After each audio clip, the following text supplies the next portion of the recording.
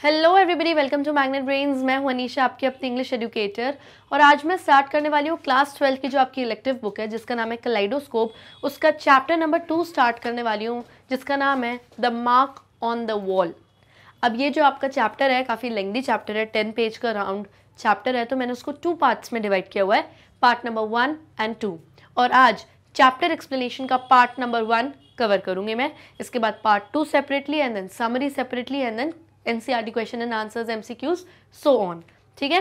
So let's begin with a chapter लेकिन उससे पहले हम पढ़ेंगे अबाउट द ऑथर कि किसने हमारा ये चैप्टर लिखा है. So Virginia Woolf is the author of this chapter the picture which you could see on my left hand side इनका बर्थ ईयर 1882 में हुआ था एंड डेथ ईयर 1941 में हुई थी. लेट्स रीड अबाउट हर ये एक नॉवलिस्ट थी, यानी नॉवेल्स लिखती थी, उपन्यास लिखती थी और एसेस्ट यानी कि क्या लिखती थी? निबंध लिखती थी. ये कहाँ बड़ी हुई? एक लिटरेरी एटमॉस्फेयर में बड़ी हुई हैं। यानी कि इनके घर के आसपास का जो वातावरण सब एक लिटरेरी एटमॉस्फेयर है। फैमिली सब इंग्लिश एंड राइटिंग से कहीं ना कहीं जुड़े हुए थे। और she was educated in her father's extensive library तो इनके फादर की एक बड़ी सी लाइब्रेरी थी और यहीं पर इनका एजुकेशन हुआ था अपने फादर के अंडर अपने हस्बैंड के साथ वर्जीनिया ने हगात प्रेस स्टार्ट करी, जो बहुत सक्सेसफुल पब्लिशिंग हाउस बन गया था उस ज़माने का। इनकी नॉवेल्स में, जो मिस्टर डैलोवे नाम का एक Dalloway and to the lighthouse she experimented with a new technique particularly new ways of capturing the flow of time तो इनकी जो नॉवेल्स है, उसमें मिसेस डैलोवे करके कैरेक्टर है, जो कि काफ़ी फ़ेमस रहता है एंड लाइट हाउस ये ऑलमोस्ट एक इनकी नॉवल का नाम था, जिसमें इन्होंने नई नई टेक्निक्स एक्सपेरिमेंट करी थी कि कैसे फ्लो ऑफ़ टाइम को कैप्चर किया जाए, यानी समय कैसे बीतता जाता है। बोले तो बर्थ देन अडल्टहुड मतलब इस तरीके से फ्लो ऑफ़ टाइम होता है। फ्लो ऑफ़ टाइम इन्होंने पूरा इसमें एक्सपेरिमेंट किया। ये यकीन मानती थी कि जो हमारे एक्सपीरियंसेस होते हैं लाइफ के जो एक्सपीरियंसेस होते हैं, वो एक्चुअली एक स्ट्रीम एक रिवर एक नदी की तरह बहते हैं। हम हम जैसे इस दुनिया में आए, हमारी आँख खुली, हम पैदा हुए, और तब तक, जब तक हमारी डेथ ना हो गई, जितने हमारी लाइफ में अनुभव हमने किए हैं, जितने एक्सपीरियंसेस हमने फेस किए हैं, वो सब एक रिवर की तरफ़ बहते यूँ चले जाते हैं फ्लो ऑफ़ टाइम अगेन वही चीज़। और ये जो ऐसे आज हम पढ़ने वाले हैं, ये क्या रिकॉर्ड करता है? Fleeting impression and delicate shades of mental experience fleeting का मतलब क्या होता है? Lasting for a very short time कोई ऐसी चीज़ जो थोड़ी सी ही देर के लिए आपके दिमाग में रहती है ओके okay? तो इसमें हम क्या पढ़ेंगे कि जो हमारी ऑथर है वर्जीनिया लेगलोफ वर्जीनिया वुल्फ वो बहुत सारी मेंटल एक्सपीरियंस करती हैं, यानी बहुत सारी दिमाग से रिलेटेड इमेजिनेशंस काल्पनिक चीज़ें एक्सपीरियंस करती हैं, जो उनके साथ बहुत थोड़ी देर के लिए रहता है। पहले कुछ एक्सपीरियंस करती है, फिर सडनली उनका थॉट चेंज हो जाता है किसी और चीज़ पे, फिर वो किसी और ऑब्जेक्ट की तरफ़ देखती हैं, उनके एक्सपीरियंस चेंज हो जाता है, अलग थाट्स आने लगते हैं तो उस तरीके का डीप इमेजिनेशन से रिलेटेड ये पूरा चैप्टर है। अब इस चैप्टर की एक एक लाइन बहुत इंपॉर्टेंट है क्योंकि ईजी नहीं है। बहुत सारे डिफ़िकल्ट वर्ड्स भी हैं इस चैप्टर में तो ध्यान से पढ़िएगा और समझने की कोशिश करिएगा। समझ में ना आए तो रिवाइंड करना, फिर से सुनना, ना समझ आए तो फिर से रिवाइंड करना और सुनना, लेकिन समझ में ज़रूर आ जाएगा। कहीं कहीं पे थोड़ी डिफ़िकल्टी होगी समझने में। मैं कोशिश करूँगी कि अपनी ईजिएस्ट एंड सिंपलेस्ट लैंग्वेज में आपको ये चैप्टर एक्सप्लेन करूँ। Let's begin with the chapter explanation Perhaps it was the middle of January in the present year that I first looked up and saw the mark on the wall. अब ये जो chapter है ये हमारी writer ने लिखा था first world war के टाइम पे ओके और इस चैप्टर में एक एनोनिमस लेडी है यानी एक ऐसी औरत पूरा आ, जो जो लेडी है एक ऐसी औरत है जिसका कोई नाम नहीं दिया गया है बस ऐसी बता मतलब वो अपने मुँह जबानी नरेट कर रही है पूरी स्टोरी तो यहाँ पे जो लेडी है उसने अभी अभी एक नए घर में एक नए विला में शिफ्ट हुई है। और वहाँ पे वो देखती है कि ये मिडिल ऑफ़ जनवरी का महीना है, यानी समहाउ विंटर सीज़न है और प्रेजेंट ईयर यानी उस ज़माने में जब ये चैप्टर लिखा गया होगा, भाई प्रेजेंट ईयर में जनवरी के बीच का महीना है और जैसे ही इस नए घर में वो आती है और वो एक वॉल एक दीवार के ऊपर देखती है तो वहाँ पर एक मार्क होता है, यानी दीवार पे कोई निशान बना हुआ रहता है। In order to fix a date it is necessary to remember what one so एक डेट फिक्स करने के लिए एक इंसान को याद रखना बहुत ज़रूरी होता है कि उसने क्या देखा। अच्छा हमने देखा था हाँ तब देखा था ओ उस दिन ये तारीख थी। इसलिए उसने भी मिडल ऑफ़ जनवरी बता दिया okay so now I think जो लेडी जो इस नए घर में शिफ्ट होकर आई है, इसको ऐसा लगता है, ये फायर के बारे में सोचती है steady film of yellow light upon the page of my book यानी वो देखती है कि वहाँ पे फायर है, क्योंकि यूरोपियन कंट्रीज़ में क्या होता है, ठंड बहुत रहती है तो एक फायर प्लेस होता है घर में, यानी आग जलती रहती है ताकि घर थोड़ा गर्म रहे। तो ये बता रही है कि विंटर का सीज़न था, घर में थोड़ा फायर थी, यानी गर्माहट थी वार्मथ थी, और इसकी बुक्स पे हल्की हल्की येलो लाइट पड़ रही थी, आग की जो येलो लाइट होती वो पड़ रही थी। The three chrysanthemums in the round glass bowl on the mantelpiece और इसने देखा कि क्रिजेंडमम्स नाम के जो ये फ्लावर्स होते हैं, इस तरीके के पर्पलिश कलर के गार्डन फ्लावर्स होते हैं, ये ऐसे मेंटल पीस के ऊपर पड़े हुए थे। अब मेंटल पीस क्या होता है? इस तरीके का एक इंग्लिश हाउसेस में आप देखोगे तो ऐसे प्लेटफॉर्म बना रहता है जहाँ पे नीचे फायर प्लेस होती है। ऊपर लोग ऐसे पॉट्स रखते हैं पॉट्स में इस तरीके के फ्लावर्स डेकोरेट करके रखते हैं। और यूजुअली इसके ऊपर बहुत खूबसूरत सी वॉल होती है, जिसपे लोग पोर्ट्रेट्स पिक्चर्स पेंटिंग्स वगैरह लगाते हैं। तो वो कहती है कि मैंने देखा फायर प्लेस थी, घर में काफ़ी गर्माहट थी और ये फायर प्लेस की जो येलो लाइट है, मेरे बुक्स पर पड़ रही थी। यहाँ पे मेंटल पीस इस चीज़ को हम मेंटल पीस कहते हैं। इसके ऊपर मैंने क्रिजैंडमम्स नाम के जो फ्लावर्स हैं, इसको मैंने सजा के रखा हुआ था यहाँ पे। वो ऐसा बोलती है ग्लास बॉल में। तो वो बता रही कि हाँ ये विंटर का टाइम रहा होगा, इस वजह से इतनी घर में वार्मथ वगैरह है। We had just finished our tea और अभी अभी ठंड का मौसम था तो हमने अभी अभी अपनी चाय पीकर ख़त्म करी थी और वो कहती कि मुझे याद है कि मैं अपनी सिगरेट स्मोक कर रही थी। जब मैंने पहली बार वॉल पे फॉर द फ़र्स्ट टाइम वो मार्क देखा, मैंने अपनी सिगरेट स्मोक कर रही थी और मैंने देखा कि वहाँ पे वॉल पे कोई मार्क है कोई निशान है इसी मैंटल पीस के ऊपर वाली वॉल पर। और इन, ये जब सिगरेट स्मोक कर रही थी तो इसकी जो स्मोक था, इसका जो धुआँ था उसके थ्रू उसके आर पार इन्होंने देखा था कि वहाँ पर कोई मार्क है वॉल पर। I looked for a moment upon the burning coals और जो आग जल रही थी, जो नीचे कोल जल रहा था उस पर एक सेकेंड के लिए इनकी नज़रें लॉज हो गई, यानी स्टे हो गई। रुक गई एकदम से कि अरे ये मार्क किस चीज़ का है? And that old fancy of the crimson flag flapping upon the castle tower came into my mind fancy का मतलब यहाँ पर क्या है? फैंसी का मतलब है यहाँ पर इमेजिनेशन आपकी कल्पना। क्रिम्सन का मतलब क्या होता है? कोई चीज़ जो बहुत डार्क रेड कलर की होती है। कैवलकेट का मतलब क्या होता है? A large group of people on the horses moving for a ceremony जब बहुत सारे लोग घोड़ों पे सवार रहते हैं, जैसे कि रेड नाइट्स यानी घोड़े जो इंग्लैंड की आर्मी में जैसे रेड कलर का ड्रेस पहन के घोड़ों पे रहते हैं, अपनी आर्मी में सवार रहते हैं, उनको और वो जैसे किसी सेरेमनी के लिए जा रहे होते हैं, उसको हम कैवलकेट कहते हैं। तो यहाँ पे वो स्पीकर जो थिंकर लेडी है थिंकर यानी जो डीप थिंकिंग करती है, जो बहुत ज़्यादा इमेजिनेशन कल्पना करती है, वो कहती है कि जो आग जल रही थी फायर प्लेस में से, ऐसा लग रहा था कि वो कोई आग जैसे निकल नहीं रही हो, वो जैसे ऐसा लग रहा था कि कोई फ्लैग लाल रेड कलर का फ्लैग लहरा रहा हो। अब ये लाल रेड कलर घोड़े पे सवार लोग ऐसा लग रहा था वहाँ से निकल रहे हैं। ये वो क्यों इमेजिन करिए क्योंकि ये स्टोरी फ़र्स्ट वर्ल्ड वॉर के टाइम की है। तो वॉर घोड़े, लड़ाई, झगड़ा फ्लैग रेड कलर ये सब कहीं ना कहीं वॉर को रिप्रेजेंट करते हैं। ओके तो ऐसा लग रहा था कि वो आग नहीं जल रही, कोई डार्क रेड कलर का फ्लैग किसी कैसल, किसी महल के टावर पे इस तरीके से लहरा रहा हो। और ऐसा लग रहा था कि जो ब्लैक रॉक यानी जो काले काले पत्थर साइड में पड़े हुए हैं, ऐसा लग रहा था उनके ऊपर ये रेड नाइट्स यानी घोड़े पे सवार जो सोल्जर्स हैं वो जा रहे हों। तो ऐसा वो इमेजिन कर रही थी इस फायर प्लेस को देखकर। Rather to my relief the sight of the mark interrupted the fancy तो वो कहती है कि जो मैं फैंसी कर रही थी, यानी ये फ्लैग वगैरह, घोड़े वगैरह जो मैं इमेजिन कर रही थी सडनली मेरी इमेजिनेशन को इंटरप्ट किया डिस्टर्ब किया किसने? इस वॉल के मार्क ने। जैसे ही मैंने देखा तो मेरी जो फैंसी मेरी इमेजिनेशन डिस्टर्ब हो गई और मेरी, मेरा ध्यान कहाँ चला गया? वॉल के उस मार्क पे चला गया। और ये जो मैं इमेजिन कर रही थी, ये ऑटोमेटिक फैंसी था। यानी ऑटोमेटिकली जब भी आप कोई चीज़ देखते हो, आप इमेजिन करने ही लगते हो। मेड एज अ चाइल्ड पर यानी जैसे छोटे बच्चे नहीं होते, कुछ भी इमेजिन करते हैं, जो देखते हैं, सोचने लगते हैं एग्जैक्टली exactly उसी तरह भी ये स्पीकर कर रही थी। जो मार्क था, वो छोटा सा राउंड मार्क था। Black upon the white wall यानी पूरी दीवार वाइट कलर की थी और छोटा सा ब्लैक कलर का उस पर ये मार्क था। About six or seven inches above the mantelpiece तो मेंटल पीस से छः सात इंच ऊपर ही था ये mark How readily our thoughts swarm upon a new object, lifting it a little way as ants carry a blade of straw so feverishly and then leave it.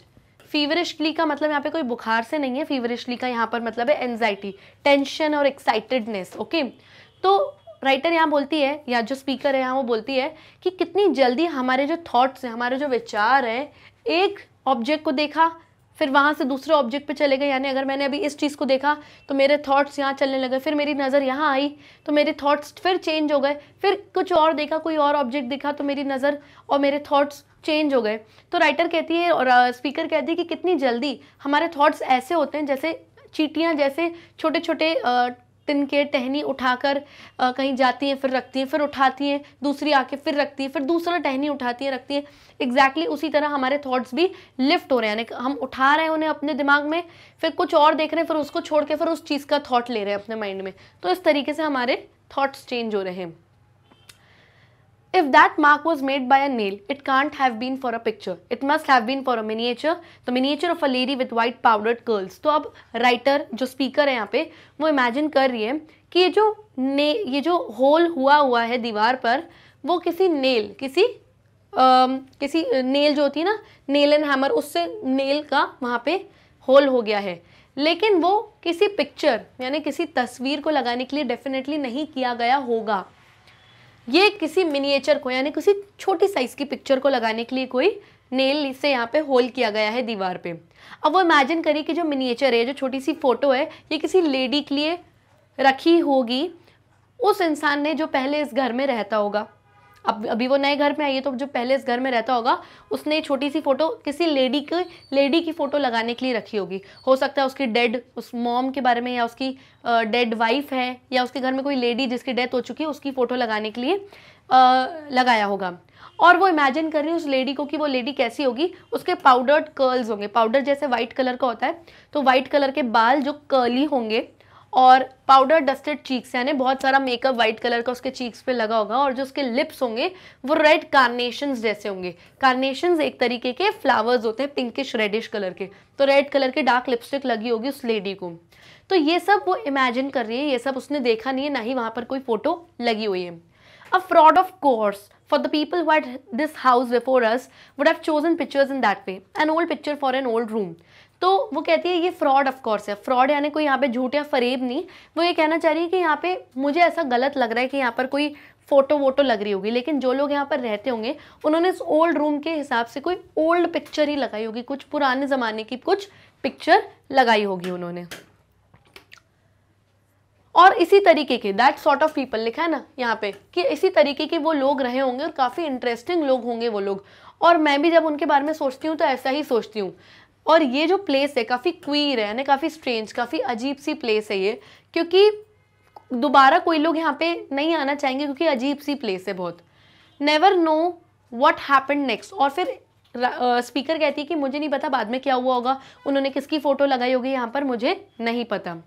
वो ये घर इसलिए छोड़ना चाहते थे क्योंकि वो अपना स्टाइल ऑफ़ फर्नीचर चेंज करना चाहते थे। सो ही सेड ही कौन? यानी पहले जो मकान मालिक यहाँ रहता था वो एक मेल था एक मैन था। तो उसने स्पीकर से बोला कि वो आ, वो वो उसका ये वो ये बोल रहा था स्पीकर से कि उसका ऐसा विचार है उसका ऐसा ओपिनियन है कि art should have ideas behind it कि जो भी आप आर्ट जो भी आप कला से रिलेटेड अपने घर में चीज़ें लगा रहे हो चाहे पेंटिंग्स हो पिक्चर्स हो कोई फर्नीचर हो कुछ भी डेकोरेटिव आइटम हो उस कला के पीछे कोई ना कोई आइडिया कोई ना कोई लॉजिक कुछ रीज़न होना चाहिए। ऐसे आप कुछ भी उठा के अपने घर को डेकोरेट मत करो।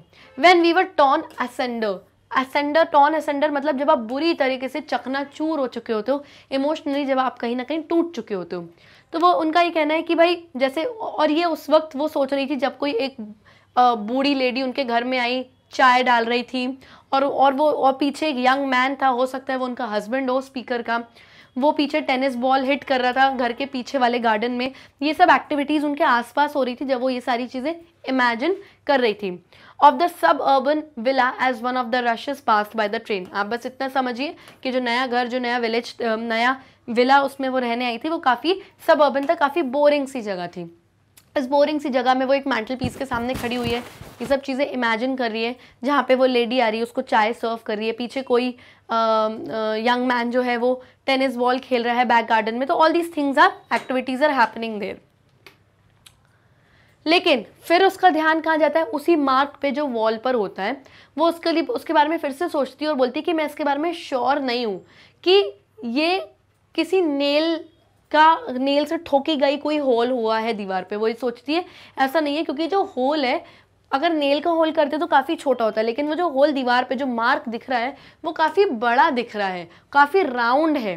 तो नेल के हिसाब से तो वो काफ़ी बड़ा होल है। तो फिर वो सोचती है, मुझे खड़े होके, अभी वो चेयर पे बैठी हुई है, फिर वो सोचती है कि मुझे खड़े होके देखना चाहिए और पास से देखना चाहिए ten to one ten to one मतलब प्रॉबेबली मुझे देखना चाहिए, बिल्कुल टेन मतलब दूर है और वन तक यानी दूर से पास जाकर मुझे देखना चाहिए कि वो होल है कि क्या है। I shouldn't be able to save for certain और वो कहती है कि ये मुझे बिल्कुल श्योरिटी के साथ नहीं कहना चाहिए। क्यों? क्योंकि कोई भी चीज़ अगर एक बार हो गई है तो वो हो गई है। किसी को नहीं पता कि वो कैसे हुई कब हुई कहाँ हुई। तो यहाँ पे आप बिटवीन द लाइन्स मीनिंग समझिए कि राइटर यहाँ कहना चाहती हैं कि स्पीकर uh, बोल रही है यहाँ पे कि जो चीज़ हो गई सो हो गई।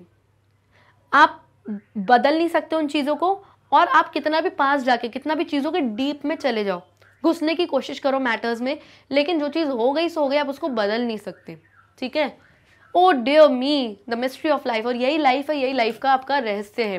द इनएक्यूरेसी ऑफ़ थॉट और यही थॉट्स में इनएक्यूरेसी यानी सही चीज़ें नहीं आती हमारे। द इग्नोरेंस ऑफ़ ह्यूमैनिटी कभी कभी लोग इतना गलत करते हैं कि बिल्कुल इनह्यूमन हो जाते हैं। ह्यूमैनिटी यानी इंसानियत को इग्नोर कर लेते हैं, गलत चीज़ें कर लेते हैं। फिर सोचते हैं, हम इसको चेंज करें, हम इसको पॉजिटिवली चेंज करें, पर ऐसा नहीं हो सकता। जो चीज़ हो गई, सो गई। दीवार पे जो होल हो गया, बड़ा, छोटा, कितना भी वो हो गया, मेरे पास जाके देखने से कोई छोटा साइज़ का नहीं हो जाएगा वो। जो हो गया, सो हो गया। कब हुआ, कैसे हुआ, वो नहीं पता किसी को। ये लाइफ की कुछ मिस्ट्रीज होती हैं जिनको हम सॉल्व नहीं कर सकते। To show how very little control of our possessions we have, what an accidental affair this living is after all our civilization. Let me just count over a few of the things I lost one lifetime तो अब writer यहाँ बोलती हैं कि मैं एक चीज़ बता दूँ कि हमारे जितने भी पोजेशंस हैं पोजेशन यानी जो चीज़ हमारी है जिसको हम पोजेस करते हैं जैसे हमारा घर हमारे पैसे हमारे वेल्थ हमारी कार ये सब हमारी चीज़ें तो राइटर बोलती है कि हमारे जो पोजेशन है जो हमारी चीज़ें हमारा उन पर भी कंट्रोल नहीं है। कार आज है, कल टूट गई एक्सीडेंट हो गया, कुछ भी हो गया। पैसा हाथ में आज है, कल नहीं है यू डोंट नो तो हमारे खुद के पोजेशंस पर भी हमारा इतना हक नहीं है। तो हमारी लाइफ पर, ज़िंदगी पर हमारा हक कैसे हो सकता है? हम अपनी लाइफ को कंट्रोल में कैसे ले सकते हैं? ये जो लाइफ है, ये एक एक्सीडेंटल अफेयर है, यानी कि नॉर्मल बस बाय एक्सीडेंट जो चीज़ें होती जा रही हैं, बस होती जा रही हैं, चलती जा रही है हमारी लाइफ और इस लाइफ में हम बहुत सारी चीज़ें लॉस्ट यानी खो देते हैं। एक लाइफ में, पूरी एक लाइफ टाइम में हम बहुत सारी चीज़ें खोते हैं। उसमें से सबसे पहली चीज़ें होती है बिगनिंग यानी शुरुआत। फॉर एग्ज़ाम्पल एक बच्चा इस दुनिया में पैदा हुआ, दस दिन का हुआ तो शुरू के दस दिन उसने अपने खो दिए। डजेंट मैटर वो अभी भी बच्चा ही है, दस दिन पुराना पैदा हुआ है वाला बच्चा है, लेकिन जो शुरू के दस दिन है, समझो उसने खो दिए। पंद्रह दिन आया, उसने पंद्रह दिन खो दिए। तो बिगनिंग शुरुआत एक ऐसी चीज़ है, जो सबसे पहले आप खो देते हो ओके और सबसे मिस्टीरियस लॉस ऑफ़ लाइफ यही है यानी सबसे रहस्यमयी लॉस हमारी लाइफ का हमारी बिगनिंग का लॉस है okay? What cat would gnaw, what rat would nibble. Three pale blue canisters of book binding tools. अब यहाँ पे जो ये जी है वो साइलेंट है इसलिए इसको हम नौ रीड कर रहे हैं जब एक कैट कोई चीज़ को बाइट करती है चबाती है तो उसे हम कहते हैं नौ और जब एक छोटा सा रैट यानी चूहा कोई चीज़ निबल करता है, यानी छोटे छोटे पीसेस लेता है छोटे छोटे बाइट्स लेता है किसी खाने की चीज़ को, उसको हम कहते हैं निबल कर रहे हैं। और कैनिस्टर्स यानी बड़े बड़े जो मेटल के, यानी लोहे के कंटेनर्स बड़े बड़े संदूक डब्बे होते हैं, उनको हम कैनिस्टर्स कहते हैं। तो यहाँ पे सिंपली एक चीज़ बोलना चाह रही है कि कैट क्या खाएगी, चूहा क्या खाएगा, किस डब्बे में से निकाल के कौन सी किताब को वो लोग कुतरेंगे, हमें नहीं पता। तो बिटवीन द लाइन्स का मीनिंग ये है कि लाइफ में कब क्या हो जाए, कब किसकी डेथ हो जाए कब? राइटर खुद के लिए भी सोचती कि कब मेरी डेथ हो जाए, मुझे नहीं पता। यानी चूहा या बिल्ली यहाँ पे आके डब्बे में से कौन सी किताब को कुतरेंगे, हमें नहीं पता भाई, वो तो एनिमल्स है, कुछ भी आके पहले कुतर सकते हैं, यानी चबा सकते हैं। एग्जैक्टली exactly लाइफ में कब क्या हो जाए, हमें नहीं पता, कब किसकी डेथ हो जाए, खुद मेरी भी डेथ हो जाए, कब हो जाए, ऐसा राइटर सोचती है, वो उनको नहीं पता, यानी कोई भी चीज़ आपके कंट्रोल में नहीं है। फिर और सारी लिस्ट ऑफ़ थिंग्स हमारी राइटर हमें यहाँ पर बताती हैं जो उन्होंने अपनी लाइफ टाइम में खो दिए हैं। जैसे बर्ड केजेस यानी बर्ड्स को रखने के जो केजेस है, उस ज़माने में लोगों के लिए ये सारी चीज़ें बहुत वैल्यूएबल होती थी। द आयन हुप्स हुप्स यानी लार्ज आयन रिंग्स बड़ी बड़ी लोहे की जो रिंग्स होती हैं, ये सारी चीज़ें। स्टील के स्केट्स होते हैं। क्वीन एन उस जमाने में क्वीन एन हुआ करती थी, उनका कोल्स कटल कोल्स कटल क्या होता है? एक मेटल कंटेनर होता है, इस तरीके का. एक मेटल का कंटेनर होता है जो थोड़ा सा स्लोपिंग होता है, यानी इस तरीके से. ये ऐसा स्लोपिंग जा रहा है.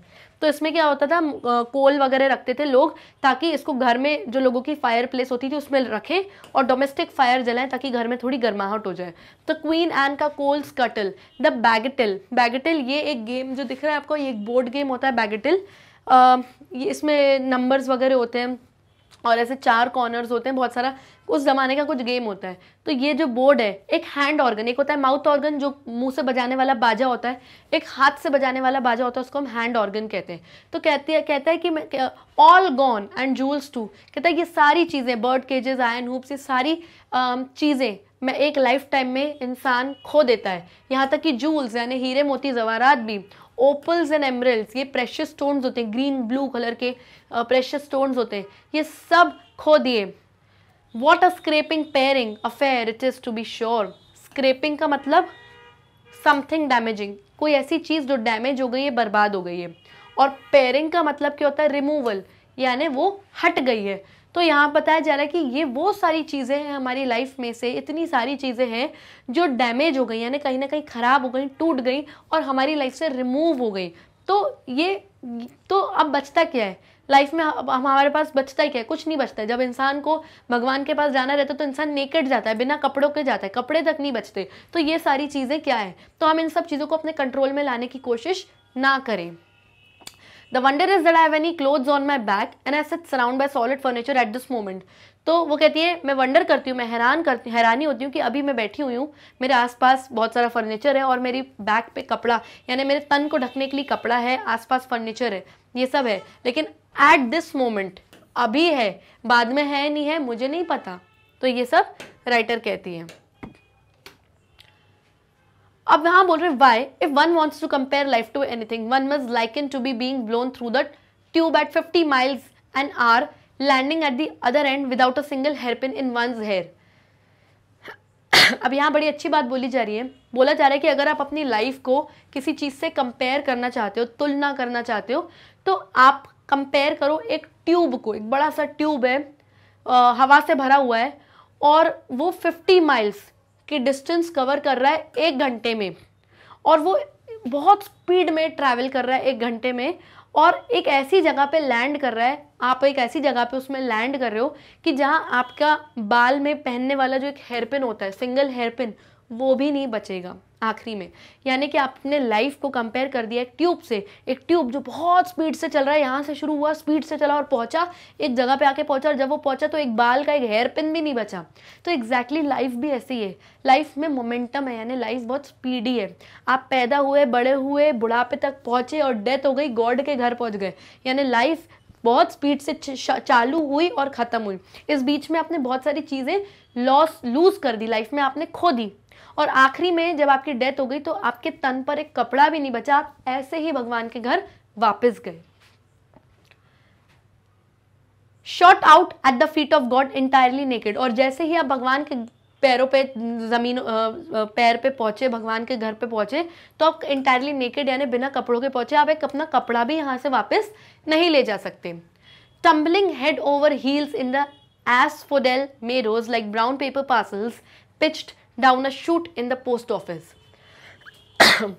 अब एसोफोडेल क्या है? एसोफोडेल एक काइंड ऑफ़ फ्लावर है। ये जो पिक्चर देख रहे हैं, ये एक एसोफोडेल की पिक्चर है। अब पुराने ज़माने में, अभी तो हम मैसेजेस भेजते हैं लोगों को व्हाट्सएप पे इंस्टा पे इधर उधर ये उस ज़माने का चैप्टर है, जब लोग पोस्ट ऑफ़िस के थ्रू पार्सल भेजा करते थे। एक पार्सल एक ब्राउन कलर का जो पार्सल है, वो एक रूम से दूसरे रूम जाता था, उस पर स्टैंप लगता था, फिर वो दूसरे रूम तो मान लो इस रूम से इस रूम अगर पार्सल ट्रांसफ़र होना तो बीच में ट्यूब रहता था।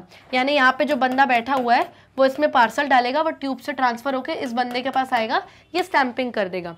तो एक पार्सल जैसे एक जगह से दूसरी जगह पहुँचता है एग्जैक्टली हम भी इस दुनिया से उस दुनिया चले जाते हैं। यानी हमारी ये पूरी लाइफ है, यानी हमारी ये पूरी लाइफ है। हमने जी ली, हम यहाँ मर गए। अब मरने के बाद हम कहाँ पहुँचे? एसोफोडेल मेडोज पे। एसोफोडेल मेडोज यहाँ फ्लावर होते हैं, लेकिन यहाँ पर अगर इन बिटवीन द लाइन्स हम समझे तो एसोफोडेल मेडोज यानी वो ज़मीन जो आफ्टर लाइफ की होती है। यानी यहाँ पर हम ज़िंदा हैं, ये हमारी लाइफ है। हम मरने के बाद ट्रैवल होके आफ्टर लाइफ में पहुँच गए, यानी उस दुनिया में पहुँच गए जो मरने के बाद होती है, जिसको किसी ने नहीं देखा, जिसको न मैंने, ना आपने, ना हमारी राइटर ने, किसी ने भी नहीं देखा। लेकिन होती है, ऐसा बोला जाता है कि आफ्टर लाइफ होती है। तो टम्बलिंग हेड ओवर हील्स यानी कि लुढ़कते पड़ते इस दुनिया से हम उस दुनिया, परलोक की दुनिया में कहीं पहुँच जाते हैं, जैसे कि पुराने ज़माने में पोस्ट ऑफ़िस में एक रूम से दूसरे रूम में पेपर पार्सल्स ट्रैवल होते थे, वैसे हम एक पार्सल की तरह ट्रैवल होकर चले जाते हैं, ठीक है? With one hair flying back like a tail of a race horse. जिस तरीके से एक रेस में जब घोड़ा दौड़ता है तो उसकी पूछ के बाद जिस स्पीड में पीछे की तरफ़ उड़ते हैं, उस स्पीड से हम यहाँ से वहाँ पहुँचते हैं। स्पीड का बताया जा रहा है। यहाँ पे मेन जो वर्ड है, वो है स्पीड कि हमारी जो लाइफ है, बहुत स्पीड में गुजर रही है। Yes that seems to express the rapidity of life और यही एक्सप्लेन करते हैं हम रैपिडिटी ऑफ़ लाइफ यानी कि लाइफ की कितनी स्पीड है। शुरू होती, कब बड़े हो जाते हैं, कब बुढ़े हो जाते हैं मर गए, खत्म कहानी। The perpetual waste and repair all so casual all so haphazard perpetual का मतलब क्या होता है? कंटिन्यूस कोई चीज़ कंटिन्यूसली हो रही है। और हैप हजार्ड का मतलब कन्फ्यूज़न जिसमें समझ में नहीं आ रहा कि कोई पर्टिकुलर प्लान है, कि ऑर्डर है, क्या है। कन्फ्यूज़न वाला स्टेट है। तो यहाँ पर राइटर कह रही है कि ये जो लाइफ की स्पीड है, यानी कि जो वेस्ट एंड रिपेयर है वेस्ट एंड रिपेयर बोले तो क्या? यानी कि ये जो डेथ एंड बर्थ का जो भगवान ने ये खेल बनाया है ये कंटिन्यूस है, यानी एक इंसान की डेथ होगी, फिर वो जन, जन्म लेगा, फिर वो मरेगा, फिर जन्म लेगा, इस तरीके से हर इंसान की लाइफ में ये परपेचुअल चीज़ है, यानी कंटिन्यूसली वेस्ट एंड रिपेयर है, यानी डेथ होगी, फिर वो बर्थ लेगा, फिर डेथ होगी रिपेयर होगी और ये बहुत कैजुअल है, ये बहुत नॉर्मल है, सबकी लाइफ में ऐसा होता है, लेकिन ये सब बहुत हैप हजार्ड में यानी कन्फ्यूज़न में, किसी को कोई प्लान नहीं पता, कोई ऑर्डर नहीं पता कि कब पैदा होएगा कोई इंसान, या कब उसकी डेथ होगी, कैसे डेथ होगी, किस दिन डेथ होगी, वो अगले जन्म में कहाँ जाके पैदा होगा आफ्टर लाइफ में क्या होगा, ये सब के बारे में किसी को कुछ नहीं पता। बट आफ्टर लाइफ बस यही पता है कि आफ्टर लाइफ होती है, क्या होता है वहाँ पे, उसके बारे में कोई आइडिया नहीं। The slow pulling down of thick green stalks so that the cup of the flower as it turns over deluges one with purple and red light अब, यहाँ पे ग्रीन स्टॉक्स क्या होता है? जो ये ग्रीन कलर की डंडियाँ होती हैं उसको हम ग्रीन स्टॉक्स कहते हैं। इसके ऊपर देख लीजिए, कोई फ्लावर टाइप का लगा हुआ है। तो यहाँ बोला जा रहा है कि स्लोली जब आप ग्रीन स्टॉक्स को पुल करते हो तो ऊपर जो कप ऑफ़ द फ्लावर है, जो ऊपर फ्लावर लगा हुआ है, यानी ये नीचे से ज़मीन से ग्रो होकर ऊपर हुआ है, यानी जब ये मरेगा तो यानी जब इस फ्लावर की, इस स्टॉक की डेथ होगी तो ये गिरेगा और कहाँ गिरेगा ज़मीन की तरफ़ गिरेगा, यानी टर्न ओवर हो जाएगा ओके okay? और डिल्यूज हो जाएगा, यानी डिल्यूज हो जाएगा डीपोर हो जाएगा आफ्टर लाइफ में, यानी अभी तक ये लाइफ में है, और जब ये गिरेगा उल्टा हो जाएगा धरती की तरफ़। तो ये आफ्टर लाइफ की तरफ़ डिल्यूज हो जाएगा, यानी कि इसकी नई ज़िंदगी स्टार्ट मतलब इसकी आफ्टर लाइफ स्टार्ट हो जाएगी, ये मर जाएगा। और मिक्स हो जाएगा पर्पल एंड रेड लाइट में, यानी समवेयर धरती में, धरती के नीचे जो ज़मीन है, वहाँ पे ये रेड लाइट रेड लाइट और पर्पल लाइट में मिक्स हो जाएगा, यानी कि नई ज़िंदगी में चले गया। Why after all should one not be born there as one is born here यानी यहाँ इस ज़िंदगी में जहाँ हम ज़िंदा है, यहाँ पर हम जन्म लेते हैं और यहीं पे हम मरते हैं। लेकिन जब आफ्टर लाइफ में हम पहुँच जाते हैं, यानी मौत के बाद वाली की जो हमारी लाइफ है, वहाँ पर कोई जन्म नहीं लेता, वहाँ पे कोई मरता नहीं है। वहाँ मरने के बाद क्या होता है किसी को नहीं पता बट जन्म एंड मरण डेथ एंड बर्थ ये सब इस लाइफ में पॉसिबल है, ना कि आफ्टर लाइफ में कुछ पॉसिबल है। और जब हम यहाँ पर पैदा होते हैं तो यहाँ बहुत हेल्पलेस होते हैं। एक छोटा सा बच्चा जब पैदा होता है तो वह हेल्पलेस होता है, यानी कि वो खुद से कुछ नहीं कर सकता है। दस दिन का, पंद्रह दिन का बच्चा वो खुद कुछ नहीं कर सकता। स्पीचलेस छोटा सा एक पैदा हुआ बच्चा बोल नहीं सकता। और उसकी आई साइट भी नहीं आती, कहा जाता है पैदा हुए बच्चे की आई साइट देखने की जो रोशनी होती है वो दो ढाई महीने के बाद आती है। Groping at the roots of the grass groping का मतलब क्या होता है? To find something on your own using hands अगर उसको कुछ चाहिए तो वो अपने हाथों से टच करके फील करके ढूँढने की कोशिश करता है। उसको कोई बता नहीं सकता, ना उसको समझ में आता है। At the toes of the giants giants यानी हम अडल्ट हम अडल्ट के पैरों पैरों में एक छोटा सा बच्चा जिसको कुछ नहीं आता। तो ये सब इस लाइफ में पॉसिबल है, ना कि आफ्टर लाइफ में। तो as for saying which are trees and which are men and women जब वो धीरे धीरे बड़ा बड़ा होता है, उसको बताया जाता है कि ये ट्रीज हैं, ये आदमी है, ये औरत है, और कोई भी दूसरी सच थिंग्स उसको बताया जाता है, उसके पेरेंट्स बताते हैं। That one won't be in a condition to do for fifty years और सो और ये भी बताया जाता है कि पचास साल या पचास साल के बाद जब तुम बड़े हो जाओगे तो बहुत सारी चीज़ें ऐसी होगी कि जिसमें तुम कंडीशन में नहीं होगी, तुम वो चीज़ें नहीं कर पाओगे। तो उसको ये ज्ञान धीरे धीरे मिलता है और फाइनली उसकी डेथ हो जाती है ओके okay? तो there will be nothing but spaces of light and dark कहाँ? देर मतलब ये कहाँ की बात हो रही है? ये आफ्टर लाइफ की बात हो रही है। जब डेथ के बाद अब आफ्टर लाइफ एक परलोक वाली ज़िंदगी में जब आप पहुँच जाओगे तो वहाँ कुछ भी नहीं होगा, बस स्पेस खाली जगहें होगी, जहाँ पे लाइट एंड डार्क होगा यानी जहाँ अच्छी आत्माएँ होंगी और जहाँ बुरी आत्माएँ होंगी। इंटरसेक्टेड बाय थिक स्टॉक्स यानी ये इंटरसेक्टेड होंगी कनेक्टेड होंगी मोटी मोटी स्टॉक्स से। यानी सब अपनी स्टॉक्स यानी कि जड़ें। ये जो इस तरीके से जो स्टेम होती थी, जो हमने फ्लावर देखा था तो इसको हम स्टॉक्स कहते हैं। तो चाहे लाइट या डार्क यानी चाहे अच्छी आत्मा या बुरी आत्मा, दोनों किससे कनेक्टेड है? अपने पिछले जन्म के कर्मों से कनेक्टेड है, जिसको थिक स्टॉक्स का नाम दे दिया है। एंड रादर हायर अप पर हो सकता है उससे भी ऊपर कुछ उन्होंने अच्छे कर्म किए हुए हैं। Rose shape blots of indistinct colour dim pinks and blues which will as time goes on become more definite become I know what dot dot dot तो यहाँ पर ब्लॉट्स का मतलब क्या है? ब्लॉट्स का मतलब होता है spot of something specially by ink और पेपर यानी पेपर पर या दीवार पर जब इंक स्याही का कोई स्पॉट कोई धब्बा या कोई निशान होता है, उसे हम ब्लॉट कहते हैं। तो अब राइटर यहाँ पे कुछ जो स्पीकर है, वो कुछ इमेजिन कर रही है, कर रही है, उसकी इमेजिनेशन हम लोग पढ़ रहे हैं। और इमेजिन करते करते जब वो दीवार पे जो मार्क है, जिसको पहले वो एक होल एक गड्ढा समझ रही थी कि भाई नेल से हैमर से हथौड़े से किसी ने गड्ढा कर दिया है। अब वो इसको समझने लगी है कि ये कोई ब्लॉट है, ये कोई होल नहीं है, ये कोई ब्लॉट है। ब्लॉट यानी ऐसा लग रहा है उसको कि कोई इंक का धप्पा है, इंक का कोई स्पॉट है, ये कोई होल नहीं है। अब उसकी इमेजिनेशन चेंज हो गई और फिर वो धीरे धीरे जैसे जैसे देखती जा रही है, वो बहुत डेफिनेट होता जा रहा है ना उसको क्लियरली दिखता जा रहा है और फिर वो बोलती है, फिर पता नहीं वो क्या बनेगा? आई डोंट नो वॉट और ये तीन डॉट्स लगा दिए। इन तीन डॉट्स को हम कहते हैं एलिप्सिस इंग्लिश में इनको कहा जाता है एलिप्सिस एलिप्सिस यानी जब डॉट डॉट डॉट लगा देते हैं, इसका मतलब ये है कि राइटर को और भी बहुत कुछ लिखना है। वो इमेजिन भी कर रहा है क्या लिखना है, लेकिन क्लियरली उसको समझ में नहीं आ रहा कि लिखूं क्या। पर उसको लिखना है। तो इसलिए उसने डॉट डॉट डॉट लगा दिया कि मुझे और भी कुछ लिखना था बट मैंने नहीं लिखा है। तो यहाँ पर भी हमारी जो स्पीकर है, उसको बहुत सारी चीज़ें उसको समझ में आ रही हैं।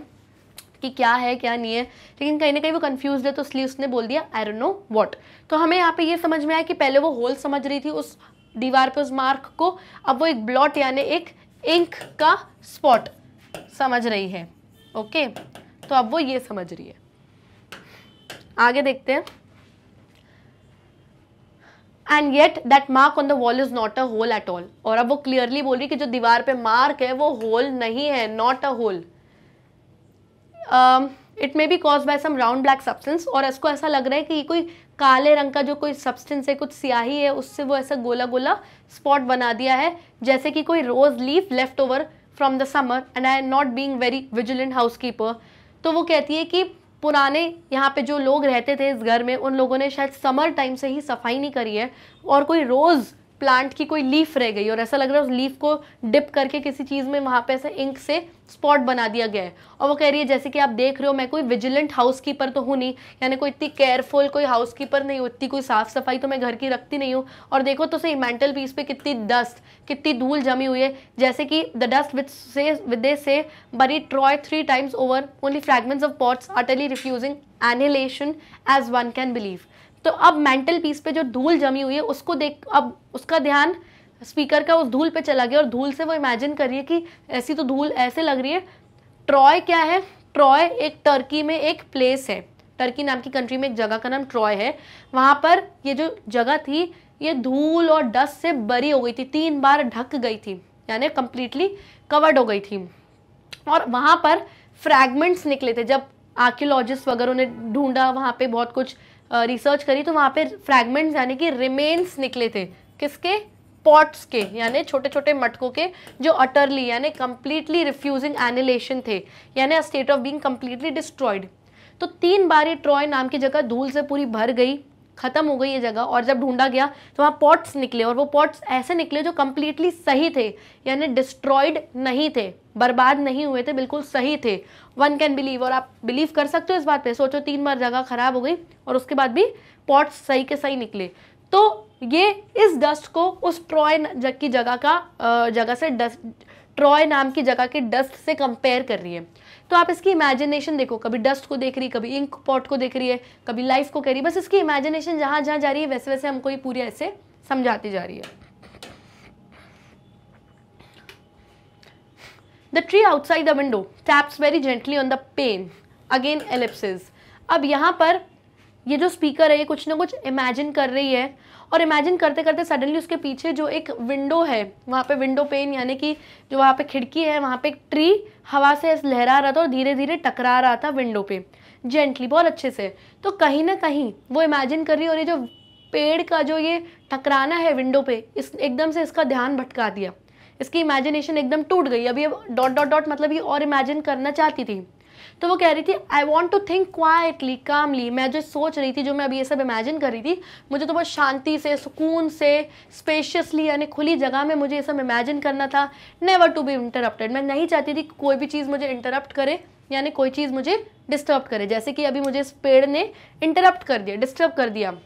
मैं कभी नहीं चाहती थी कि मैं अपनी चेयर से उठूँ, और बस मुझे ऐसा लगता था कि मैं इमेजिन ही करती रहूँ। To slip easily from one to another यानी मैं एक चीज़ से दूसरी चीज़ तक ईजिली इधर उधर अपने थॉट्स शेयर करूँ, कभी इस बारे में सोचूं, कभी इस बारे में सोचूं, जहाँ मन करे उस चीज़ के बारे में सोचूं। Without any sense of hostility hostility मतलब किसी के खिलाफ कोई भी नेगेटिव फीलिंग्स नहीं है मेरे मन में। बस मुझे बिना किसी डिस्टर्बेंस के अपना इमेजिनेशन करते रहना है, मुझे कोई डिस्टर्ब ना करे। और एनी ऑब्स्टिकल ना ही कोई रुकावट के। I want to sink deeper and deeper मैं अपनी इमेजिनेशन में बहुत गहरा और गहरा डूबना चाहती हूँ, सोचना चाहती हूँ। Away from the surface surface यानी ऊपर की बात। तो कहते हैं मुझे ऊपर ऊपर की बात, ऊपर ऊपर की एक दो की बात में मेरे को कोई इंटरेस्ट नहीं है। मुझे तो डीप थिंकिंग में इंटरेस्ट है। With its hard separate facts यानी जो सरफेस यानी ऊपर ऊपर की जो बातें होती हैं, उसमें बहुत सेपरेट फैक्ट्स यानी कुछ सच्चाइयाँ बता दी जाती हैं कि ऐसा है। लेकिन मुझे तो इन डेप्थ थिंकिंग करनी और सोचना है कि ऐसा है तो क्यों है? फैक्ट्स के बारे में और रिसर्च करनी है। लेकिन मुझे अब इस पेड़ ने डिस्टर्ब कर दिया। To study myself let me catch hold of the first idea that passes Shakespeare फिर धीरे से उसने अपने आप को स्टडी किया यानी अपने आप को स्लो डाउन किया और उसने फिर से इमेजिन करना इमेजिनेशन उसके माइंड में आना स्टार्ट हो गई और जो पहला आइडिया उसके दिमाग में आया वो था शेक्सपियर अब शेक्सपियर कौन है? महान राइटर है, हम सबको पता है। अब शेक्सपियर का थॉट इसके माइंड में क्यों आया? क्योंकि इसके जस्ट पहले वाला थॉट इसके माइंड में था उस इंक स्पॉट के बारे में। जो दीवार पे सोच रही थी कि होल है, फिर बाद में उसने सोचा, होल नहीं है, ये तो कोई इंक का स्पॉट है। अब इंक इंक से कौन लिखता है? इंक से राइटर्स लिखते हैं। अपनी कहानियाँ लिखते हैं, अपनी नॉवेल्स लिखते हैं। तो क्योंकि इंक स्पॉट उसने सोचा और इंक इंक स्पॉट से उसके माइंड में किसकी इमेजिनेशन आने लगी? अलग अलग राइटर्स के बारे में, लेखकों के बारे में, जिसमें से उसका पहला ख्याल शेक्सपियर के बारे में आया। Well he will do as well as another जैसे शेक्सपियर करता है, वैसे अनदर दूसरे राइटर्स भी ऐसा ही करते होंगे। कैसा करते होंगे? A man who sat himself solidly in an armchair and looked into the fire so a shower of ideas fell perpetually from very high heaven from to his mind perpetually माने continuously तो वो ये कह रहा है कि एक मान लो एक आदमी ऐसा है, जो अपनी आर्म चेयर आर्म चेयर यानी नॉर्मल चेयर जिसपे से आप अपनी आर्म्स को रख सकते हो, उस पर वो आराम से बैठा है और सॉलिडली बैठा है। और वो फायर में देख रहा है, यानी फायर प्लेस को देखे जा रहा है। उसके माइंड में कंटिन्यूसली आइडियाज़ आते जा रहे हैं कंटिन्यूसली ऊपर हेवन से यानी समझो ऊपर स्वर्ग से उसके दिमाग में ख्याल ओपिनियंस आइडियाज़ आते जा रहे हैं। फिर उसने अपना जो फॉरहेड है, अपने हाथ पे इस तरीके से रख दिया और एक सामने ओपन डोर है, जिसमें से लोग उसको देख रहे हैं। तो ये जो सीन बाहर के लोग देख रहे हैं कि एक राइटर है, उसके माइंड में आइडियाज़ आ रहे हैं, फिर वो थक के उसने अपना सर हाथ पे इस तरीके से रख दिया। ऐसा लग रहा है समर्स में जब शाम के समय लोग थक जाते हैं, तब लोग ऐसा करते हैं।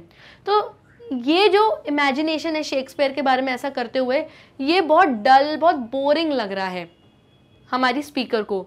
और वो कहती है तो हिस्टोरिकल फिक्शन है तो हिस्ट्री विस्ट्री की रियलिस्टिक बातें नहीं है और इसमें मुझे कोई भी ज़्यादा इंटरेस्ट नहीं आ रहा है। बोरिंग चीज़ों में मुझे इंटरेस्ट नहीं आ रहा है। वो कहती है कि मैं तो ये विश करती हूँ, मेरी तो ये इच्छा है कि मैं तो कोई बहुत प्लेजेंट ट्रैक में जाऊँ, यानी कुछ ऐसी इमेजिनेटिव ट्रैक ऐसे इमेजिनेटिव रास्ते पे जाऊँ जो कि बहुत बढ़िया हो, जो डायरेक्टली जिसमें reflecting credit upon myself यानी मैं सिर्फ़ वो इमेजिन इमेजिनेशन करूँ जो मुझे अच्छा लगता है, जो मुझे अच्छा लगता है। बहुत सारे राइटर्स क्या करते हैं, बहुत सारे क्या, सारे ही राइटर्स वो सारी चीज़ें इमेजिन करते हैं जो उनके माइंड में आती हैं, फिर उन सारी इमेजिनेशन को अपनी किताब में उतारते हैं और मार्केट में पब्लिश कर देते हैं। तो इससे उन्होंने क्या किया? जो वो सोच रहे हैं, जो उनके आइडियाज़ हैं, उन्होंने मार्केट में पब्लिश कर दिया। लेकिन ये स्पीकर क्या चाहती है? ये स्पीकर ये स्पीकर चाहती कि मैं जो भी इमेजिन करूँ, वो मुझे ही क्रेडिट करे। यानी जो मुझे अच्छा लगे, मैं वही सब इमेजिन करूँ। For those are the pleasantest thoughts और क्योंकि वो मेरे जो थाट्स होंगे, वो मेरे सबसे प्लेजेंटेस्ट यानी सबसे अच्छे थाट्स होंगे। जो मैं अपने लिए सोच रही हूँ, मुझे किसी और के लिए सोचने की ज़रूरत नहीं है। And very frequent even in the mind of the modest mouse coloured people modest का मतलब यहाँ पर क्या बोला गया है? Not talking too much about their own qualities वो लोग जो बहुत ज़्यादा अपनी क्वालिटीज़ के बारे में बात नहीं करते, वो लोग जिनको अपनी तारीफ़ सुनना पसंद नहीं है। और माउस कलर्ड पीपल यानी चूहे का कैसा कलर होता है? थोड़ा सा वाइटिश ब्राउनिश कलर जैसे फॉरेनर्स का कलर होता है, वैसा। तो वो अपने आप को मॉडेस्ट कह रही है कि मैं उन लोगों में से नहीं हूँ जो अपने इमेजिनेशन अपने व्यूज़ को लोगों के साथ शेयर करूँ। और हम जैसे माउस कलर्ड पीपल यानी थोड़ा लाइमलाइट में जिनको आना अच्छा नहीं लगता लो रहते हैं अपने में रहते हैं मैं उस तरीके की हूँ। और मैं जेनविनली मुझे बिल्कुल नहीं पसंद कि जब लोग आ, मतलब जब मुझे बिल्कुल नहीं पसंद अपनी तारीफ़ सुना लोग मेरी तारीफ़ करते हैं मुझे बिल्कुल नहीं अच्छा लगता। क्यों? क्योंकि they are not thoughts directly praising oneself that is the beauty of them they are thoughts like this तो वो कहती है कि जो मैं, हम अपने लिए जो थॉट्स सोचते हैं, वो डायरेक्टली हमें ही प्रेस कर रहे हैं। यानी मैंने कोई चीज़ सोची, कुछ इमेजिन करा, मुझे अच्छा लगा, मैंने खुद की तारीफ़ कर दी। तो उससे अच्छा कुछ हो ही नहीं सकता और यही उन थॉट्स की ब्यूटी है, सुंदरता है। और ये थॉट्स किस तरीके के होते हैं? आइए नेक्स्ट स्लाइड पे देखते हैं किस तरीके के वो थॉट्स होते हैं। And then I came into a room फिर वो फिर वो इमेजिन करते करते घूमते फिरते एक घर के विला के उसी किसी कमरे में चली जाती है। वहाँ पर दे, यानी वहाँ पे जो घर के लोग होंगे, जो स्पीकर का हस्बैंड होगा, जो भी वहाँ पे लोग होंगे, वो बॉटनी के बारे में डिस्कस कर रहे होंगे। बॉटनी यानी कि प्लांट्स की जो स्टडी साइंटिफिक स्टडी होती है, उसके बारे में स्टडी कर रहे थे। तो इसने उन लोगों से बोला कि मैंने एक फ्लावर उगते हुए ग्रो होते हुए देखा है डस्ट हीप पर। यानी ज़मीन में से नहीं, यानी धूल के ढेरी पे से मैंने एक फूल को उगते हुए देखा है अपने पुराने घर में जहाँ किंग्स वे में हम रहते थे। स्ट्रीट का नाम है। The seed I said must have been sown in the reign of Charles the First तो फिर वो कहती है कि वो जो सीड उस फ्लावर का जो सीड जो बीज जो था, उसको तब कब बोया था? राइन ऑफ़ चार्ल्स फ़र्स्ट के टाइम पे। यानी जब किंग चार्ल्स फ़र्स्ट थे, उनके रूल जब उनका राज था, उस जमाने में उस सीट को बोया होगा। अब दूसरे लोग जो उस कमरे में मौजूद थे उसने उन्होंने क्वेश्चन किया इससे what flowers grew in the reign of Charles the First Aires I asked sorry इसी ने, फिर से इसी ने सेकेंड क्वेश्चन किया उन लोगों से, इस लेडी ने पूछा उन लोगों से कि चार्ल्स द फ़र्स्ट जो हमारे किंग थे, उनके रायन यानी उनके राज में कौन से फूल उगा करते थे? इसने उन लोगों से पूछा, क्योंकि वो लोग बॉटनी के बारे में स्टडी कर रहे थे तो उनको नॉलेज था। But I don't remember the answer उन लोगों ने इसको कोई आंसर भी बताया, लेकिन इसको वो अब आंसर याद नहीं आ रहा कि क्या वो आंसर था। Tall flowers with purple tassels to them perhaps and so it goes on तो फिर और बातें डिस्कशंस आगे बढ़ी तो उन्होंने बताया कि लंबे फ्लावर्स ग्रो होते थे, कुछ पर्पल टैसल्स यानी उसमें पर्पल कलर की कुछ लटकन रहती थी टैसल्स हैंगिंग्स रहती थी, कुछ इस तरीके से एंड इट गोज ऑन और फिर डिस्कशन चलता रहा। तो इस तरीके से वो कुछ अपने एक्सपीरियंसेस शेयर करिए। And the time I am dressing up the figure of myself in my mind अब अब ये वो टाइम के बारे में बता रही है जब ये अपने फिगर को, यानी फिगर और माई सेल्फ का मतलब क्या यानी अपनी फिगर को, यानी अपनी छवि को अपने दिमाग में किस तरीके से बना रही है? यानी माई सेल्फ का मतलब ये है कि अपने बारे में, अपने कैरेक्टर के बारे में, अपनी पर्सनालिटी के बारे में, अपने एटीट्यूड के बारे में, ये किस तरीके की इंसान है, उसके बारे में ये अपने माइंड में सोच रही है। लविंगली बहुत अच्छे से सोच रही है, इसको बहुत प्यारा लग रहा है अपने बारे में सोचना। Steadily slowly in a secretive manner धीरे धीरे आराम आराम से अपने बारे में रिसर्च कर रही है और सीक्रेटिव मैनर में किसी के साथ अपने थॉट्स को शेयर नहीं कर रही। नॉट ओपनली अडोरिंग इट और अपने खूबसूरत थॉट्स के बारे में ओपनली तारीफ़ नहीं कर रही दूसरे लोगों से ये। क्यों? क्योंकि अगर इसने किया तो I should catch myself out and stretch my hand at once for book and self protection यानी कि वो कह रही है, क्योंकि अगर मैंने अपने थॉट्स दूसरों के साथ शेयर कर दिए, यानी समझो मैंने अपने बारे में एक किताब लिख दी और वो किताब बुक्स शेल्फ पे मार्केटों में बिकती हुई मुझे मिलेगी, फिर मुझे खुद में खुद को ढूँढने की ज़रूरत नहीं पड़ेगी, मुझे अपना हाथ स्ट्रेच करना पड़ेगा किसी बुक शेल्फ में और अपने आप को किसी किताबों के शेल्फ में ढूंढना पड़ेगा, जैसे कि दूसरे राइटर्स और दूसरे लेखक करते हैं। वो अपने थॉट्स को लिखते हैं और मार्केट में बुक्स पब्लिश करके बेच देते हैं। तो सब लोग उनके बारे में जानते हैं। तो उनको अगर अपने बारे में पढ़ना है तो वो अपनी बुक उठाते खुद को नहीं पढ़ते। पर वो कह रही नहीं मुझे तो अपने आप को अपने अंदर इमेजिन करना है बुक्स में खुद को पब्लिश नहीं कर देना। इंडीड यानी ट्रूली सच में ये it is curious how instinctively one protect the image of oneself और ये बहुत क्यूरियस है। यानी इंसान बहुत जानने का इच्छुक रहता है कि कैसे इंसान अपनी खुद की इमेज प्रोटेक्ट करके रखता है। अपने अंदर मतलब जो ज, ज, जमा करके रखता है बाहर दूसरों के सामने रिवील नहीं करता अपनी इमेज को। फ्रॉम आइडोलेट्री आइडोलेट्री यानी कि जब आप मूर्ति पूजा करते हो जैसे शेक्सपियर हो गए बड़े बड़े राइटर्स हो गए इन इनकी जो आ, इनको तो लोग पूछते हैं फॉरेन में इन लोगों को हर जगह शेक्सपियर को लोग पूछते हैं। तो कहती है मैं नहीं चाहती कि मुझे कोई आइडोले आइडोलेट्री करे मेरी कोई पूजा करे मैं अपने अंदर प्रोटेक्ट करके रखना चाहती हूँ अपनी इमेज को। और any other handling that could make it ridiculous or too unlike the original to be believed in any longer.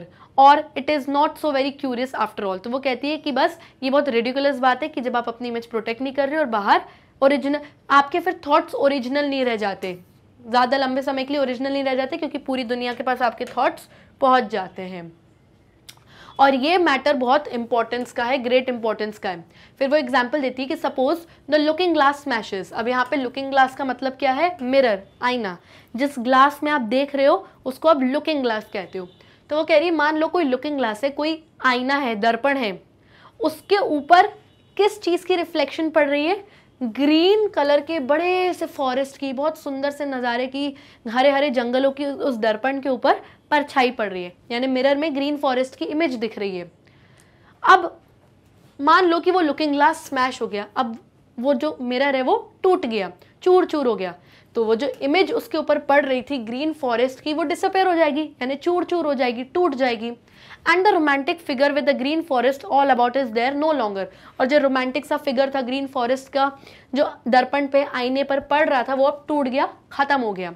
But only that shell of a person which is seen by other people, what an airless, shallow, bald, prominent world it becomes. तो यही बात बोली जा रही है कि जब एक इंसान, जिस तरीके से वो ब्यूटी चली गई, यानी बोला जा रहा है कि ग्रीन फॉरेस्ट की इमेज पड़ रही थी मिरर पे मिरर टूटा इमेज चली गई। लेकिन जो ब्यूटी थी ग्रीन फॉरेस्ट की रियलिटी में, वो अभी भी एक्चुअली एग्जिस्ट करती है। जब भी आप उस फॉरेस्ट में जाओगे घूमने या आप देखोगे तो आप वो ब्यूटी को एक्सपीरियंस करोगे। लेकिन जब एक इंसान एक मिरर के सामने खड़ा होता है मिरर टूट जाता है तो हर इंसान के बाहर एक शेल होता है। उसने अपना एक शेल बना के रखा हुआ होता है। अंदर से वो इंसान कुछ और है, बाहर से एक शेल है कि मैं टीचर के सामने कैसी हूँ? मैं अपने हस्बैंड के सामने कुछ डिफरेंट तरीके से बात कर रही हूँ, मैं अपनी मदर से किसी डिफरेंट तरीके से बात कर रही हूँ, मेरे ऑफ़िस में जो मेरे बॉस है, मैं उनसे कुछ डिफरेंट तरीके से बात कर रही हूँ, सबके हिसाब से मेरा एक अलग शेल है। तो जब मैं मिरर के सामने खड़ी होंगी और मिरर टूटता है तो समझो क्या टूटा? वो शेल टूटा, यानी उस वक्त जो मैं सोच रही होंगी, बस वो चीज़ टूटी। मैं एक्चुअली में रियलिटी में मैं जो हूँ, वो अभी भी मेरे अंदर अलाइव है। और जब इंसान एयरलेस हो जाता है, यानी जब इंसान के अंदर से इमोशंस ख़त्म हो जाते हैं, वो शैल हो जाता है, बिल्कुल उसके अंदर डेप्थ नहीं होती, गहराई नहीं होती उस इंसान के अंदर बाल्ड हो जाता है, यानी समझो सरफेस से ख़त्म हो जाता है, गंजा जिसको हम बोलते हैं प्रोमिनेंट यानी जो फ़ेमस जो वर्ल्ड है, ये दुनिया है, समझो वो उसका पार्ट बन जाता है, क्योंकि दुनिया में सभी ऐसे हैं। A world not to be lived in फिर ये दुनिया ऐसी बन जाती है जब वहाँ रहने लायक नहीं बचता, क्योंकि उस इंसान के अंदर, क्योंकि जब लोगों में इमोशंस ही नहीं बचे, लोगों में गहराइयाँ यानी डीप थिंकिंग ही नहीं बची तो इंसान ख़त्म, फिर वो दुनिया रहने लायक नहीं रही। जैसे कि हम लोगों को ओमनी बसेज में मिलते हैं। फॉरेन में ओमनी बसेज यानी डबल डेकर रेड कलर की बसेस चलती हैं। तो वो कह रहे हैं कि जैसे हम एक दूसरे को, बहुत सारी भीड़ वाले लोगों को ओमनी बसेज में मिलते हैं अंडरग्राउंड रेलवेज यानी मेट्रो स्टेशन पर मिलते हैं तो हम एक दूसरे को समझो मिरर में देख रहे हैं। यानी उसने मुझे देखा तो मैं उससे हेलो हाय हाउ यू करी एक शेल दिखा रही हूँ अपना। और मैं उससे मिली तो वो मुझे कह रही है हेलो हाय हाउ यू जो भी। तो उसका मैं शेल देख रही हूँ। हम दोनों को एक दूसरे के इंटरनल फीलिंग्स नहीं पता। दैट अकाउंट्स फॉर वेगनेस और उससे क्या आ जाती है? Vagueness the quality of not being clearly expressed यानी आप अपने आप को क्लियरली सामने वाले के सामने एक्सप्रेस नहीं कर रहे हो। क्यों? क्योंकि आप ना ही उनको जानते हो। आप आपको उनसे कोई लेना देना नहीं, सिर्फ़ बस में कभी मिल गए, कभी मेट्रो पे मिल गए हेलो हाय हो गई। तो आपने उनसे उतनी ही रखी है। The gleam of glassiness in our eyes और हमारी आँखों में एक ग्लीम यानी लाइट ऑफ़ ग्लासीनेस दिखती है। यानी कि कांच की वो चीज़ें दिखती हैं जो फेक हैं, जो सामने वाले के लिए रियल नहीं, क्योंकि हम उन्हें नहीं जानते। तो जब हम अपने अंदर की फीलिंग्स नॉर्मली किसी को नहीं बता सकते तो अपने आइडियाज़ अपने इमेजिनेशंस क्यों लोगों तक पहुँचाएँ? अपने पास, अपने अंदर ही रखें। And the novelist in future will realise more and more अब ये उस ज़माने की बात है, जब हमारी राइटर कह रही है कि फ्यूचर में जो हमारे नॉवलिस्ट होंगे, जो नॉवेल्स लिखने वाले राइटर्स होंगे, वो इस चीज़ को रियलाइज़ करेंगे ज़्यादा से ज़्यादा कि इन रिफ्लेक्शंस की कितनी इंपॉर्टेंस है हमारी लाइफ में। रिफ्लेक्शंस बोले तो इमोशंस की, जब हमारे अंदर इमोशंस हैं थॉट्स हैं, सोचने की शक्ति है, उसकी कितनी इंपॉर्टेंस है हमारी लाइफ में। अब for of course there is not one reflection but almost infinite number और ये बात ज़ाहिर सी बात है कि एक इंसान के अंदर कोई एक रिफ्लेक्शन यानी कोई एक इमोशन नहीं होता। इन्फिनिट अनगिनत इमोशंस कभी रोना आते, कभी हँसी आती, कभी लव होता है। इन इन्फिनिट इमोशंस एक इंसान के अंदर। Those are the depths they will explore और यही वो डेप्स वो गहराई हैं, जो नॉवलिस्ट एक्सप्लोर करेंगे, इसके बारे में लिखेंगे ज़्यादा से ज़्यादा अपनी किताबों में। Those the phantoms they will pursue leaving the description of reality more and more out of their stories phantom मतलब भूत। या भूत को किसी ने देखा, आज तक किसी ने नहीं देखा। यानी वो सारी चीज़ें जो रियलिटी में एग्जिस्ट नहीं करती। यहाँ पर लिखा भी मैंने कि हमको ऐसा लगता है कि रियल होती है बट एक्चुअली वो रियल नहीं होती है। तो लोगों लोगों ने जो बाहर से अपनी इमेज बना के रखी है, जो हमें लगता है रियल है हाँ ये इंसान तो ऐसा ही है बट एक्चुअली वो होता नहीं है, वो अंदर से कुछ और ही इंसान होता है। तो फ्यूचर में जो नॉवलिस्ट हैं, वो फैंटम्स को परस्यू नहीं करेंगे, यानी वो रियलिटी पर ज़्यादा से ज़्यादा फोकस करेंगे और अपनी स्टोरीज में रियलिटी के बारे में लिखेंगे, ना कि कोई फेक चीज़ों के बारे में। Taking a knowledge of its of it is for it for granted and the Greeks did and Shakespeare पर तो नॉलेज क्या है? जितना आप देखोगे, जितना ऑब्ज़र्व करोगे, उतना आपको ज्ञान मिलेगा। तो जैसे ग्रीक फिलोसोफर्स ने जैसे शेक्सपियर ने किया कि डीप थिंकिंग करके लोगों के बारे में लिखा, ना कि उनके उनके आउटर शेल के बारे में लिखा। ऐसा ही दूसरे नॉवलिस्ट भी फ्यूचर में करेंगे। But these generalisation are very worthless अब राइटर बोलती है कि, पर ये जो जनरलाइजेशन है, जो ग्रीक फिलोसॉफर्स ने, जो शेक्सपियर ने लिखी है, ये मेरे लिए वर्थलेस नहीं यानी कि मेरे लिए इनकी कोई वैल्यू नहीं है। जनरलाइजेशंस बोले तो जो भी उन्होंने जनरल स्टेटमेंट्स दे दी, कुछ थोड़े से फैक्ट्स और एग्जाम्पल्स पे, कुछ थोड़ी बहुत सच्ची बात और एग्जाम्पल्स पे तो मेरे लिए वर्थलेस है। अभी और डीप थिंकिंग हो सकती है। The military sound of the word is enough military sound of the word her word अपने आप में इनफ है, पर्याप्त है। अब वो वर्ड अपने आप में ही एक मीनिंग शो कर रहा है। तो जो अगर आपने अपनी स्टोरी में कोई ऐसा शब्द लिखा है वो शब्द अपने आप में ही मिलिट्री साउंड है, यानी पर्याप्त है। उसको और डीप थिंकिंग करने की उस पर कोई ज़रूरत नहीं है। और ये जो वर्ड्स हम नॉवेल्स में पढ़ते हैं, ये हमको क्या रिकॉल कराते हैं, क्या याद दिलाते हैं? बड़े बड़े फ़ेमस आर्टिकल्स जो बड़े बड़े लोगों ने लिखे वो बड़े बड़े कैबिनेट मिनिस्टर्स जो हम लोगों पे राज करते रूल करते a whole class of things indeed which as a child one thought thing itself and standard thing from which one could not depart save the risk of nameless damnation damnation का मतलब क्या होता है? The state of being in a hill जब आप जीते जी नर्क में जी रहे हो दैट इज़ डैमनेशन तो ये जो कैबिनेट मिनिस्टर्स हैं, ये एक पूरी क्लास पूरा एक ऐसा वर्ग था जो जिन्होंने जैसा सोच लिया, बस वैसा सोच लिया। दूसरे क्या बता रहे हैं, उस पर नहीं ये सोचते थे। इन्होंने अपना एक स्टैंडर्ड सेट कर दिया था, जिससे ये खुद को अलग यानी डिपार्ट नहीं कर पा रहे थे। और जीते जी इन्होंने ऐसे रूल्स बना लिए थे लोगों के लिए, जो लोग, जैसे समझो हेल में, नर्क में जी रहे हों। जो जनरलाइजेशंस हैं, जो जो जनरलाइजेशंस हैं, यानी इन्होंने जो रूल्स जो लॉज बनाए थे bring back somehow Sunday in London Sunday afternoon walks यानी लंडन में वर्ल्ड वॉर के टाइम पे ही आफ्टरनून वॉक्स संडे लंचन्स यानी लंच जो लंच पे लोग साथ में खाने पीने जा रहे हैं, इसका कल्चर कहीं ना कहीं ख़त्म हो गया था। लेकिन अब इन्होंने जो रूल्स एंड रेगुलेशंस बना दी कि आपको ऐसा सोचना पड़ेगा, आपको ऐसा करना पड़ेगा, कहीं ना कहीं फ्रीडम लोगों की इन कैबिनेट मिनिस्टर्स ने रोक दी रिस्ट्रिक्ट कर दी। तो इस वजह से क्या हुआ? लोग संडेज को ये जो संडे का जो ट्रेंड था लंदन में, वो वापस आ गया। लोग संडे में दिन में वॉक पर जाने लगे और इन जनरलाइजेशन के बारे में बातें, बातचीत करने लगे। लंच पे जाने लगे, वहाँ पे इन सब चीज़ों के बारे में बातचीत होती थी। एंड लोग, मरे हुए लोगों के बारे में जैसे बात करते थे, कपड़ों के बारे में फ़ैशन के बारे में बात करते थे हैबिट्स के बारे में जैसे लोग जनरली बात करते हैं और जैसे उनकी हैबिट होती थी कि एक कमरे में बैठ गए, सब साथ में और बैठे हैं, और एक घंटे तक आपको बैठ के बातचीत करनी है। ऑल दो नो बडी लाइकटेड ये बात किसी को भी नहीं अच्छी लगती थी, लेकिन फिर भी ये कल्चर संभाव आ गया था। तो उन्होंने एक रूल बना लिया था कि संडे को सबको एक कमरे में बैठना है, एक घंटे के लिए बैठना है, बातचीत करनी है, इन सब टॉपिक्स पे बात करनी ही है। तो एक तरीके का रूल था जो शायद किसी को अच्छा नहीं भी लग रहा था, फिर भी लोग कर रहे थे।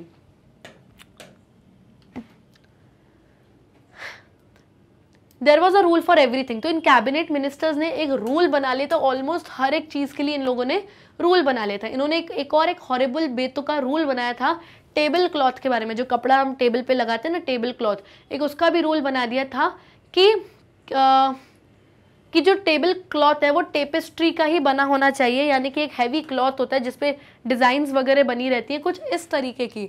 जो हम बड़े बड़े रॉयल पैलेसेस वगैरह में देखते हैं तो बोला इस तरीके का टेबल क्लॉथ ही चलेगा और उसके ऊपर येलो कंपार्टमेंट्स यानी पीले पीले ऐसे खांचे बने होने चाहिए। जैसे आप कारपेट्स और कॉरिडोर्स में देखते हो रॉयल पैलेस के तो इस, ये एक रूल था कि टेबल क्लॉथ तो ऐसा ही चलेगा। और table cloth of different kind were not real table cloth अगर आपने कुछ दूसरा लगा दिया टेबल क्लॉथ तो मतलब वो आपका कोई table cloth real table cloth नहीं है। तो राइटर कहती है हाउ शॉकिंग कितनी शॉक होने वाली बात है कि ये भी कोई रूल है। एंड फिर भी कितना वंडरफुल था ये डिस्कवर करना कि रियल चीज़ें क्या हैं संडे में लोग लंच पे जाने लगे संडे को लोग वॉक्स पे जाने लगे कंट्री हाउसेज में घूमने जाने लगे टेबल क्लॉथ के बारे में सोचने लगे। ये सब कोई इंटायरली कोई रियल चीज़ें नहीं थी। ये सब हम पर थोपे हुए रूल्स एंड रेगुलेशंस थे, जो लोग, जो जो कैबिनेट मिनिस्टर्स ने हम पे थोक दिए थे और हम अपनी इमेजिनेशन यहाँ पे फ्रीली यूज़ नहीं कर पा रहे थे। नहीं हम कल्पना कर पा रहे थे, क्योंकि हम पे रूल्स थोप दिए गए थे। ये सब फैंटम्स थी, यानी ये सब चीज़ें लग रियल रही थी, लेकिन एक्चुअली ये सब कोई रियलिटी में एग्जिस्ट नहीं करती हैं। और हम डैमनेशन में थे, यानी हम जीते जी हेल यानी नर्क में जी रहे थे, इनके रूल्स के under which visited which visited the disbeliever in them was only a sense of illegitimate freedom disbeliever कौन होता है? वो इंसान जो इन सब चीज़ों में बिलीव नहीं करता। तो उस ज़माने में जो व्यक्ति बिलीव नहीं करता था कि अरे, काय का टेबल क्लॉथ हम अपनी खुशी से अपना, अपने मन का टेबल क्लॉथ भी लगा सकते हैं तो उनको क्या बोला गया? उनको इलेजिटिमेट फ्रीडम बोला गया, यानी कि not allowed by law law ने रूल्स और कैबिनेट मिनिस्टर्स ने बोल दिया कि नहीं, आपको ये फ्रीडम आपको आज़ादी नहीं है कि अपने मन का आप टेबल क्लॉथ लगाओ, क्यों? क्योंकि this is not allowed by the law legally ये अलाउड नहीं है। तो अपने मन से इंसान उस ज़माने में कुछ कर भी नहीं सकता था। What now takes the place of those things I wonder those real standard things तो अब यहाँ पे राइटर कहता है कि भाई, उस जमाने में जो सारी चीज़ें हुई थी, अब जिसको जिसको स्टैंडर्ड थिंग्स माना गया था कि भाई, यही सही है, अब पता नहीं उनकी जगह पे कौन सी नई नई चीज़ें आ जाएँगी। Man perhaps should you be a woman अब यहाँ पे बोला जा रहा है कि मैन परहैप्स आप तो आदमी हो। तो राइटर जेंट्स से आदमियों से बोले कि आप तो आदमी हो। क्या आप औरत हो? यानी आप हो तो आदमी, लेकिन क्या आप औरत हो? उस ज़माने में जब ये स्टोरी लिखी गई थी तो उस ज़माने में चाहे इंडिया हो या फॉरेन हो, वहाँ पे लेडीज़ को वुमेन को हमेशा कमज़ोर वीक माना जाता था एज़ कंपेयर टू मैन और जितने भी रूल्स रेगुलेशन आते थे, वो सब मैन देते थे वुमेन को एंड वुमेन ब्लाइंडली उनको फॉलो करती थी. तो यहाँ पर ये बोला जा रहा है कि आप तो आदमी हो, क्या आप औरत हो? यानी औरतों जैसा क्यों बिहेव कर रहे हो? जो cabinet minister rules and regulation बेतुके के आप पे थोप रहे हैं, वो आप फॉलो क्यों कर रहे हो? क्योंकि फॉलो करने का काम तो वुमन का है नॉट द मैन तो जो भी यहाँ पर क्या हुआ, जो भी masculine point of view which govern our live which sets the standard तो यहाँ पे जो भी हम पर rules and regulations cabinet ministers लगा रहे थे, वो एक मैस्कुलाइन पॉइंट ऑफ़ व्यू था। यानी हमेशा किसका पॉइंट ऑफ़ व्यू फॉलो किया जाता था? मैस्कुलाइन का, यानी कि मैन का, जो हमारी लाइफ को गवर्न करते थे, चलाते थे, और हमारी लाइफ में जितने स्टैंडर्ड्स थे, यही रूल्स फॉलो स्टैंडर्ड सेट होते थे। और इसी स्टैंडर्ड ने विटेक विटेकर टेबल ऑफ़ प्रेसिडेंसी भी बनाया था which has become I suppose since the war तो ये फ़र्स्ट वर्ल्ड वॉर के टाइम की कहानी है और वॉर के बाद से ही जो जितने भी मैन थे, जो गवर्न कर रहे थे कंट्री को, उन्होंने विटेकर्स टेबल ऑफ़ प्रेसिडेंसी बनाया था। यानी कि टेबल ऑफ़ हायरार्की ये एक हायरार्की होती थी, जिसमें यह बताया जाएगा कि कौन किसको रिपीट रिपोर्ट करेगा।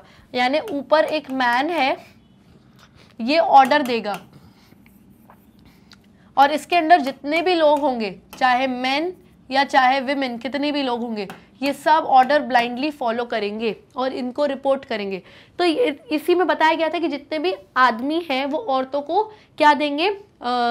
रूल्स एंड रेगुलेशंस बताएँगे और उनको ब्लाइंडली ये सब फॉलो करनी पड़ेगी। ये वॉर के बाद से हो गया था। Half a phantom too many men and women और ये भी एक बहुत बड़ा फैंटम है। हाफ़ अ फैंटम मतलब जैसे हम किसी को बोलते हैं ना, ये तो आधा पागल है। तो पूरा पागल है। लेकिन बात क्या है? पागल ही मतलब है है ना?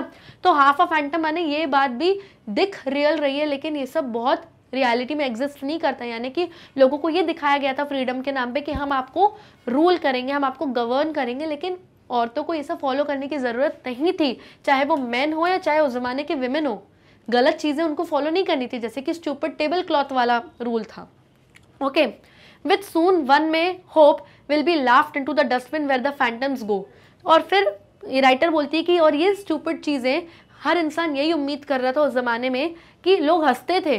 इन सारे बेतुके रूल्स एंड रेगुलेशंस पे और लोग सोचते थे कि जल्द ही सून जल्द ही ये सारी चीज़ें डस्टबिन में जाएँगी इन फैंटम्स के साथ ही साथ। यानी कोई नहीं मानेगा इनको।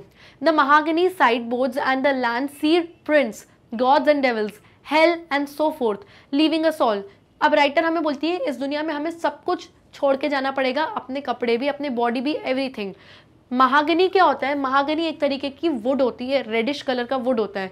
तो जो महागनी बहुत एक्सपेंसिव वुड होता है और साइड बोर्ड यानी घरों के साइड में जो ये बोर्ड लगाते हैं। महागनी के बने हुए रहते हैं। तो राइटर बोलती है कि जो महागनी के साइड बोर्ड्स हैं, ये भी आपको छोड़ना पड़ेगा।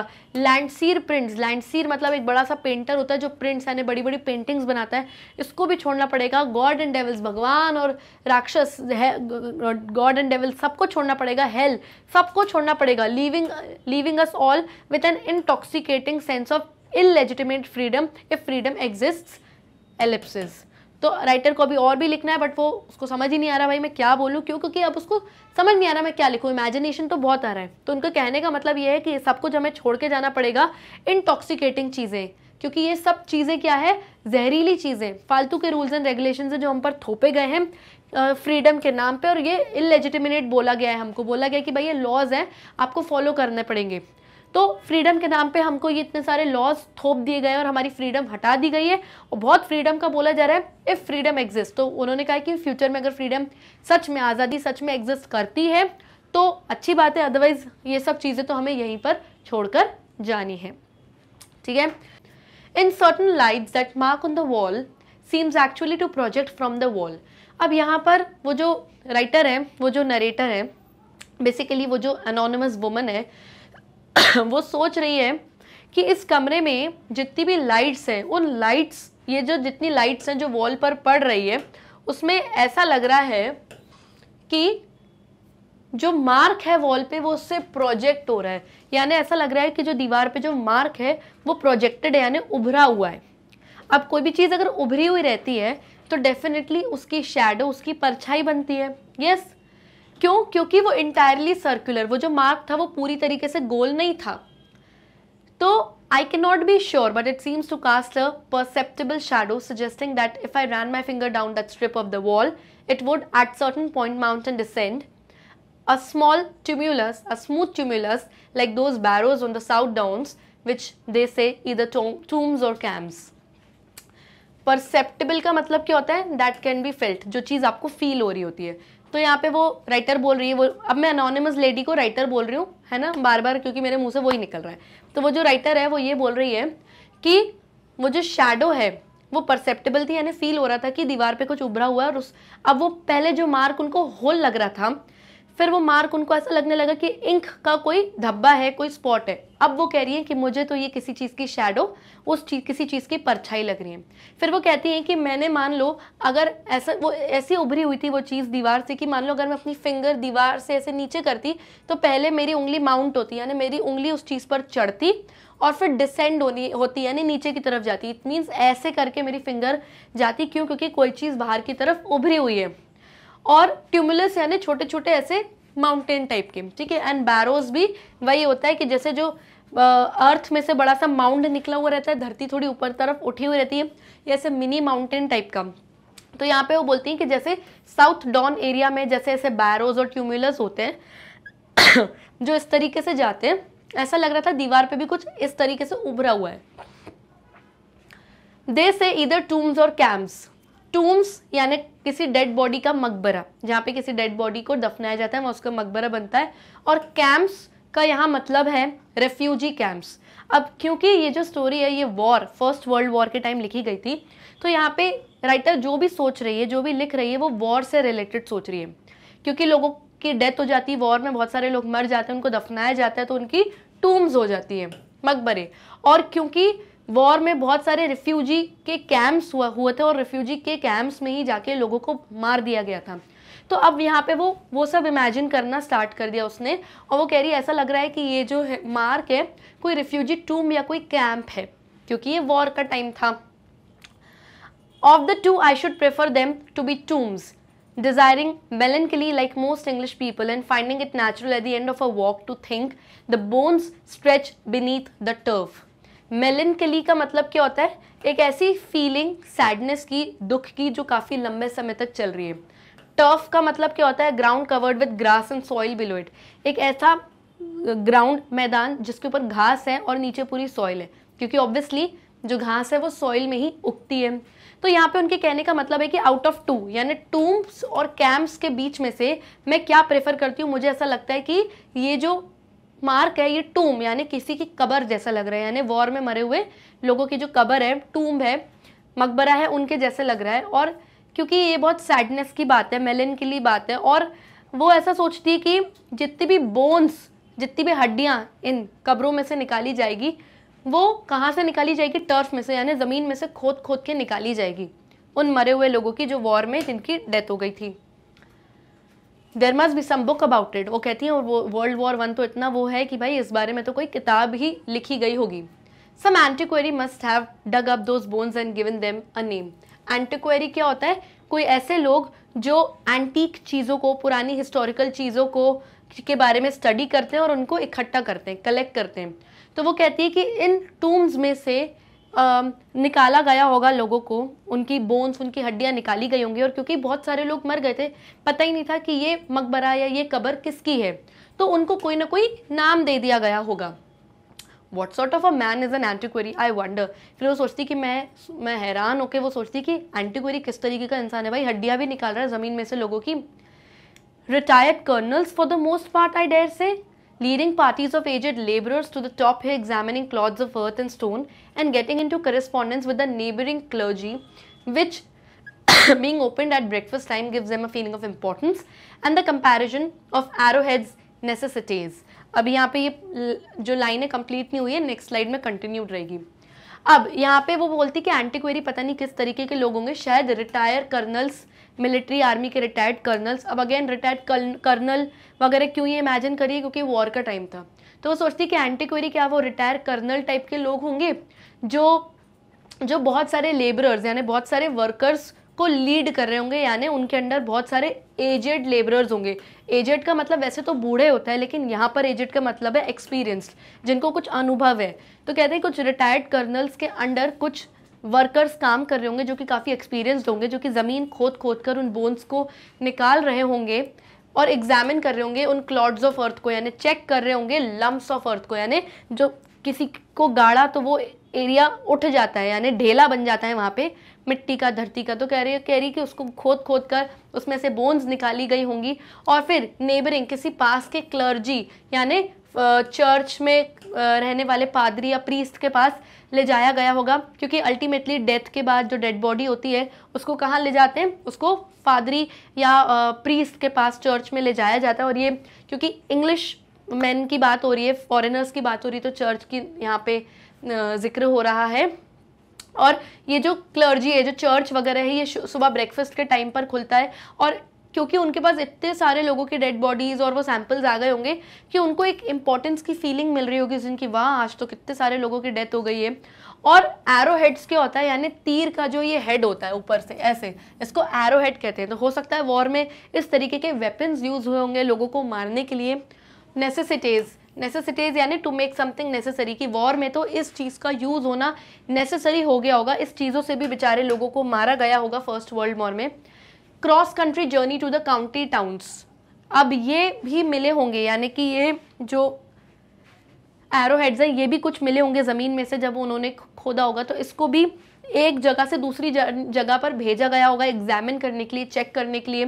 क्रॉस कंट्री अलग अलग कंट्रियों में भेजा होगा काउंटी टाउन्स तक। काउंटी टाउन्स यानी ब्रिटेन के और यूएस के वो एरियाज़ जिनकी खुद की अपनी लोकल गवर्नमेंट होती है, वो काउंटी टाउन्स होते थे। तो बोला अलग अलग कंट्रीज़ अलग अलग काउंटी टाउन्स में एरो हेड्स को भेजा गया होगा एग्जामिनेशन के लिए। An agreeable necessity both to them and to their elderly wives अब यहाँ पे रिटायर्ड कर्नल्स की बात हो रही है कि वो एग्री भी कर रहे थे। उनको ये सब चीज़ें समझ में आ रही थी कि हाँ कि डेफिनेटली यहाँ पर डेथ तो हुई है। यहाँ पे या तो किसी के टूम हुए होंगे, या तो ये प्रॉपर पूरा रिफ्यूजी कैंप ही रहा होगा जहाँ पे बहुत सारे लोगों को मार दिया होगा। और यहाँ तक कि उनकी रिटायर्ड कर्नल्स की जो बड़ी बूढ़ी, उन्हीं की एज की जो उनकी बीवियाँ थी, वो भी इन सब चीज़ों में इन्वॉल्व थी मतलब ढूँढने में, इन सब में। वो क्या करती थी, वो, ये लोग रिटायर्ड कर्नल्स काम करते थे और ये लोग उनके लिए प्लम जैम बनाती थी, उनका स्टडी यानी उनका स्टडी रूम क्लीन करती थी, ये सब करती थी। तो यहाँ पर जेंडर डिस्क्रिमिनेशन बताया जा रहा है कि कैसे मेन इंपॉर्टेंट काम करते थे। इंपॉर्टेंट डिसीज़न मेकिंग में उनका इन्वॉल्वमेंट था, लेकिन जो उनकी वाइफ्स उनके घर की जो लेडीज़ थी, उनके साथ उनको इतनी इंपॉर्टेंस शायद नहीं मिलती थी, वो घर के काम काज और कुकिंग में ही लगी रहती थी। और पर लेकिन फिर भी वो भी इन रिफ्यूजी कैंप्स के बारे में पूछती रहती थी, अपने हस्बैंड से क्वेश्चन करती रहती थी कि वो कोई कैंप था जहाँ इतने सारे लोग मर गए थे कि कुछ लोगों की सिर्फ़ टूम थी और परपेचुअल यानी कंटिन्यूसली सस्पेंशन में ऑलरेडी ऑल उनको अलाउड सस्पेंशन यानी उनको अलाउड नहीं था पूछने, लेकिन फिर भी वो बार बार पूछती रहती थी। While the colonel himself feels agreeable, philosophic in accumulating evidence on both sides of the question. और कर्नल क्या करता था? बहुत एक्यूमुलेट करता था, यानी कलेक्ट करता था। एक्यूमुलेट यानी कलेक्ट करता था। बहुत सारा एविडेंस यानी प्रूफ कलेक्ट करता था। Both sides of the question पे यानी ये ढूँढने में कि कहीं वो टूम तो नहीं था किसी कुछ लोगों के, या कहीं वो पूरा रिफ्यूजी कैंप तो नहीं था। तो वो काफ़ी ज़्यादा प्रूफ वगैरह इकट्ठा करते रहते थे, कर्नल। ये बात सही है कि फाइनली उन्होंने जब बहुत ढूंढा तो वो किस पे इंक्लाइन हुए, उनका क्या वो आया? पहले वो बोल रहे थे कि कुछ लोगों के टूम में, लेकिन जब उन्होंने बहुत रिसर्च करी, सब ढूंढा तो उन्होंने फाइनली ये बिलीव हुआ कि नहीं भैया, ये तो प्रॉपर पूरा एक रिफ्यूजी कैंप ही था। जब वर्ल्ड वॉर वन में जहाँ बहुत सारे रिफ्यूजीज रहते थे और वहाँ पर उन सब लोग, वो लोग ऐसे ही मर गए। फिर उन लोगों को बहुत सारे, फिर जो रिटायर्ड कर्नल ने बोला कि भाई ये तो कैंप ही था। फिर कर्नल्स की बात को बहुत सारे लोगों ने अपोज किया। अपोज किया यानी कि बहुत सारे लोगों ने उनके ओपिनियन को माना नहीं कि नहीं नहीं, ये कोई रिफ्यूजी कैंप वगैरह नहीं था। इंडाइट्स यानी राइट्स लिखना। लेकिन फिर भी कर्नल ने एक पैम्पलेट एक नोटिस टाइप का कुछ लिखा, जिसमें वो एक क्वार्टरली मीटिंग में जाते हैं लोकल सोसाइटी के लिए। When a stroke lays him down stroke यानी जब आप स्ट्रोक्स बनाते हो, जब आप लेटर्स बनाते हो, लिखते हो stroke a movement one makes well writing तो फाइनली जब वो एक मीटिंग में गए कर्नल किसी लोकल सोसाइटी में तो वहाँ पे भी वो कुछ लिख रहे थे, कुछ पैम्पलेट पे और फाइनली एक ऐसा स्ट्रोक आया, यानी कुछ एक ऐसी बात आई जहाँ पे वो बहुत लो हो गए, यानी एकदम वो बिल्कुल ढल से गए, एकदम सैड से हो गए। And his last conscious thoughts are not of wife और चाइल्ड उनको ये समझ में आ गया कि उनके आखिरी थाट्स जो थे, मरे हुए लोगों के जो आखिरी थाट्स जो थे, वो उन उनकी बीवी या उनके बच्चों के बारे में नहीं थे but of the sorry colonel की बात हो रही है यहाँ पे कि लिखते लिखते जो उनका आखिरी थॉट था कर्नल का, वो अपनी बीवी, अपनी बच्चे, अपनी फैमिली के बारे में नहीं था, बल्कि कैंप के बारे में था and that of arrowhead there उनको ये, उनको बस ये लग रहा था कि नहीं, वो प्रॉपर रिफ्यूजी कैंप था और जो एरो हेड्स मिले थे वहाँ पे, उन्हीं से ही शायद उनको मारा गया था। और अब ये जो एरो हेड्स हैं, ये जो पुरानी लोकल चीज़ें हैं, ये सब किसी एक म्यूज़ियम का हिस्सा बन के रह गई हैं। लोग उससे मरे गए थे और अब ये किसी म्यूज़ियम का हिस्सा बन के रह गए हैं। और इन सारी चीज़ों को किसी चाइनीज़ मर्डरर के पैरों के पास रख दिया होगा। ये चाइनीज़ मर्डरर भी म्यूज़ियम में होगा और उसके पैरों के पास ये सब चीज़ें रख दी होंगी। या फिर एलिजाबेथ जो क्वीन रही होंगी, उनके मुट्ठी भर हैंडफुल यानी उनकी मुट्ठी भर नाखूनों के पास रख दी होगी इन चीज़ों को। या ट्यूडर ट्यूडर क्या है? ट्यूडर एक इंग्लिश रूलर रहे थे उस ज़माने में। तो या तो ट्यूडर के जो क्ले पाइप्स, आज के ज़माने में लोग सिगरेट पीते हैं, उस टाइम क्ले पाइप्स, यानी हुक्के के ऐसे पाइप हुए करते थे। इस तरीके की जो चीज़ें वहाँ म्यूज़ियम में रखी होंगी, उनके साथ ये सारी चीज़ें रख दी होंगी। रोमन पॉटरी रोमन में जो पॉट्स जिस तरीके के होते थे, ये सारी चीज़ों के पास रख दी होंगी इन सब चीज़ों को। या फिर नेल्सन ने जिस ग्लास में वाइन ग्लास में वाइन पी थी, वो सब चीज़ों के पास शायद इन सारी मिली हुई चीज़ों को रख दिया होगा म्यूज़ियम में। Proving I really don't know what तो राइटर यहाँ बोलती है कि ये सब चीज़ें क्या प्रूव कर रही है, मुझे नहीं पता। मुझे कुछ समझ में नहीं आ रहा। No no nothing is prove nothing is known तो वो फिर फिर से वो अपना एक कुछ और सोचने लगती है कि नहीं नहीं, इससे कुछ प्रूव नहीं हो रहा, क्योंकि हमें कुछ पता है ही नहीं। And if I were to get up at this very moment and ascertain that mark on the wall is really what shall we say?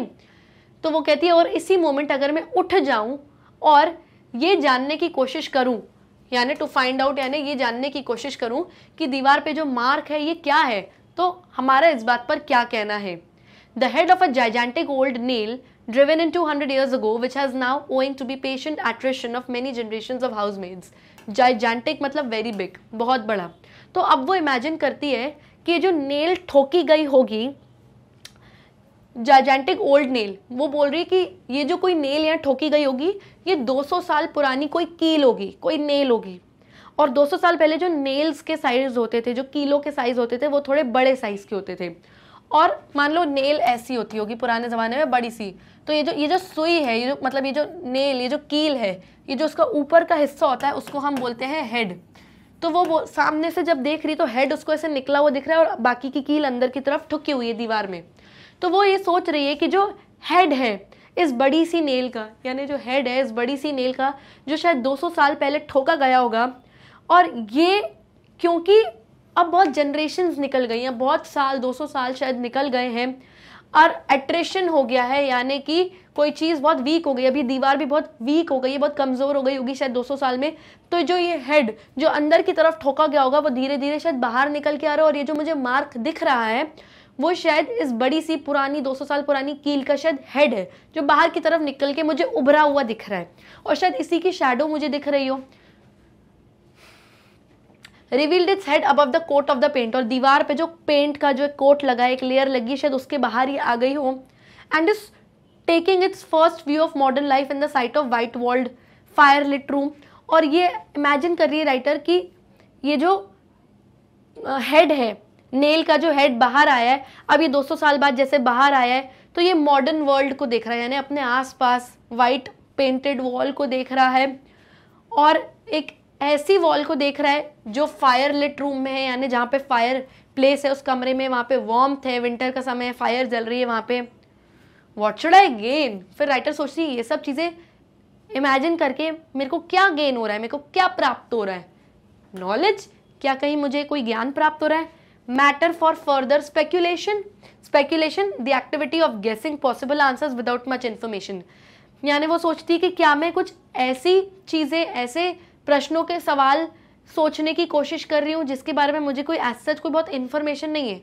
बस मैं गेस कर रही हूँ कि ऐसा रहा होगा, ऐसा रहा होगा 200 साल होंगे। ऐसा मुझे नहीं पता क्योंकि मुझे रियलिटी नहीं पता है कि ये चीज़, ये जो मार्क है वॉल पर ये क्या है? क्योंकि जो राइटर है, वो चेयर पे बैठी हुई है, बहुत दूर से उस वॉल पे उस मार्क को देख रही है तो वो सिर्फ़ गेस कर रही है। उसको एक्चुअली नहीं पता कि रियलिटी क्या है, कि एक्चुअली वो मार्क है किस चीज़ का। I can think sitting still as well as standing up अब राइटर बोलती है कि मैं तो बैठे बैठे भी अच्छे से सोच सकती हूँ और चाहे खड़ी भी हो जाऊँ तो भी मैं अच्छे से सोच सकती हूँ। एंड वॉट इज़ नॉलेज ये ज्ञान क्या है? What are our learn men save the descendants of witches and hermits who crouched in caves and in woods brewing herbs descendants मतलब जो लोग एक ही खानदान, एक ही फैमिली से बिलोंग करते हैं, यानी वंशज। यानी फॉर एग्ज़ाम्पल किसी के पूर्वज हैं तो उनके जो बच्चे बच्चे बच्चे हैं, वो उनके डिसेंडेंट्स हैं, यानी उनके वंशज हैं, उनके वंश के लोग हैं। हर्मिट्स यानी कि एक ऐसा इंसान जो कि दुनिया की सोसाइटी से बहुत दूर है, मोह माया से दूर है, वो बेसिकली समझो संत है प्रीस्ट है कोई ओके तो यहाँ पर ये बोला जा रहा है कि नॉलेज यानी ज्ञान क्या है? ज्ञान क्या वो है जो लर्नड मैन में होता है? यानी जो बहुत सीखे पड़े हुए एक्सपर्ट लोग हैं, जिनको बहुत ज्ञान है, क्या वो होते हैं? जो जो शायद चुड़ैलों की विच इज़ लिखा है यहाँ पे, जो शायद चुड़ैलों के वंशज हैं, या शायद वो कि जिनको, जिनके पास जो शायद साधु संत के वंशज हैं। क्या वो बहुत लर्नड मैन है? क्या उनके पास नॉलेज है?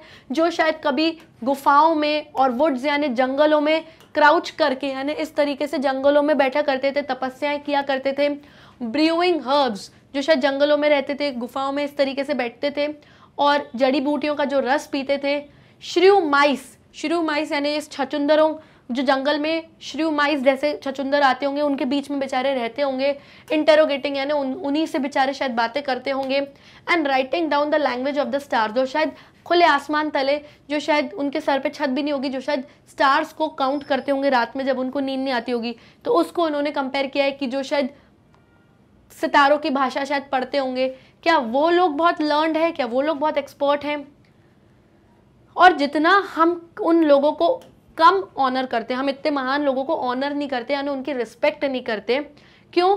क्योंकि अब कहीं ना कहीं superstitious dwindle and respect for beauty and health mind increases dwindle यानी किसी चीज़ का कम होना। किसी चीज़ का कम होना। तो वो ये बोल रहे हैं कि जैसे जैसे हम अपने सुपरस्टिशंस अंधविश्वासों को कम करते हैं अपनी लाइफ में तो जब हम अंधविश्वासों को इग्नोर करते हैं अपनी लाइफ में तो हम किस चीज़ को रिस्पेक्ट करना स्टार्ट करते हैं? ब्यूटी यानी खूबसूरती को and health of mind increases यानी इससे हमारी खूबसूरती भी बढ़ती है और हमारे दिमाग की हेल्थ भी बढ़ती है। तो ये सारी चीज़ों को हम रिस्पेक्ट करना स्टार्ट करते हैं जब हम अंधविश्वास को इग्नोर करते हैं अपनी लाइफ में। और तब ही एक इंसान एक बहुत प्लेजेंट वर्ल्ड को इमेजिन कर सकता है। ये बहुत एक सुंदर दुनिया को इमेजिन कर सकता है। और ये दुनिया कैसी होगी? बहुत क्वाइट होगी, बहुत स्पेशियस बहुत खुला खुला वर्ल्ड होगा, जहाँ पे फ्लावर्स होंगे रेड कलर के ब्लू कलर के, खुले फील्ड्स यानी खुले मैदानों में। तो वो बहुत सुंदर दुनिया होगी, जहाँ हम इन सारी चीज़ों को रिस्पेक्ट करेंगे, ना कि सुपरस्टिशंस को। और एक ऐसी दुनिया होगी, वो दुनिया, जो सुंदर सी दुनिया होगी, एक ऐसी दुनिया होगी जहाँ पर पढ़ाने वाले प्रोफेसर्स नहीं होंगे स्पेशलिस्ट नहीं होंगे हाउस कीपर्स नहीं होंगे और पुलिस मैन नहीं होंगे। वहाँ पर ये लोग नहीं होंगे। अब यहाँ पे ये जो प्रोफेसर्स हैं स्पेशलिस्ट हैं हाउस कीपर्स हैं पुलिस मैन हैं, ये सब कौन है? ये सब मैन यानी ये सब आदमी हैं। तो यहाँ पर ये बताया जा रहा है इस बेसिकली इस पैराग्राफ में कि ये वो ज़माना था जब जेंडर डिस्क्रिमिनेशन होता था, जब आदमी औरतों को चलाते थे। मैन डिसीज़न मेकिंग करते थे और ऑर्डर्स देते थे और फॉलो करने का काम औरतों का होता था। तो यहाँ पे वो बताया जा रहा है कि एक सुंदर दुनिया वो होगी जहाँ पे प्रोफेसर स्पेशलिस्ट यानी आदमी नहीं होंगे, यानी इन लोगों का राज नहीं होगा। ये सब तो होंगे, लेकिन बेसिकली मेन का राज नहीं होगा। और पुलिस मैन यहाँ इसलिए बोला जा रहा है कि अगेन क्योंकि वॉर का टाइम था तो वो वही सब इमेजिन कर रही है। A world which one could slice with one's thoughts as a fish slices the water with his fin. Slice का मतलब क्या होता है? कट करना। तो यहाँ पर बोला जा रहा है कि ऐसी दुनिया होगी, जैसे उन्होंने एग्ज़ाम्पल दिया है कि जैसे एक फ़िश क्या करती है? एक फ़िश अपने फिन फिन यानी अपने जो उसके, जो साइड के, जो उसके विंग्स होते हैं फिन जो होते हैं। विंग्स तो बर्ड के होते हैं, जो फ़िश के साइड में होते हैं, ऐसे। ये। तो ये क्या होता है? ये फ़िश के फिन होते हैं।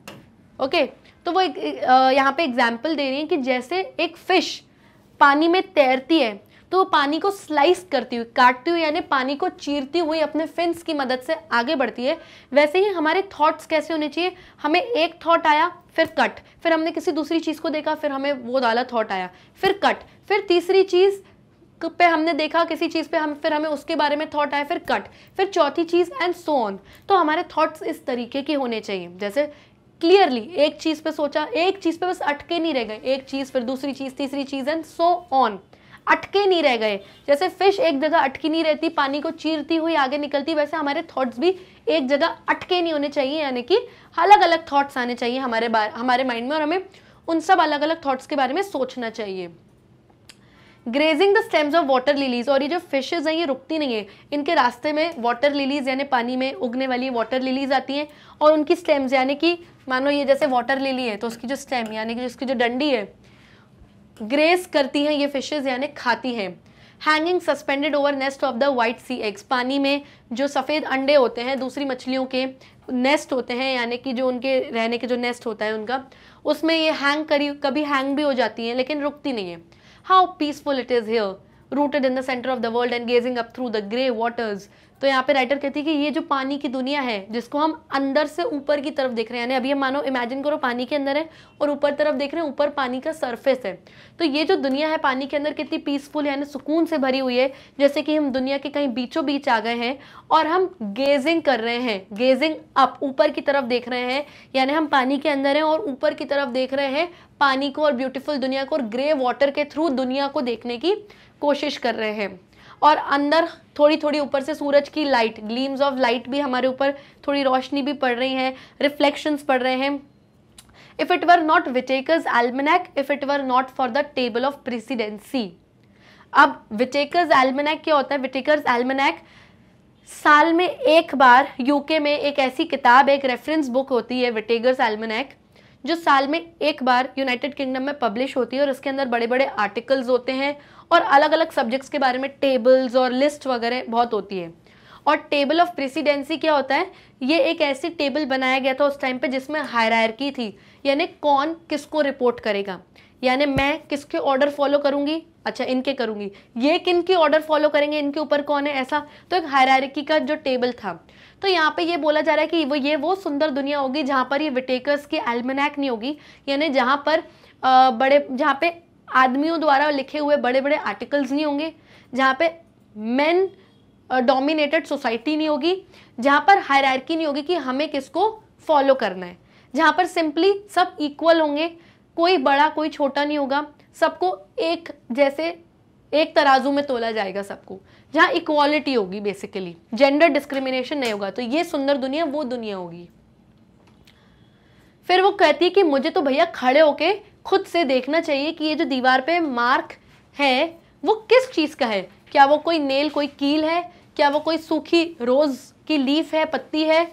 या कोई वुड, यानी लकड़ी में कोई क्रैक आया है, कोई कोई ऐसा क्रैक टाइप का गया है? मुझे खुद उठ के अब देखना चाहिए। Here is nature once more at her old game of self preservation अब ये जो लाइन है, ये बहुत इंपॉर्टेंट लाइन है, इसको ध्यान से समझना। नेचर नेचर यानी कि कुदरत। नेचर हमें वो सारी चीज़ें दिखाती है जो रियल होती है। बेसिकली जो नेचर जो कुदरत होती है, वो इंसानों को रियलिटी दिखाती है। ठीक है? अब दीवार पर जो राइटर देख रही है, वो क्या है? एक मार्क है। किस चीज़ का मार्क है, वो उसको नहीं पता। क्यों? क्योंकि अभी वो बैठी हुई है और दूर से बैठ के गैस कर रही है कि ये है, कि ये है, कि ये है। फिर उसने सोचा कि मैं चलो खड़े होकर पास में देखती हूँ तो मुझे दिख जाएगा कि एक्चुअली वो चीज़ क्या है। लेकिन वो सोचती है कि अगर मैं खड़ी हो जाऊँगी तो मुझे रियलिटी दिख जाएगी। यानी पास से नेचर मुझे रियलिटी दिखा देगी कि एक्चुअली वो चीज़ क्या है। जब हम, हमें कोई चीज़ पता नहीं रहती तो हम अलग अलग गैसेस करते हैं। अलग अलग थॉट्स हमारे माइंड में आते हैं। जैसे इसके माइंड में आ रहा है कि क्या वो मार्क दीवार पे नेल है रोज लीफ है क्रैक है, कोई शेडो है, कोई इंक का स्पॉट है। जब हमें पता नहीं रहता तो हम अलग अलग चीज़ें सोचते हैं। इससे हमारा दिमाग वर्क करता है, हमारा ब्रेन खर्च होता है, हमारे इमेजिनेशन बढ़ती है। लेकिन जैसे ही हमें रियलिटी दिख जाती है, हमें पता चल जाता है कि ये चीज़ क्या है, हमारे थॉट्स वहीं रुक जाते हैं स्टॉप हो जाते हैं। हमें कोई नॉलेज नहीं मिलता, क्योंकि हमारे दिमाग खर्च होना अब बंद हो गया। तो राइटर ये चाहती है कि मैं अगर खड़ी हो जाऊँगी, देखूँगी तो मुझे पता चल जाएगा कि वो किस चीज़ का मार्क है। तो फिर मेरे थॉट्स तो आएँगे ही नहीं मेरे दिमाग में। मैं सोच तो पाऊँगी ही नहीं। कि वो क्या है? मैं और गैस लगा ही नहीं पाऊँगी, मैं अपना दिमाग और खर्च कर ही नहीं पाऊँगी। तो बेसिकली यहाँ पर ये बोला जा रहा है कि दीवार पर जो मार्क है, उसकी वजह से अलग अलग थॉट्स क्रिएट हो रहे हैं राइटर के माइंड में। राइटर को थॉट्स इंटरप्ट हो रहे हैं अलग अलग थॉट्स आ रहे हैं उनके माइंड में। जो रियलिटी है, जो मार्क है वॉल पर, वो तो वैसा का वैसा ही है। राइटर के थॉट्स की वजह से उस मार्क पर कोई फ़र्क नहीं पड़ा। उसको कुछ नहीं हुआ, वो जो था, वो वैसा है, वैसा ही रहेगा। लेकिन उस मार्क की वजह से सोच सोच के अलग अलग थॉट्स आ रहे हैं राइटर के माइंड में। ओके समझ में आ रहा है? तो यहाँ पर जो नेचर है, वो सेल्फ प्रिजर्वेशन करती है, यानी कि जो नेचर है नेचर बोले तो जो रियलिटी है लाइफ की, वो सेल्फ प्रिजर्वेशन करती है, यानी सेल्फ प्रोटेक्टेड है। उसने अपने आप को प्रोटेक्ट करके रखा है। उसको कोई फ़र्क नहीं पड़ रहा है, आप क्या सोच रहे हो? मैं तो जो थी, जो हूँ, वैसी ही रहूँगी। यानी जो मार्क वहाँ पे था, किस चीज़ का था वो हमें एंड में पता चलेगा स्टोरी में। तो जिस चीज़ का भी वो मार्क था, वो तो शुरू से ही वैसा था और अभी भी वैसा ही रहेगा। वो चेंज नहीं होगा। चाहे राइटर कुछ भी सोच ले। This train of thought she perceives is threatening may a waste of energy ये जो ट्रेन ऑफ़ थॉट्स है, यानी अब जो राइटर के दिमाग में जो विचारों की रेलगाड़ी चल रही है, वो ऐसा सोचती है कि ये तो भाई, अब मुझे डर लग रहा है, इतने थॉट्स मेरे माइंड में आ गए और कहीं ना कहीं मेरी एनर्जी वेस्ट हो रही है इतना सोच सोच के। और मैं बार बार मेरा कोलेजन हो रहा है, यानी बार बार मेरा थॉट वहीं आकर टकरा रहा है कि मैं जो मार्क है दीवार पर, वो किस चीज़ का है? क्योंकि मैं, क्योंकि बार बार रियलिटी से मेरा कोलेजन हो रहा है, सच्चाई पर से बार बार मेरे थॉट्स टकरा रहे हैं। For who will ever be able to lift a finger against Whitaker's table of precedency the archbishops of Canterbury is followed by the Lord High Chancellor तो अब वो बोल रही है कि भाई, ये जो टेबल ऑफ़ प्रेसिडेंसी था जिसमें हायरार्की बनाई गई थी, इस चीज़ पर भाई कौन उंगली उठाए? कौन सवाल पूछे? जो आर आर्च बिशप थे, जो फादर थे बड़े कैंटबरी के, उनको कौन फॉलो कर रहा था? लॉर्ड हाई चांसलर फॉलो कर रहे थे। फिर लॉर्ड हाई चांसलर को कौन फॉलो कर रहा था? Archbishop of York. वो फॉलो कर रहे थे। तो कोई ना कोई, किसी ना किसी को कभी ना कभी बस फॉलो कर ही रहा है।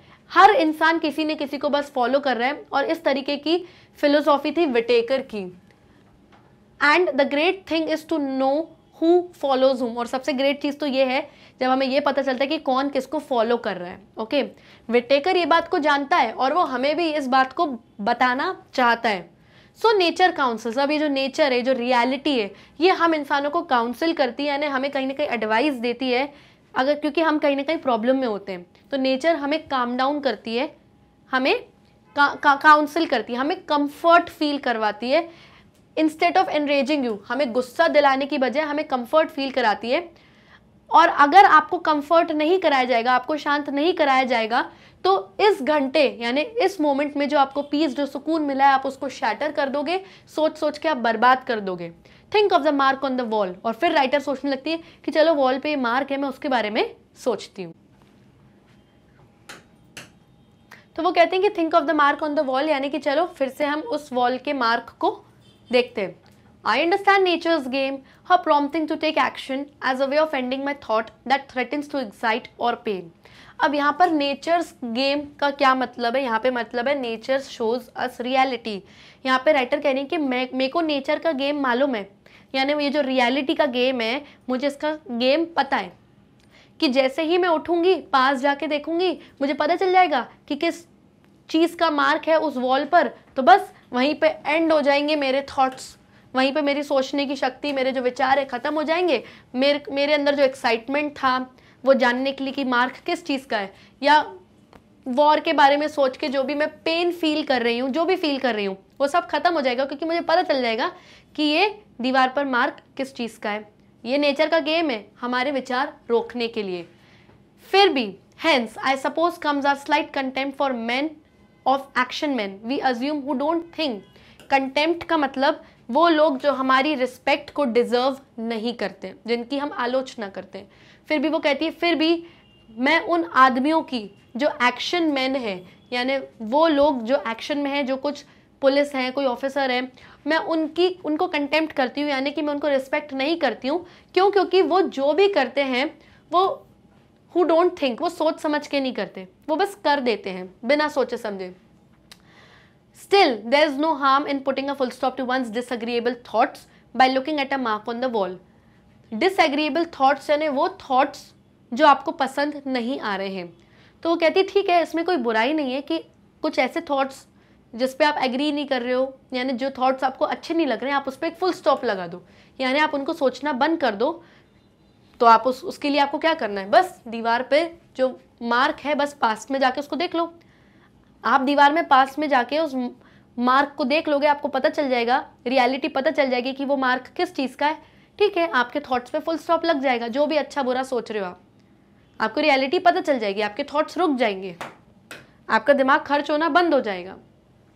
इन डीड यानी truly now I have fix my eyes upon it I feel that I have grasp plant in the sea grasp मतलब किसी को होल्ड करके रखना, किसी को पकड़ के रखना। तो वो कहती है सच में अब तो मैंने जैसे अपनी नज़र गड़ा के रख दी है आ, उस मार्क पे जो दीवार पर है। और जैसे डूबते हुए कोई तिनके का सहारा होता है ना plank in the sea plank यानी लकड़ी का तिनका वैसे ही समझो मतलब मेरे थॉट्स में मैं इतना कंफ्यूज होती जा रही हूँ डूबती जा रही हूँ समझो अपने आप को इन थॉट्स में डूबने से मैंने बचा लिया और उस मार्क पे मैंने ध्यान अटका लिया है कि कहीं मैं पूरी तरह डूब ही ना जाऊँ अपने थॉट्स में। I feel a satisfying sense of reality, which at once turns the two archbishops and the Lord High Chancellor to the shadows of shades. वो कहती है, जैसे मैंने अपने आप को थॉट्स में डूबने से रोका और अपना ध्यान भटकाया उस मार्क की तरफ़, मुझे एक सेटिस्फाइंग सेंस ऑफ़ रियलिटी मिला कि यानी मुझे धीरे धीरे समझ में आ रहा है कि वो मार्क किस चीज़ का है। लेकिन फिर से वो इमेजिन क्या करने लगती है? वही आर्च बिशप की बात, वही लॉर्ड हाई चांसलर की बात, वही शेडो वाली बात, वो इमेजिनेशन करने लगती है। Here is something definite something real वो कहते हैं, यहाँ पर जो है दीवार पे, वो कुछ डेफिनेट है, कुछ रियल है, यहाँ पे मुझे रियलिटी मिलेगी। Thus waking from a midnight dream of horror one hastily turns on the light and lies quiescent worshipping the chest of drawers okay तो वो यहाँ एग्ज़ाम्पल दे रही कि मान लो कि कभी आधी रात में एक इंसान बुरा सपना देख के हॉरर में, डर में एकदम उठता है, वो जल्दी से हेस्टिली यानी फटाफट क्विकली अपने कमरे की लाइट्स चालू करता है और चालू करके एकदम शांत सा हो जाता है। क्वीसेंट यानी कि एकदम इनएक्टिव स्टेट पे हो जाता है क्योंकि एकदम उसने डरावना सपना देखना है देखा है। तो सॉरी वो एकदम इनएक्टिव होके एकदम जैसे लेट जाता है। वो चेस्ट ऑफ़ ड्रॉर्स वो अपना एक एक ड्रॉर खोल खोल कर देखता है। वर्शिपिंग यानी उनको चेक करता है कि कहीं मेरी तिजोरी में मेरे सामान वामान जो है सब वहीं पर हैं कि कहीं कुछ ख़त्म ना हो गया, कहीं कोई चोर चुरा के ना ले गया हो। Worshipping the impersonal world which is the proof of some existence other than ours तो वो भगवान को पूजा करता है कि भगवान थैंक गॉड जो मैंने सपना देखा अभी डरावना सा, वो रियल नहीं है। मैं अपनी सही जगह पर हूँ, मुझे सही लग रहा है।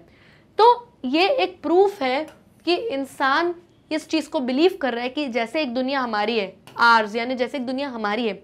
इसी तरह से एक और दुनिया एक पैरेलल वर्ल्ड एग्जिस्ट करता है, जहाँ पे भगवान है, जहाँ परलोक है एवरीथिंग तो इंसान बिलीव करता है इस डिफरेंट वर्ल्ड में भी कि हमारी दुनिया के अलावा भी एक और दुनिया एग्जिस्ट करती है। That is what one wants to be sure of और इसी बात के लिए इंसान को श्योरिटी चाहिए कि हाँ भाई, भगवान है, कोई है हमें देखने वाला। अब यहाँ से एक और नई इमेजिनेशन स्टार्ट हो जा रही है, हमारी राइटर की। अब वो वुड लकड़ी के बारे में सोचने लगती है कि जो वुड है is a pleasant thing to think about अब वो सोचती है कि लकड़ी लकड़ी एक बढ़िया चीज़ है, इसके बारे में सोचती हूँ मैं। ये हमको ट्री से मिलता है, लकड़ी। ट्री ग्रो करते हैं, जैसे जैसे वैसे लकड़ी हमें मिलती है। हमें नहीं पता कि ये कैसे ग्रो करते हैं, क्यों? क्योंकि वो धीरे धीरे अपना ग्रो होता जाता है पेड़। वो धीरे धीरे ग्रो होता जाता है। हमें डिस्टर्ब तो नहीं करता, इसलिए हमें नहीं पता कि आज इतना बड़ा इतना बड़ा इतना बड़ा, वो तो ग्रो होते जा रहा है। हमें डिस्टर्ब नहीं कर रहा। ईयर्स एंड ईयर्स सालों साल एक छोटा सा प्लांट एक ट्री में कन्वर्ट हो जाता है without paying attention to us हम पर ये पेड़ ध्यान नहीं देता, हमको डिस्टर्ब नहीं करता। ना हमारी डिस्टर्बेंस से खुद डिस्टर्ब होता है। ये तो अपना सेल्फ डेवलपमेंट करता जा रहा है सालों साल धीरे धीरे इन मेडोज मेडोज यानी बड़े बड़े ग्रासलैंड्स बड़े बड़े ग्राउंड्स पे आपको पेड़ दिखेंगे, इन फॉरेस्ट जंगलों में आपको पेड़ दिखेंगे, इन्हीं पेड़ों से हमें वुड मिलता है। And by the side of rivers और नदियों के पास में भी आपको बड़े बड़े पेड़ मिलेंगे। और ये वो सारी चीज़ें हैं जिसके बारे में एक इंसान सोचता है और खुश होता है कि कितनी प्यारी नेचर की चीज़ें हैं। तो यहाँ पर हमें क्या समझा रहे हैं? आप बिटवीन द लाइन्स को समझने की कोशिश करिए। यहाँ पर ये समझाना जा रहा है, जा रहा है कि जो नेचर है उसको हम इंसानों ने कितना डिस्टर्बेंस किया हुआ है, हमने अपने कुदरत को कितना पल्यूट किया हुआ है, कितना बर्बाद किया हुआ है। लेकिन नेचर हमारी इस डिस्टर्बेंस से डिस्टर्ब नहीं हो रहा है। वो स्लोली साइलेंटली अपना काम करते जा रहा है, यानी कि ट्री ग्रो होते जा रहा है, होते जा रहा है।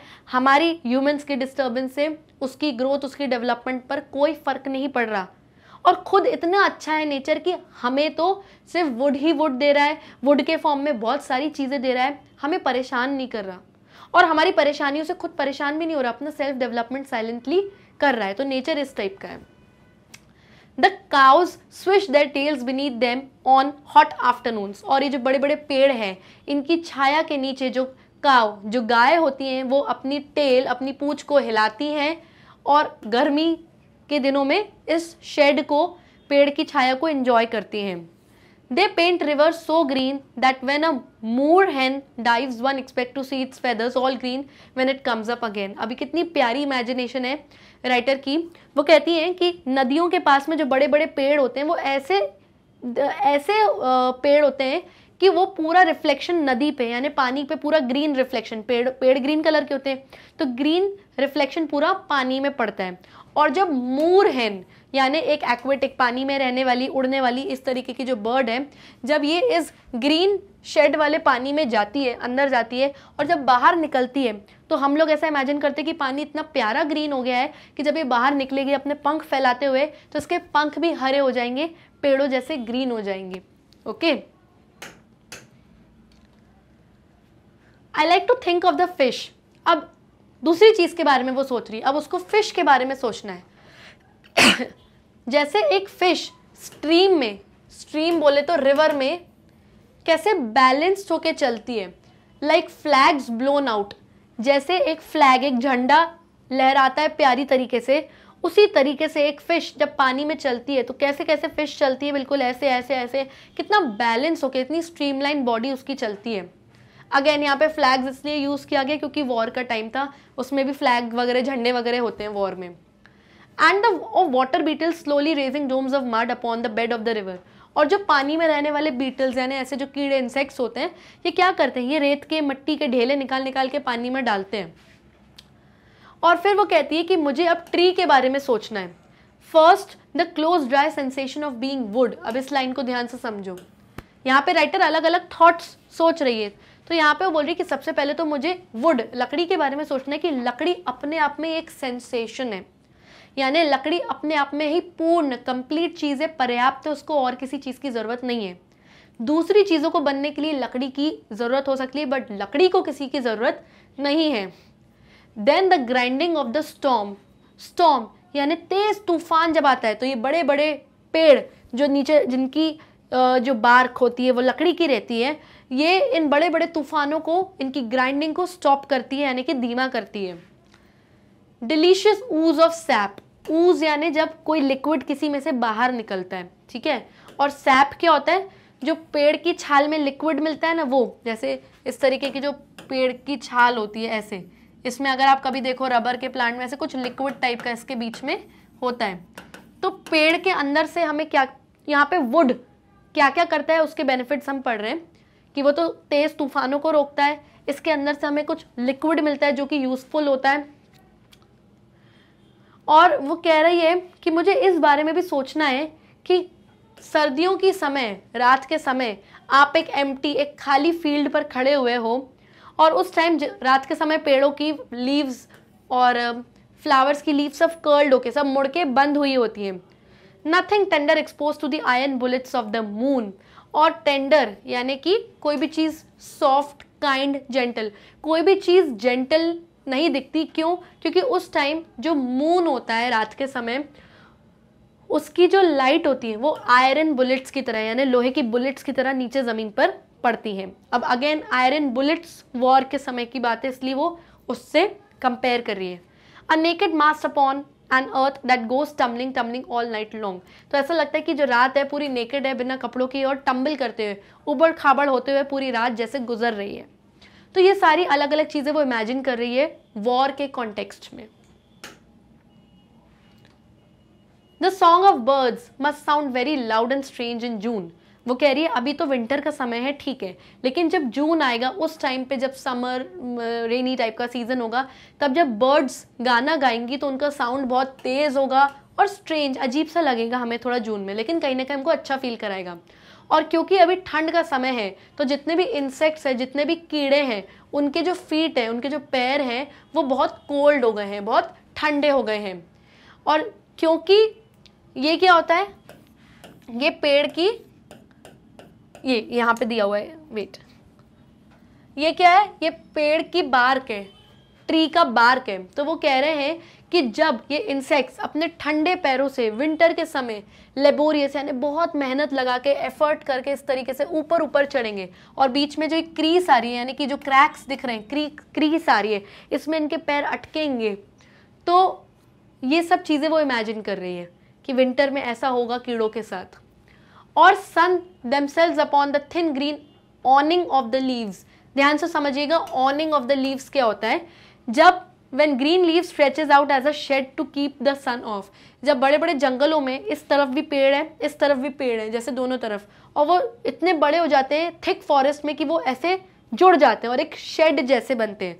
अब इन पेड़ों के बीच में कुछ स्पेस है, कुछ गैप है, जिसके ऊपर से सनलाइट आ रही है और जो सनलाइट है, वो बिल्कुल ऐसे पड़ रही है ज़मीन पे, बिल्कुल ऐसे। प्रॉपर सन की रेज दिख रही है। तो वो ऐसा लग रहा है कि जैसे कोई बिल्कुल स्ट्रेट कट डायमंड आ गया, जैसे कट जैसे डायमंड की कटिंग कितनी शार्प होती है। वैसे ये सूरज की किरणें आपको इन पेड़ों के बीच के स्पेसेस में से आते हुए दिखेगी और बहुत शार्प दिखेगी। कट रेड आइज़ यानी कि बिल्कुल रेड सनलाइट आपको क्लियरली दिखेगी इसमें।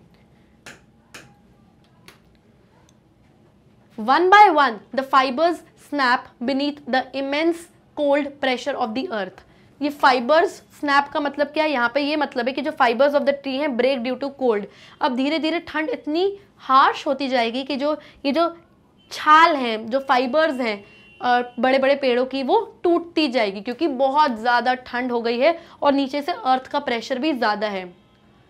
फिर आखिरी में एक आखिरी स्टॉम एक तेज तूफ़ान आता है, जिसकी वजह से जो एकदम टॉप पे, एकदम हाईएस्ट ब्रांचेस जो हैं, पेड़ की, वो नीचे ज़मीन पर आकर वापस गिरती हैं। Even so life isn't done with इतना सब कुछ होने के बाद भी लाइफ अभी ख़त्म नहीं हुई है वुड की, लकड़ी की लकड़ी की बात चल रही है ना क्योंकि यहाँ पे। देर आर मिलियन पेशेंट्स इस दुनिया में बहुत सारे पेशेंट्स हैं, बहुत सारे मरीज़ हैं, जिनको दवाइयों की ज़रूरत पड़ती है, और हो सकता है वुड के अंदर मिलने वाला लिक्विड उनकी दवाइयों में काम आ जाए। Watchful life still for a tree एक ट्री की लाइफ ख़त्म नहीं होती, उसके बाद वो और भी लाइफ्स को ज़िंदा कर सकती है। ऑल ओवर द वर्ल्ड पूरी दुनिया में लकड़ी बहुत काम आती है। बेडरूम्स में फर्नीचर के तौर पे शिप्स में शिप भी लकड़ियों की बनती है। ऑन द पेवमेंट पेवमेंट माने रोड के साइड में जो एरिया होता है जहाँ पे लोग वॉक वगैरह करते हैं, वो भी लकड़ी का बनता है। आपके लिविंग रूम्स में, यानी आपका सोफ़ा वगैरह, आपका फर्नीचर बनता है लकड़ी से where men and women sit जहाँ आदमी, औरतें घर के लोग बैठते हैं, चाय पीते हैं, अपनी सिगरेट स्मोक करते हैं, अपना क्वालिटी टाइम स्पेंड करते हैं इसी लकड़ी की मदद से। तो लकड़ी अपने आप में ही बहुत सेंसेशनल है पर्याप्त है कंप्लीट है उसको नेचर की यानी किसी को बेसिकली नेचर को किसी की ज़रूरत नहीं है वो अपना डेवलपमेंट खुद कर लेगी। और ये जो सारे थॉट्स अभी अभी राइटर के माइंड में आए वुड के बारे में बीटल्स के बारे में इंसेक्ट्स के बारे में ट्रीज के बारे में ये जो थॉट्स थे ये बहुत पीसफुल थे सुकून देने वाले थॉट्स थे हैप्पी उनको खुशी देने वाले थॉट्स थे। ये ट्री सब कुछ ये ट्री के बारे में ये बहुत खुश दे, खुशी देने वाले थॉट्स थे। I should like to take each one separately but something is getting in the way where was I तो वो कहती है कि जितने भी थॉट्स अभी मेरे माइंड में आए, मुझे हर एक थॉट को सेपरेटली सोचना है, यानी एक एक थॉट के बारे में डीपली सोचना है। ऐसे छोटा छोटा नहीं सोचना सेपरेटली डीपली मुझे सोचना है। लेकिन कुछ मेरी इमेजिनेशन के रास्ते में गेटिंग इन माई वे कुछ मेरे इमेजिनेशन के रास्ते में आ रहा है। वेयर वॉज़ आए अब इसका ध्यान भटक रहा है राइटर का। फिर वो कहती मैं कहाँ थी? मैं क्या इमेजिन कर रही थी? What has it all been about अभी मैं बेसिकली मैंने शुरुआत कहाँ से करी थी? मैंने क्या देख रही थी? अ ट्री क्या मैंने ट्री से शुरुआत करी थी? क्या मैंने रिवर से शुरुआत करी थी? क्या मैंने द डाउन्स वो स्ट्रीट का नाम, क्या वहाँ से शुरुआत करी थी? या वेटेकर के एल्मेनेक से शुरुआत करी थी? The fields of asphodel asphodel एक फ्लावर का नाम है। इसके बारे में हमने पार्ट वन में पढ़ा था। क्या मैंने इन एस्पोडल फ्लावर्स की फ़ील्ड से शुरुआत करी थी? इमेजिन करना। आई कॉन्ट रिमेंबर इट अब मैंने इतना सब कुछ इमेजिन कर लिया कि अब मुझे एक भी चीज़ याद नहीं आ रही है। एवरीथिंग मूविंग सब कुछ मेरे दिमाग में जैसे चल रहा है। गिर रहा है स्लिप फिसल रहा है वैनिशिंग यानी गायब हो रहा है। मैंने इतना ज़्यादा इमेजिन कर लिया है। There is a vast upheaval of matter ये जो इतना मैंने सोच लिया है, इतना मैटर मैंने जो इमेजिन कर लिया है, वो अप हीवल हो गया है, यानी अब बहुत ज़्यादा कन्फ्यूज़न हो गया है मेरे दिमाग में। अब मुझे समझ ही नहीं आ रहा कि मैं क्या इमेजिन करूँ। या मैंने शुरुआत कहाँ से करी थी अपने सोचने की? Someone standing over me and sing तो राइटर बोलती है, कोई इंसान ऐसा लग रहा है मेरे सर पे खड़ा हुआ है और कह रहा है I am going out to buy a newspaper yes तो वो हम यहाँ पे ये इमेजिन करते हैं, हम ये मानते हैं कि जो राइटर का हस्बैंड है, वो आया उनके पास और वो कहता है कि मैं बाहर जा रहा हूँ न्यूज़पेपर खरीदने। तो एकदम से उसके इमेजिनेशन से टूटती है, वो कहती है हाँ यस क्योंकि यहाँ पे क्वेश्चन मार्क लगा है ओके फिर राइटर के हस्बैंड उनसे बोलते हैं, वैसे तो न्यूज़पेपर खरीदना कोई बहुत कोई अच्छी बात नहीं है क्योंकि उसमें कभी भी कुछ अच्छी खबर नहीं आती है। हमेशा वॉर के बारे में खबर आती है और कितने लोग मर गए, हमेशा वही सेम सेम वॉर के बारे में खबर आती है। फिर वॉर के बारे में खबर आती है, ऐसा गुस्से में बोल बोल के वो कहते हैं I don't see why we should have a snail on our wall फिर वो कहते हैं, मुझे ये समझ में नहीं आ रहा कि हमारे घर की दीवार पे ये स्नेल क्यों है? स्नेल एक ऐसा इंसेक्ट होता है, जिसको हम हिंदी में घोंघा कहते हैं ओके तो जो दीवार पे मार्क था। आह the mark on the wall it was a snail तो यहाँ पे राइटर कहती कि ओ जो दीवार पे मार्क था, वो और कोई नहीं, एक स्नेल एक इंसेक्ट बैठा हुआ था, जिसको मैंने पता नहीं क्या क्या इमेजिन कर लिया। अगर मैं उठ के देख लेती तो मुझे पता चल जाता कि वो स्नेल है, लेकिन मैंने उठ के देखा नहीं। मैं बैठी रही, मैंने अपना दिमाग को खर्च किया अलग अलग थाट्स को अपने माइंड में आने दिया और उनको रिलेट किया वॉर से ओके तो ये जो समरी है in the story The mark on the wall, written by Virginia Woolf. There's an anonymous woman who noticed a mark on the wall in the mid of January. तो जो story है हमारी, जिसका नाम the mark on the wall है, इसको किसने लिखा है? कौन सी राइटर ने? वर्जीनिया वुल्फ नाम की फीमेल राइटर ने लिखा है। अब इस चैप्टर में क्या होता है? एक अनोनिमस वुमन होती है, यानी कि एक ऐसी औरत के बारे में बात हो रही होती है, जिसका कोई नाम वाम नहीं बताया गया। बस बताया कि एक लेडी है। ये लेडी है अभी अभी घर शिफ्ट करके एक नए घर, एक नए विला में आई है। और मिड ऑफ़ जनवरी का महीना है, यानी जनवरी के बीच का महीना है, यानी विंटर सीज़न चल रहा है।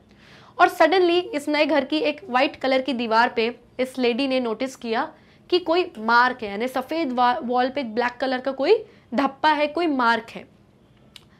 She recalls images from that moment तो ये बात की बात है, ये स्टोरी पहले लिख दी गई होगी तो वो इमेजिन करती कि हाँ ये जनवरी का टाइम था विंटर सीज़न था। उस टाइम वहाँ पे फायर बर्निंग थी, यानी वहाँ पे फॉरेन में क्या होता है घर में फायर प्लेस होती है ऐसे अंगीठी वगैरह जलती है घर को ठंडा रखने के लिए। तो वो इमेजिन कर रही मतलब बता रही है कि हाँ उस टाइम घर में फायर जल रही थी और आ, मेरी जो किताब किताबें वहाँ पे रखी हुई थी उनकी पेजेस पे लाइट कास्ट पड़ रही थी यानी फायर की येलोइश ऑरेंजिश कलर की लाइट मेरी बुक पे पड़ रही थी। वहाँ पर एक मेंटल पीस था यानी कि एक ऐसा फ्रेम टाइप बना हुआ था जहाँ पे बोल्स रखे हुए थे और उनमें फ्लावर्स थे क्रिजेंडमम्स नाम के फ्लावर्स थे। और उस टाइम पर वो स्मोक कर रही थी सिगरेट स्मोक कर रही थी और ये वही मोमेंट था जब उसने उस दीवार पे वाइट वॉल पे एक मार्क देखा था। तो ये विंटर सीज़न का मौसम था। वो वो जो मार्क था वो काफ़ी छोटा सा था वाइट वॉल पे और जो फायर प्लेस यानी जो मेंटल प्लेस थी, इस तरीके की जो मेंटल प्लेस होती है, वहाँ पे ऐसी ऐसी एक फायर प्लेस होती है। यहाँ पे कुछ फ्लावर्स रखे हुए थे, ऐसे करके वेज रखे हुए थे और यहाँ पर ऊपर जाके, कुछ फुट ऊपर यहाँ पे वो मार्क था इस तरीके से ब्लैक कलर का। तो ऐसा कुछ उसने लेडी ने देखा। These particulars stimulate a series of imagination quickly as to why the mark might be there. अब जैसे ही उस लेडी ने दीवार पे उस मार्क को देखा, उसके माइंड में बहुत सारे थॉट स्टिमुलेट होने लगे, यानी बहुत सारे विचार आने लगे, बहुत जल्दी जल्दी कि ये मार्क यहाँ पर क्यों होगा? वो अलग अलग चीज़ें गैस कर रही थी इस मार्क को देख के। क्योंकि वो एक कुर्सी पर बैठी हुई है, पास से नहीं देख रही मार्क को, दूर से उस मार्क को देख रही है और गेस कर रही है कि मार्क किस किन चीज़ों का हो सकता है। She reject the idea of the mark being the result of a nail because the only reason to place a nail there would be a hang a picture frame तो पहले वो ये सोचती कि यहाँ पर कोई कील ठोकी गई है, शायद वो कील का निशान है। लेकिन वो देखती कि यहाँ पर कोई पिक्चर तो है ही नहीं, कोई फ़ोटो तो है ही नहीं। तो ज़ाहिर सी बात है, यहाँ पर ये कील का निशान तो नहीं हो सकता है। पिक्चर का फ्रेम तो यहाँ पे कोई नहीं हो सकता है। और जब उसने सोचा कि चलो अगर पिक्चर होती भी तो पुराने जो लोग यहाँ पर रहते थे, previous occupants of the house उन्होंने कोई पिक्चर लगाई होगी यहाँ पर, और यहाँ पर उन्होंने किसी ऐसी लेडी की पिक्चर लगाई होगी जो शायद उस पुराने रहने वाले आदमी की मदर की डेड मॉम की या डेड वाइफ की होगी, जिसके बहुत रोजी लेप्स होंगे, जिसके वाइट कलर के कर्ली हेयर होंगे, इस तरीके की यहाँ पे कुछ पिक्चर होगी। लेकिन यहाँ पर पिक्चर है नहीं तो ज़ाहिर सी बात है, वो जो मार्क है दीवार पे वो नेल यानी ठुकी हुई कील का तो कील का नहीं है A moment's temptation to get off of chair for a closer inspection turns into a philosophical imagination on how many possessions are lost over the course of a lifetime, which leads naturally to a recounting of several of the things she once owned that are now gone. तो एक moment ऐसा आया कि वो बहुत tempt हो गई कि नहीं मैं तो उठ के देखती हूँ पास से कि दीवार पर ये मार्क किस चीज़ का है।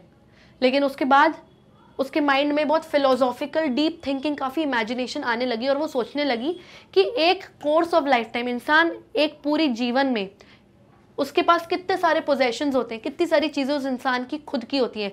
जैसे घर, गाड़ी महँगे महँगे ज्वेलरी बहुत सारी चीज़ें, कितनी सारी चीज़ें होती हैं। और अल्टीमेटली हम कभी ना कभी ऐसा होता है कि अपनी चीज़ें खो देते हैं लाइफ में। फिर वो सारी उन चीज़ों को रिकॉल करती है, जो उसने कभी उस, जिसकी वो मालकिन हुआ करती थी और अब वो सारी चीज़ें गॉन यानी उसने खो दी। जैसे उसके पास एक बहुत अच्छा बर्ड का पिंजरा था आयन की हुप्स थी उसके पास, बहुत सारे एमरल्स ओपल्स करके प्रेशियस स्टोन्स थे ये सब इसने खो दिए अपनी लाइफ में। तो वो कंपेयर करती है कि लाइफ में हमारी चीज़ें ही हमारी नहीं होती, खो जाती हैं। तो डेथ एक ऐसी चीज़ है जिसको हम कंट्रोल नहीं कर सकते। डेथ कभी भी आ सकती है, किसी भी वक्त आ सकती है। वो सोचती है, मुझे भी आ सकती है। हम लाइफ को कभी कंट्रोल नहीं कर सकते। फिर वो अपनी लाइफ को कंपेयर करती है parcels in a post office आज के ज़माने में हम कुछ भी चीज़ भेजनी है, करनी है व्हाट्सएप इधर उधर से भेज देते हैं। लेकिन उस ज़माने में जब ये स्टोरी लिखी गई थी, ये वर्ल्ड वॉर वन के टाइम लिखी गई थी।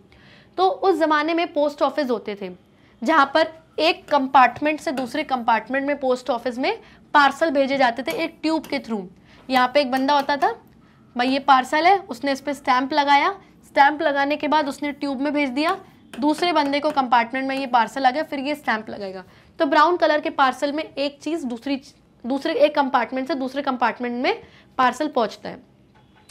तो ये लेडी अपनी लाइफ को कंपेयर करती है पोस्ट ऑफ़िस के पार्सल से। वो कहती है, हम लोग पार्सल की तरह हैं। इस दुनिया में आए हैं, मर जाएँगे, फिर आफ्टर लाइफ में चले जाएँगे। मरने के बाद भी एक आफ्टर लाइफ होती है जो किसी को नहीं पता, पर होती है। फिर वहाँ फिर वहाँ वहाँ से जाएँगे, फिर कहीं और पैदा होंगे, फिर कहीं और पैदा होंगे। हम पार्सल की तरह इधर उधर जाते जा रहे हैं। और फिर वो बहुत मेलेंकोलिक साउंड होने लगती है, यानी उसकी आवाज़ काफ़ी सैड हो जाती है। और वो थॉट्स अपने माइंड में लाती है डेथ के, कि हमें भी मरना है, हम यहाँ पे आ जाएँ पार्सल की तरह कहीं और पहुँच जाएँगे, कहीं भी पहुँच जाएँगे। She then ponders over the idea that the mark on the wall is not a hole after all, but is perhaps just a circular bit of inky substance. फिर वो बहुत सी चीज़ें इमेजिन करती है और फिर वो पॉन्डर करती है यानी कि वो थिंक करती है वो सोचती है और फिर वो कहती है नहीं ये जो दीवार पर मार्क है ये कोई होल नहीं है कोई गड्ढा नहीं है कील द्वारा किया हुआ बल्कि ये एक इंक सब्सटेंस है यानी ऐसा लग रहा है कोई इंक स्याही का कोई धब्बा है ब्लैक कलर का छोटा सा वो ऐसा इमेजिन करती है The interruption of her thoughts by the sound of a tree tapping at the window causes her thoughts to change tracks. अब बहुत सी चीज़ें वो उस मार्क को देख के इमेजिन करती है और सडनली उसके पीछे कोई खिड़की है, उस पर कोई पेड़ टैप हो रहा है, यानी पेड़ हवा से हिल रहा है और सडनली उसकी इमेजिनेशन इंटरप्ट हो जाती है, यानी डिस्टर्ब हो जाती है और फिर वो सोचते सोचते अपना ट्रैक चेंज कर देती है, यानी कि कुछ और अपने दिमाग में सोचने लगती है फिर वो क्या सोचने लगती है? वो शेक्सपियर के बारे में सोचने लगती है। क्योंकि अभी अभी उसने ये सोचा है कि ये जो मार्क है दीवार पर, वो इंक का है। इंक यानी जिससे राइटर्स लिखते हैं, अपनी स्टोरीज अपनी नॉवेल्स लिखते हैं। तो वो राइटर्स के बारे में सोचने लगती कि जो राइट वो इमेजिन करती कि शेक्सपियर जो कि महान राइटर है, वो एक कमरे में बैठे हुए हैं, एक चेयर पर, और वहाँ पे फायर जल रही है। यानी विंटर का समय है फायर प्लेस है, कमरा काफ़ी गर्म है, और उनके माइंड में बहुत सारे थॉट्स आ रहे हैं शेक्सपियर के माइंड में। और ऐसा लग रहा है कि उनके माइंड में हेवन डायरेक्ट स्वर्ग से माइंड में सारे उनके थॉट्स आ रहे हैं। वो सोच रहे हैं, वो लिख रहे हैं अपने थॉट्स और लिख के उसको बुक बुक के नाम पे पब्लिश कर दे रहे हैं। तो उनके थॉट्स उनके तो नहीं रहे ना, दुनिया ने पढ़ लिए। तो राइटर यहाँ कहती है, मुझे अपने थॉट्स पब्लिश नहीं करने लोगों के सामने। मुझे अपने थॉट्स अपने तक रहने, अपने अंदर ही मुझे खुश रहना है। और मुझे बिल्कुल अच्छा नहीं लगता जब दूसरे लोग मेरी तारीफ़ करते हैं। मुझे अपने में रहना है, खुश रहना है। हर train of thoughts jump again to predict that one day writers will realise the value to be found in composing characters based upon the phantoms that are the ever changing faces of person cast and reflections अब उस, उसके जो thoughts थे, उसके जो विचार थे, वो उनकी जैसे ट्रेन कोई रेलगाड़ी चल रही थी। वो सोचती है कि एक दिन फ्यूचर में ऐसा आएगा कि जब राइटर्स ये सोचेंगे कि हमको रियलिटी पे फोकस करना है हमको लोगों के इमोशंस पर फोकस करना है। फैंटम्स पर फोकस नहीं करना, यानी उन चीज़ों पर फोकस नहीं करना जो दिखती तो रियल है बट एक्चुअली वो रियल नहीं होती। जैसे हर इंसान एक मुखौटा पहना हुआ एक शेल में है। बाहर से वो लोगों को अच्छा दिखाता है, मैं बहुत ऐसा हूँ, वैसा हूँ टीचर से ऐसे बात करेगा बॉस से ऐसे बात करेगा फैमिली से ऐसे बात करेगा। लेकिन अंदर से उसके थॉट्स एक रियल पर्सनैलिटी वो अलग ही है। जो सिर्फ़ उसको ही पता रहता है। तो वो कहती है राइटर्स फ्यूचर में डेफिनेटली उन चीज़ों पर फोकस करेंगे फैंटम्स पे नहीं करेंगे रियलिटी पे फोकस करेंगे शेल और मुखौटों पे फोकस नहीं करेंगे और वो इंसान के जो रिफ्लेक्शंस जो इमोशंस बार बार चेंज हो रहे हैं एवर चेंजिंग फेसेस हैं, जो बार बार इंसान का जो मुखौटा चेंज हो रहा है, इस पर फोकस नहीं करेंगे रियलिटी पे फोकस करेंगे now she views the mark as not entirely circular and possibly projecting outward from the wall. Perhaps it is a shadow. These thoughts lead to wondering whether they are camps or tombs on an antiquary, only an antiquary would know. अब धीरे धीरे धीरे वो imagine करी और वो अब ये इमेजिन करने लगी कि ये कोई इंक या स्याही का धप्पा नहीं है। अब ये जो दीवार पे मार्क है ये आ, पूरा सर्कुलर पूरा गोल तो नहीं है। तो ये ना दीवार से प्रोजेक्ट हो रहा है यानी ये दीवार से उभरा हुआ है। Projecting outward of the wall यानी कि उभरा हुआ है दीवार से, यानी कि कोई भी चीज़ जो उभरी हुई रहती है, उसकी क्या होती है? उसकी शेडो उसकी परछाई होती है। तो वो सोच रही है कि कुछ उभरा हुआ है दीवार से और शायद ये उसकी शेडो है। हो सकता है 200 साल पहले कोई कील यहाँ ठोकी गई हो और कील अब बाहर तरफ़ आ रही है, क्योंकि बहुत साल हो गए वॉल भी अब वीक हो रही है, कमज़ोर हो रही है दीवार तो एक कील बाहर आ गई है और शायद उसकी परछाई है। फिर वो ये सोचती है, इस कील को देखकर कि ये शायद कैंप्स हैं या टूम्स हैं? कैंप्स, बोले तो रिफ्यूजी कैंप्स जो वर्ल्ड वॉर वन के टाइम हुए थे, और टूम्स यानी मरे हुए लोगों की कब्रें, उनके मकबरे। क्योंकि वर्ल्ड वॉर वन की टाइम की स्टोरी है तो उसी से रिलेट कर रही है वो अपनी इमेजिनेशन को। और अब ये इतने सारे लोग मर गए वहाँ पे ये किसी की टूम है किसी का मकबरा है कि पूरा रिफ्यूजी कैंप था जहाँ पे इतने सारे लोग मर गए। ये तो कोई एंटिक्वेरी ही बता सकता है यानी वो व्यक्ति बता सकता है जो एंटीक चीज़ों के बारे में हिस्टोरिकल फैक्ट्स के बारे में स्टडी करता है उनके कलेक्ट करता है चीज़ें उससे रिलेटेड तो ये तो वही बता सकता है। So once again there a conflict over getting up of a closer inspection फिर से वो आ, उसको ये टेम्पटेशन होती कि मैं उठ जाती हूँ अपनी चेयर से और पास से देख लेती हूँ कि एक्चुअली ये जो मार्क है दीवार पर वो किस चीज़ का है। After all knowledge is attend by thinking लेकिन फिर वो नहीं उठती है। क्यों? क्योंकि उसने बोला, मुझे तो नॉलेज चाहिए। मुझे तो ज्ञान चाहिए। और ज्ञान कहाँ से आता है? थिंकिंग से। जितना आप सोचोगे, जितने थॉट्स आपके माइंड माइंड में आएँगे, उतना नॉलेज मिलेगा। अगर मैं उठ के पास से जाके देख लूँगी तो मुझे पता चल जाएगा कि वो चीज़ क्या है। मुझे रियलिटी पता चल जाएगी। और वहीं पे मेरे थॉट्स स्टॉप हो जाएँगे। लेकिन मुझे अपने थॉट्स स्टॉप नहीं करने। मुझे तो सोचना है। मुझे तो ज्ञान चाहिए। इसलिए वो नहीं उठती है। वो कहती है मैं मुझे तो अगर पता करना होगा कि वो चीज़ क्या है तो मैं तो बैठे बैठे भी और खड़े खड़े भी बता सकती हूँ, लेकिन मैं खड़ी नहीं होंगी देखने के लिए। उसके माइंड में जो थॉट्स थे, वो बहुत जम्बल हो रहे थे, कुछ भी कुछ भी कंफ्यूजिंग हो रहे थे। And that have entered and excited exited through her mind co-mingle at a point at which she decides she must solve the mystery of the mark by getting up. अब उसके माइंड में इतने सारे thoughts enter हो रहे थे exit हो रहे थे, आ रहे थे, जा रहे थे, इतने को मिंगल हो गए थे, यानी इतने ज़्यादा एक गठान टाइप की बन गई थी कि एक ऐसा पॉइंट आया कि उसने डिसाइड किया कि अब तो बस मैं ये मिस्ट्री ये रहस्य सॉल्व ही करूँगी और खड़ी हो जाऊँगी और देखूँगी कि दीवार पर ये मार्क किस चीज़ का है। She then decides that to get up would be playing victim to the very trap of the nature is trying to set. कहती है, लेकिन अगर मैं अब खड़ी हो गई तो मैं नेचर के ट्रैप में, यानी जाल में फंस जाऊँगी। नेचर का मतलब यहाँ पर है रियलिटी नेचर का मतलब है यहाँ पे रियलिटी अगर मैं खड़ी हो गई तो मुझे वो नेचुरल चीज़, वो रियल चीज़ दिख जाएगी कि वो क्या है।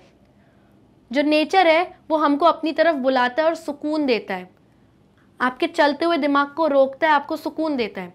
और जैसे इस वक्त मेरा दिमाग चल रहा है, राइटर कहती है, जैसे इस वक्त मेरा दिमाग चल रहा है, मैं ज्ञान अर्जित करती जा रही हूँ, लेकिन अगर मैं खड़ी होकर पास से देख लूँगी तो मेरे थॉट्स वहीं रुक जाएँगे और मैं, मेरे को ज्ञान नहीं मिलेगा। तो कहती है, मुझे उठ के नेचर के इस जाल में नहीं फंसना है, मुझे रियलिटी अभी नहीं देखनी, मुझे अभी और इमेजिन करना है, और सोचना है।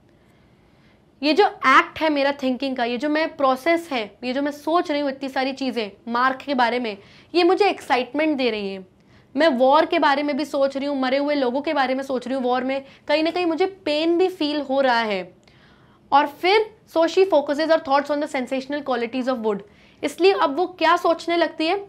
वुड लकड़ी की क्वालिटीज़ के बारे में सोचने लगती है, ताकि वो खड़ी ना होए। फिर वो लकड़ी के बारे में सोचती कि लकड़ी अपने आप में ही पर्याप्त है, पूर्ण है। लकड़ी एक बहुत सेंसेशनल चीज़ है, उसको किसी और चीज़ की ज़रूरत नहीं है। लकड़ी फर्नीचर बनाने के काम आती है, लकड़ी में कुछ लिक्विड मिलता है, वो बहुत सारे पेशेंट्स के काम आता है शिप बनाने के काम आता है। लकड़ी पेड़ पेड़ कट भी जाएगा तो भी उसकी लकड़ी काम आती है। तो नेचर हमेशा हमारे काम आता है, वो ये सब चीज़ें इमेजिन करती है।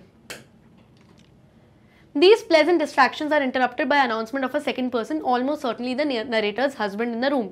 अभी वो इतना pleasant, इतना अच्छा अच्छा सब इमेजिन कर रही थी और सडनली अपने आप को डिस्ट्रैक्ट करने की कोशिश कर रही थी ताकि वो खड़ी होकर पास से ना दिखे लेकिन जैसे ही वो अपने आप को डिस्ट्रैक्ट करती है ये वुड के बारे में इमेजिन करती है उसकी इमेजिनेशन इंटरप्ट हो जाती है डिस्टर्ब हो जाती है क्योंकि उस कमरे में एक सेकेंड पर्सन एक दूसरे इंसान की आवाज़ आती है हम मानते हैं कि ये जो आवाज़ है ये नरेटर के हस्बैंड की है, यानी जो वो लेडी है, उसके हस्बैंड की आवाज़ है उस कमरे में। क्योंकि उसने ऐसे बोला कि मैं बाहर जा रहा हूँ न्यूज़पेपर लेने के लिए। वो कहता है न्यूज़पेपर तो वो कहती है हाँ ठीक है, लेने चले जाओ। फिर वो बोलता है न्यूज़पेपर भी क्यों लूँ? फालतू में लेता हूँ न्यूज़पेपर में, वही रोज़ रोज़ वॉर के बारे में खबरें, वही डेथ के बारे में खबरें, वही सब बैड न्यूज़ वॉर के बारे में आती है। तो क्या मतलब न्यूज़पेपर खरीदने का भी? वो बहुत गुस्से में आ जाता है क्योंकि वॉर की ये सब बातें चल रही हैं। और फिर वो कहता है all the same I don't see why we should have a snail on our wall और गुस्से में बोलते बोलते वो कहता है, वही सब सेम सेम वॉर के बारे में न्यूज़पेपर में न्यूज़ आती है। और मुझे ये समझ में नहीं आ रहा कि हमारे घर की इस दीवार पे स्नेल क्यों है। तो यहाँ पे हमारे राइटर के जो हस्बैंड है, वो कहते हैं, दीवार पे स्नेल ये इंसेक्ट क्यों है? ये ऐसा इंसेक्ट है जिसको हिंदी में हम घोंगा कहते हैं। बहुत स्लोली स्लोली स्लोली चलता है। सबसे स्लोएस्ट इंसेक्ट है ये। आप जीके में भी आपने पढ़ा होगा। तो she realises that the mark on the wall is a snail और फाइनली जो नरेटर है, जो लेडी है, वो रियलाइज़ करती कि ये कोई नेल का होल नहीं है, ये कोई इंक का स्पॉट नहीं है, ये कोई शेडो नहीं है, बल्कि ये तो मेरी दीवार पर एक स्नेल है और कुछ भी नहीं है। Question number one an account of reflection is more important than a description of reality according to the author why अब ये रिफ्लेक्शंस क्या है? रिफ्लेक्शंस का मतलब यहाँ इमोशंस से बोला गया है, हमारी इमोशंस ओके okay? तो हमारे जो इमोशंस हैं, वो कहीं ना कहीं ज़्यादा इंपॉर्टेंट है। रियलिटी यानी सच्चाई को कितना ही डिस्क्राइब कर लो, बता दो, ये कर दो, वो कर दो, लेकिन हमारे इमोशन समवेयर ज़्यादा इंपॉर्टेंट है। और अकॉर्डिंग टू ऑथर ऑथर के मुताबिक वर्जीनिया वुल्फ के अकॉर्डिंग ये बात है। हमसे क्वेश्चन पूछा जा रहा है वाई ऐसा क्यों?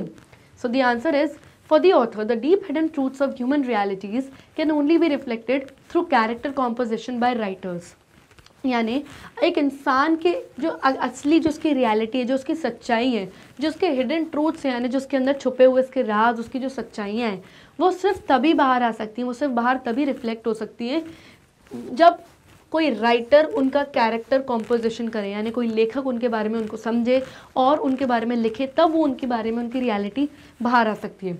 अकॉर्डिंग टू हर हर यानी हमारी writer Virginia Woolf the fortune the future authors will look into the depths और एक्सप्लोर द रियलिटीज़ उनके मुताबिक जो हमारे उस ज़माने में उन्होंने लिखा था कि आने वाले समय में जो भी हमारे राइटर्स होंगे, वो क्या करेंगे? वो बहुत डीप में थिंकिंग करेंगे। They will look into the depths जो लोगों की असलियतें हैं, जो लोगों की रियलिटी है, उस पर एक्सप्लोर करेंगे।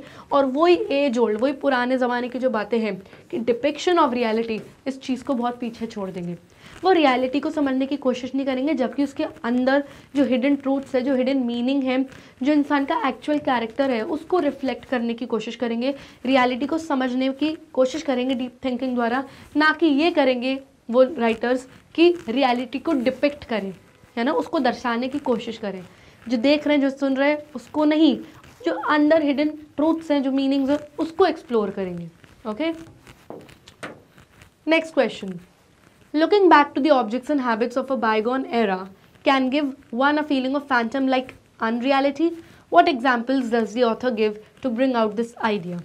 Bygone era का मतलब क्या होता है बाइगॉन एरा यानी वो समय जो बाइगॉन हो गया जो बीत गया ओके फैंटम का मीनिंग क्या होता है फैंटम का मीनिंग होता है something which is not real but seems like real यानी कि something which seems to real यानी हमें लगती है रियल है, लेकिन एक्चुअली वो रियल नहीं होती, उन सारी चीज़ों को हम फैंटम कहते हैं बेसिकली अनरियलिटी जो सच्चाई नहीं होती, उसे हम कहते हैं फैंटम तो यहाँ पे क्वेश्चन ये पूछा जा रहा है कि जब हम पीछे मुड़ के वो सारी ऑब्जेक्ट्स चीज़ों को हैबिट्स आदतों को देखते हैं, पुराने ज़माने की बाइगॉन एरा की सारी चीज़ों को देखते हैं तो हमें एक फैंटम टाइप की, एक अनरियलिटी की फीलिंग आती है कि हमें तो उस ज़माने में ऐसा लगता था, भाई रियल है।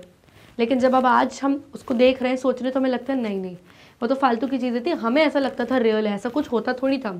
तो ये बात को एक्सप्लेन करने के लिए हमारी राइटर ने क्या एग्जाम्पल्स दिए हैं और इस आइडिया को कैसे एक्सप्लेन किया है हमें clearly so the answer is जो हमारी ऑथर है, वो सोचती है कि जो ऑब्जेक्ट्स और जो हैबिट्स हैं बाइगॉन एरा की, यानी बीते हुए समय की दे प्रूव नथिंग उससे कुछ साबित नहीं हो रहा। क्यों? Because she thinks that we are not going to draw a conclusion after seeing and analysing the nails of the past queens तो वो सोचती है, क्यों? क्योंकि अगर हम पुराने ज़माने के उन म्यूजियम्स में जाएँ और देखें कि भाई, कि कोई पुरानी कोई क्वीन के नाखून पड़े हुए हैं, उन्होंने स्टोर करके किसी म्यूज़ियम में रखे हुए हैं, या कोई किसी चाइनीज़ मर्डरर का फुट फुट रखा हुआ है, यानी पैर की कोई चीज़ें रखी हुई हैं म्यूज़ियम में अगर देखें, या किसी फ़ेमस पर्सन ने पास्ट में, पुराने ज़माने में हिस्ट्री में, किसी, कोई वाइन ग्लास लिया था और उससे वाइन पी थी और वो ग्लास उन्होंने म्यूज़ियम में रखा है तो बेसिकली वो इन सारी चीज़ों को एग्ज़ाम्पल देती है। वो कहती है, अगर हम म्यूज़ियम में, पुराने ज़माने में म्यूज़ियम में जाके इन अलग अलग चीज़ों को देखें तो इससे कुछ प्रूव नहीं हो रहा है। इससे हम कोई कंक्लूजन नहीं निकाल पाएँगे। इसको हम अगर एनालाइज भी करेंगे, इसको हम अगर समझने की भी कोशिश करेंगे, पुरानी उस क्वीन के नाखूनों को देखें, या कोई चाइनीज़ मर्डर का फुट देखें, या देखें किसी फ़ेमस पर्सन ने उसमें किसी ने वाइन ग्लास पिया है, ये सारी चीज़ें देखेंगे तो इससे हमें कोई कंक्लूजन नहीं मिलने वाला है। कुछ उससे कोई हम, इससे बेसिकली कोई कोई मीनिंगफुल चीज़ नहीं निकलने वाली है। Whatever conclusion one is going to make shall be based on perceptions, which are the results of this mental conditioning in the modern times. तो बेसिकली हम अगर किसी भी कंक्लूजन पर आना चाहते हैं तो वो सिर्फ़ वो सिर्फ़ कब पॉसिबल है? आज के मॉडर्न टाइम्स में पॉसिबल है, जब हम थोड़ी अपनी मेंटल कंडीशनिंग करते हैं, यानी जब अपने दिमाग को खर्च करते हैं, सोचते हैं, और उससे, उसका रिज़ल्ट यही निकलेगा कि हम अपने कुछ परसेप्शंस लगाएँगे, अपने कुछ आइडियाज़ लगाएँगे डीप थिंकिंग करेंगे, तब जाके हम किसी चीज़ के कंक्लूजन पर आएँगे, जैसे कि चैप्टर में लेडी आई थी। यानी सोच सोच के सोच सोच के डीप थिंकिंग कर करके वो उस कंक्लूजन पे आई कि ये एक स्नेल है। उसने कितना अपना दिमाग खर्च किया। So, the author says that looking back the objects and habits of bygone era can give one a feeling of phantom. इसीलिए जो हमारी ऑथर है वो कहती है कि जब आप पीछे मुड़ के सोचते हैं इमेजिन करते हैं पुरानी चीज़ों को हैबिट्स को बीते हुए समय की चीज़ों को देखते हैं तो उससे आपको किस चीज़ की फीलिंग आती है? फैंटम लाइक फीलिंग आती है। यानी हम तो ये सोचते थे यार ये रियल है बट एक्चुअली ये सब रियल ही नहीं है, ये सब अनरियलिटी है। इन सब चीज़ों से कुछ प्रूव नहीं हुआ, कुछ मीनिंग नहीं निकला। Next how does the imagery of the fish point number one and the tree point number two use almost poetically by the author emphasize the idea of stillness of living breathing thought अब जो हमारी author है Virginia Woolf उसने दो चीज़ें imagine करी हैं chapter में। एक फ़िश के बारे में उसने कुछ इमेजिन किया और फ़िश का हमें एग्ज़ाम्पल दिया है। और दूसरी चीज़ उसने ट्री के बारे में इमेजिन किया और हमें उसका एग्ज़ाम्पल दिया। तो इन चीज़ों को उसने काफ़ी पोइटिकली यूज़ किया है और हमें समझाने की कोशिश करी है स्टिलनेस ऑफ़ लिविंग कि जहाँ शांति है जैसे पानी बहुत शांत रहता है सी बहुत काम रहता है, लेकिन फिर भी अंदर इतने सारे जीव जंतु लिविंग है ब्रीदिंग थाट ये सारी चीज़ें उसने हमें ये फ़िश और ट्री से कैसे एक्सप्लेन करी है हमें वो एक्सप्लेन करना है। So the answer is the narrator things about the life of a tree and a fish to emphasise upon the idea of stillness living breathing thought तो नरेटर हमें फ़िश और ट्री का एग्ज़ाम्पल देते हुए हमें समझाते हैं कि स्टिलनेस यानी शांति में भी जीवन है, लोग अंदर सांस ले रहे हैं पानी में, वो भी जीवित है। अगर पेड़ चुपचाप खड़ा हुआ है, शांति से खड़ा हुआ है, लेकिन फिर भी वो ब्रीथ कर रहा है और हमारे लिए, हमारे इन्वायरमेंट के लिए बहुत सारी चीज़ें कर रहा है, बिना हमें डिस्टर्ब करे। She says, what is a pleasant thing to think about? It comes from a tree and tree grow and trees grow and we don't know how they grow. To describe the still nature works silently without paying attention to the world around. तो वो कहती हैं कि would लकड़ी एक बहुत बढ़िया चीज़ है अब इस इस सोचने के बारे में यानी सोचने के लिए अगर मुझे कुछ सोचना ही तो मैं लकड़ी के बारे में सोचूं लकड़ी हमें कहाँ से मिलती है ट्रीज से मिलती है ट्री धीरे धीरे ग्रो होता है, बिना किसी को डिस्टर्ब करे। हमें पता भी नहीं चलता कैसे ग्रो हो जाता है। हमने आज पेड़ लगाया दस पंद्रह दिन बाद देखते हैं देखते हैं, छोटा सा उसमें से सैपलिंग निकल आता है। धीरे धीरे वो ट्री प्लांट बनता है और प्लांट से ट्री में कन्वर्ट हो जाता है, देखते ही देखते तो हमें नहीं पता चलता कि वो कैसे ग्रो हो गया। तो इस एग्ज़ाम्पल से राइटर ये एक्सप्लेन करती है कि हम लोगों ने कितना डिफॉरेस्टेशन किया है, कितना नेचर को परेशान किया हुआ है। लेकिन नेचर साइलेंटली फॉरेस्ट जितने भी साइलेंटली काम कर रहे हैं ग्रो हो रहे हैं, हम लोगों के लिए, हम लोग को वुड कितनी सारी चीज़ें देता है। वुड से फर्नीचर बनता है वुड से पेंसिल बनती है, जिससे दुनिया भर के बच्चे लिखते हैं, पढ़ाई करते हैं। वुड से क्या नहीं बनता? बहुत सी इनफैक्ट वुड जब खराब हो जाता है तो उसके अंदर का लिक्विड रबर जो स्टिकी सब्सटेंस होता है, वो तक हमारे काम आता है। तो नेचर साइलेंटली चुपचाप शांति से हमें बिना डिस्टर्ब करे हुए काम कर रही है और on the on the opposite side हमने कितना नेचर को डिस्टर्ब किया हुआ है। फिर वो आगे एक्सप्लेन करती है फ़िश के बारे में। फ़िश को इमेजिन करती हूँ फ़िश का एग्ज़ाम्पल देते हुए समझाती है। कहती है कि I like to think of the fish balanced against the stream like flags blown out to describe the still life that is present in the parallel world around us that is often left unseen. तो वो कहती है, मुझे fish बहुत balance लगती है। Fish की body जो होती है ना, काफ़ी बैलेंस्ड होती है। फ़िश पानी में ऐसे ऐसे ऐसे करके बिल्कुल चलती है, पानी को चीरती हुई आगे बढ़ती है। उसकी बॉडी में कितनी बैलेंसिंग है कि वो पानी के तेज़ बहाव को भी चीर के आगे बढ़ती है। रुकती नहीं है। स्ट्रीम यानी कि रिवर में या पानी में, वो एक फ्लैग जैसे जैसे फ्लैग ऐसे ऐसे कैसे उड़ता है, वैसे वो ऐसे ऐसे करके पानी को चीरती हुई आगे निकलती है। और ये कहाँ रहती है? ये पैरेलल वर्ल्ड में रहती है, यानी पानी में रहती है, यानी वो दुनिया, एक धरती से ऊपर दुनिया जो हमारी चलती है, और हमारी दुनिया के साथ साथ एक और दुनिया चलती है पानी में, जो हमेशा लेफ़्ट अनसीन हो जाती है, यानी जिसपे हम ध्यान ही नहीं देते, पानी की ब्यूटी देखते नहीं है कि जिसके अंदर लाखों करोड़ों जीव जंतु जीते हैं साइलेंटली अपनी उनकी एक दुनिया चल रही है, जो हमें कभी भी डिस्टर्ब नहीं करते। ओके तो ये एग्जाम्पल्स उन्होंने हमें एक्सप्लेन किए हैं कि साइलेंस में भी बहुत सारे काम हो रहे होते हैं बिना किसी को डिस्टर्ब करे हुए, और वो सिर्फ़ फ़िश एंड ट्री से वुड से पॉसिबल है बेसिकली नेचर से ही पॉसिबल है।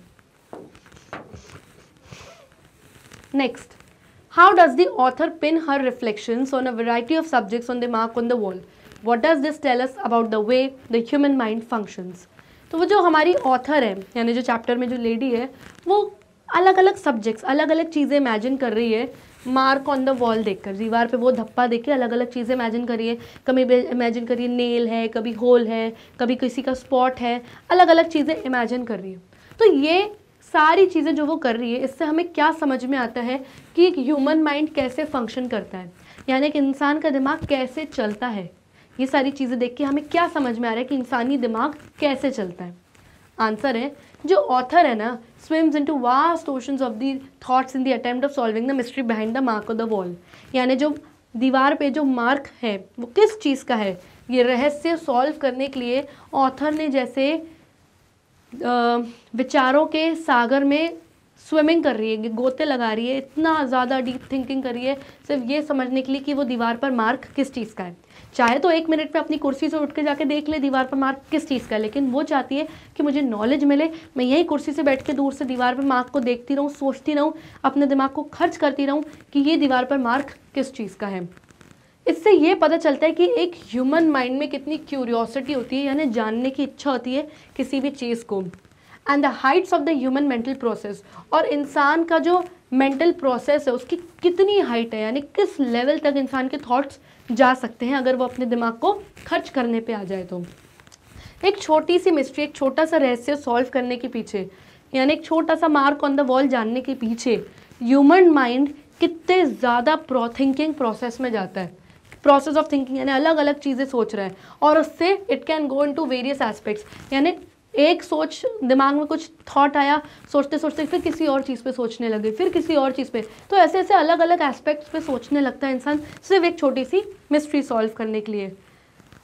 ये जो मार्क ऑन द वॉल है makes her dig into the history ये एक दीवार पे मार्क जानने के लिए उसने हिस्ट्री, यानी इतिहास तक में चली गई वो अपने माइंड में सोचने। यहाँ तक कि शेक्सपियर कैसा लिखता है, राइटर कैसे होते हैं, इन सब तक पे चली गई।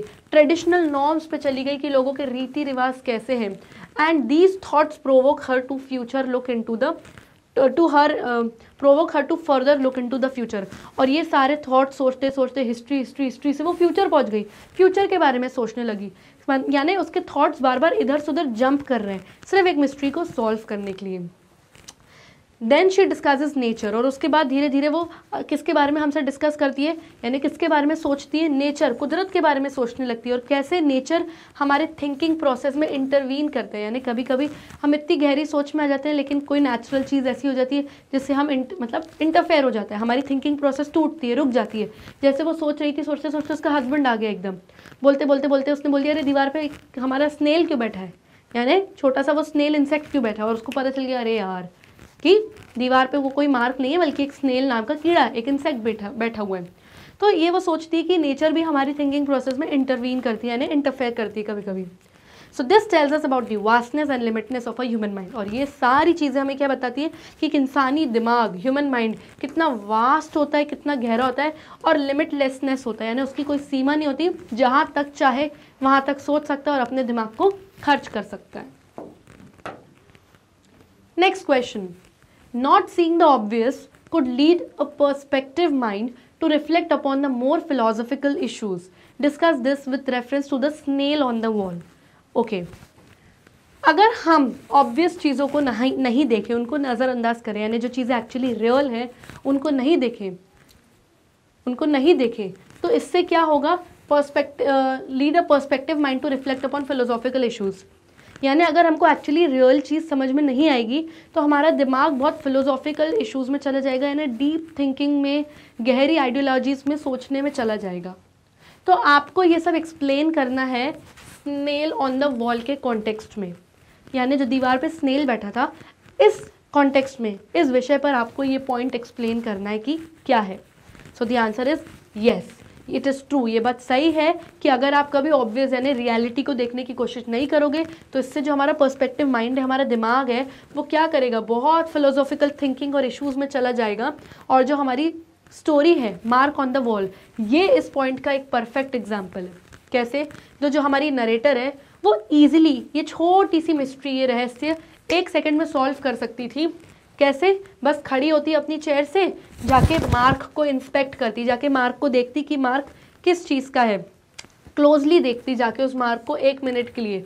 और उसको पता चल जाता है कि दीवार पे वो कोई मार्क नहीं, बल्कि कोई स्नेल बैठा हुआ है। But she chooses solve the mystery with mental effort लेकिन उसने बोला, नहीं एक मिनट में जाके नहीं देखूँगी कि वो किस चीज़ का मार्क है। मैं यहीं अपने चेयर पर बैठी रहूँगी मेंटल एफर्ट करूँगी। यानी अपना दिमाग लगाऊँगी, अपना दिमाग खर्च करूँगी और यहीं दूर से बैठ सोचने की कोशिश करूँगी, समझने की कि ये मार्क किस चीज़ का है? So she chooses to spend the time to think of the various possibilities that could have cost this mark तो इसलिए उसने चेयर पे बैठे बैठे वो पूरा टाइम व्यतीत किया, ये सोचने में या ये सोचने में भी कि कौन सी ऐसी चीज़ें, क्या ऐसी ऐसी पॉसिबल चीज़ें हो सकती है जिससे दीवार पर ये मार्क ये धप्पा आया। And while guessing different things she find herself herself lost in some serious thoughts और गेस करते करते करते वो समवेयर बहुत सीरियस थाट्स में डीप थिंकिंग डीप इमेजिनेशंस में चली गई। क्या क्या पास्ट फ्यूचर के बारे में सोचने लगी। The snail is identified just at the end of the story अब दीवार पे वो जो मार्क है, वो और कुछ नहीं, बल्कि सिर्फ़ एक स्नेल नाम का इंसेक्ट बैठा हुआ है। ये उसको स्टोरी के एंड में पता चलता है, जब उसके हस्बैंड आते हैं और बातों ही बातों में बोलते हैं, अरे, मुझे एक चीज़ समझ में नहीं आ रही, हमारी दीवार पे ये स्नेल क्यों बैठा हुआ है? और तब उसको पता चल जाए कि वो और कुछ नहीं, बल्कि एक स्नेल है। The vast streams of thoughts are a result of this snail sitting on the wall and the narrator sitting on her chair. तो जो इतने सारे सोच की गहराइयों में जो ये थॉट्स आ रहे हैं, इतने ज़्यादा विचार जो ये आ रहे हैं वो क्यों आ रहा है?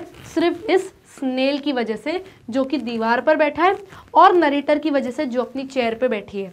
यानी दीवार पे जो स्नेल बैठा है और यहाँ चेयर पे बैठ के जो नरेटर चीज़ें सोच रही है, इन दोनों के बीच में जो गैप है, बस इसी वजह से इतने थॉट्स आ रहे हैं। अगर ये गैप खत्म, वो उठ के जाके देख ले कि दीवार पर क्या चीज़ है। तो एक सेकंड में मिस्ट्री यानी रहस्य सॉल्व हो जाए, लेकिन उसने बोला, नहीं, ये गैप मेंटेन रहे, मैं अपने दिमाग को खर्च करूँगी, सोचूँगी और फिर पॉइंट पर आऊँगी ताकि मुझे नॉलेज मिले। मेरा दिमाग खर्च हो, मेरी मेंटल प्रोसेसिंग हो okay who is the author of the lesson the mark on the wall जो आपका लेसन है, जिसका नाम है the mark on the wall इसके ऑथर बोले तो राइटर कौन है? आपके सामने फोर ऑप्शंस गिवन है। जो ऑप्शन आपको लगता है सही है या बिल्कुल सही जितना ही करेक्ट है। यानी अगर कुछ ऑप्शन कंफ्यूजिंग लगते हैं आपको, या आपको लगता है कि ये पर्टिकुलर ऑप्शन मोस्ट करेक्ट है, उसे आपको करना है एक tick mark okay option number A Joseph Conrad option B G B Shaw option C Virginia Woolf या option number D D H Lawrence अगर आपने मेरे एक्सप्लेनेशनरी वीडियोस देखे हैं, और अगर आपने एक बार भी बुक खोली तो विद इन अ सेकेंड आप इस क्वेश्चन का आंसर कर सकते हैं विच एवरीबडी नोज़ दैट इस चैप्टर की जो ऑथर है, वो है option number C Virginia Woolf so option number C is the right option to this question next when did the lady see the mark on the wall जो इस chapter में एक अनोनिमस लेडी है, जिसके बारे में बोला गया है कि एक लेडी है, उसने दीवार पर वो मार्क वो धब्बा कब देखा? तो ऑप्शंस है in the mid of the March मार्च महीने के बीच में, यानी मध्य में, यानी अराउंड 15 मार्च के आसपास in the mid of January जनवरी के बीच में in the mid of May या in the mid of December कौन से महीने के बीच में? सो क्लियरली चैप्टर जब हम रीड करना स्टार्ट करते हैं तो स्टार्टिंग में ही उन्होंने फ़र्स्ट पैराग्राफ में ही गिवन है कि in the mid of January की बात है, क्योंकि वो विंटर सीज़न था, और उस टाइम पर उनके घरों में फायर प्लेस जल रही थी, और बहुत ठंड का मौसम था। तब की ये बात है क्लियरली बताया गया है। So option number B in the mid of January is the right option to this question next the mark on the wall was about dash above the mantelpiece सबसे पहले मैंटल पीस का मतलब समझते हैं mental piece क्या होता है? तो मैंटल पीस जैसे कि आप फॉरेन के घरों में अगर आप कभी गए हो या आपने कभी पिक्चर्स में देखा है तो मैंटल पीस एक तरीके का ऐसे एक वुडन स्लैब होता है, जिसके नीचे यहाँ पे फायर प्लेस होती है।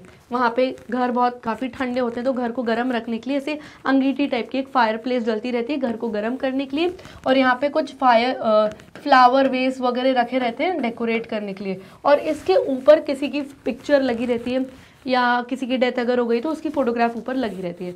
तो मेंटल पीस उसे कहते हैं ओके तो जो मार्क ऑन द वॉल था, जो वाइट कलर की दीवार थी, उसके ऊपर जो मार्क उस लेडी ने देखा था, वो मेंटल पीस से कितना ऊपर था, यानी इस मेंटल पीस से कितना ऊपर था। ऑप्शन देखते हैं। ए सिक्स और सेवन इंचेस क्या छः से सात इंच ऊपर था? बी सेवन या एट इंचेस सी टू या थ्री इंचेस सिर्फ़ दो से तीन इंच ऊपर था?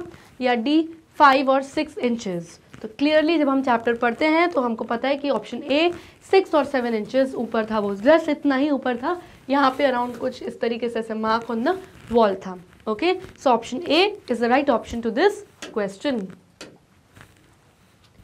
next the people who moved out of the house did so because dash अब ये कौन से पीपल की बात हो रही है?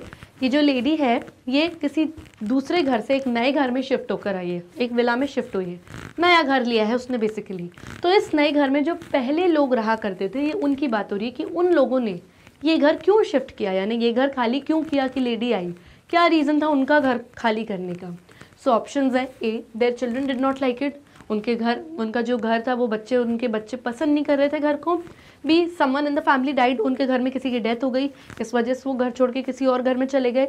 C they wanted to change their style of furniture क्योंकि उनको अपना फर्नीचर का स्टाइल इंटीरियर थोड़ा बहुत अप न्यू चेंज चाहिए था, इसलिए उन्होंने नया घर लिया या D they made more money to buy a better house हो सकता है उन्होंने कोई बहुत बहुत पैसा कमा लिया कि अब उनको इससे भी बेटर इससे भी अच्छा घर कहीं पे खरीदना so clearly option number C is the right option उनको नया स्टाइल ऑफ़ फर्नीचर चाहिए था, कुछ इंटीरियर्स में चेंज चाहिए थे, इस वजह से उन्होंने घर खाली किया, तब जाके अब वो लेडीज़ घर में शिफ्ट होकर आई so option C is the right option to this question next the first thing she thinks the mark is a dash अब जब ये लेडी दीवार पर ये मार्क की धप्पा देखती है वॉल पर तो पहली चीज़ उसके माइंड में क्या आती है कि ये किस चीज़ का मार्क है? सबसे पहली चीज़ कौन सी उसके माइंड में आती है? अ नेल क्या उसको लगता है कोई कील ठुकी हुई है वहाँ पे? बी अ स्नेल स्नेल यानी कि घोंघा, इसको हिंदी में एक इंसेक्ट होता है जो बहुत स्लो चलता है वो। सी अ स्पॉट किसी चीज़ का कोई स्पॉट है, कोई धप्पा है क्या? डी अ होल या फिर कोई छेद है दीवार पे। तो सबसे पहले उसको दिखा था, उसको लगा था कि दीवार पे शायद कोई नेल है, कोई कील ठुकी हुई है। तो यस द फ़र्स्ट थिंग जो उसने सोची थी, वो थी नेल स्नेल तो सबसे लास्ट में उसको, उसके हस्बैंड ने बताया, उसको नहीं पता चला था। अ स्पॉट यानी कोई इंक का स्पॉट ये दूसरी बार में नहीं, ये उसको तीसरी बार में पता चला कि उसने गेस किया कि कोई इंक का स्पॉट है। अ होल अ होल तो सेकेंड बार में उसने गेस किया था। यहाँ पे क्वेश्चन में क्या पूछा गया? फ़र्स्ट बार में। तो यस फ़र्स्ट बार की अगर बात है तो option number A a nail is a right option to this question next she thinks we have little control over dash अब ये वॉल पे जो मार्क है, इसको देखते देखते देखते, इसके बारे में गैस करते करते कि इसका निशान है नेल है, कि इंक स्पॉट है, कि कोई होल है, ये सोचते सोचते वो लेडी बहुत डीप थिंकिंग में, बहुत थॉट्स में चली जाती है। कभी कुछ सोचने लगती है, कभी कुछ सोचने लगती है। तो उसने सोचा, सोचते सोचते वो ये सोचने लगती है कि हमारी लाइफ में किस चीज़ पर हमारा सबसे कम कंट्रोल होता है। यानी इस पर्टिकुलर चीज़ को अपनी लाइफ में हम बिल्कुल भी कंट्रोल नहीं कर सकते। कौन सी वो चीज़ है? आर फॉर्चून्स फॉर्चून्स यानी हमारी किस्मत की क्या हमें मिलने वाला है, क्या नहीं मिलने वाला? बी आर फ्रेंड्स हमारे दोस्तों पे हमारा कंट्रोल नहीं है। सी आर थॉट्स यानी हमारे विचारों पर। या डी आर पोजेशंस पोजेशंस यानी जो चीज़ें हमारी है। फॉर एग्ज़ाम्पल ये पेन अगर मैं बोलूँ कि I have my possession on this pen यानी ये पेन मेरी है, मैंने खरीदी है, मैंने कमाई है, इस पर किसी और का हक कभी भी नहीं हो सकता। फॉर एग्ज़ाम्पल मेरी car. I have a possession on my car यानी वो कार मेरी है। मैंने अपने पैसों से कमाई है। रजिस्ट्री भी, जो भी पेपर्स हैं वॉट एवर रजिस्ट्री तो घर की होती है जो भी पेपर्स हैं, उस कार के, वो सब मेरे नाम पे, कोई भी सेकंड पर्सन उसको अपने नाम पे नहीं कर सकता। तो पोजेशन यानी जो पर्टिकुलरली चीज़ें हमारी होती है। तो option number D our possession is the right option वो सोचती है कि जो हमारे पोजेशन यानी जो चीज़ें सिर्फ़ हमारी है, किसी का उस पर हक नहीं है। वो चीज़ों पर भी हमारा कंट्रोल नहीं है, क्योंकि लाइफ में चीज़ें ऐसी भी होती हैं हम, जिसको हम खो देते हैं। हमारा लाइफ में किसी भी चीज़ पर कंट्रोल नहीं है।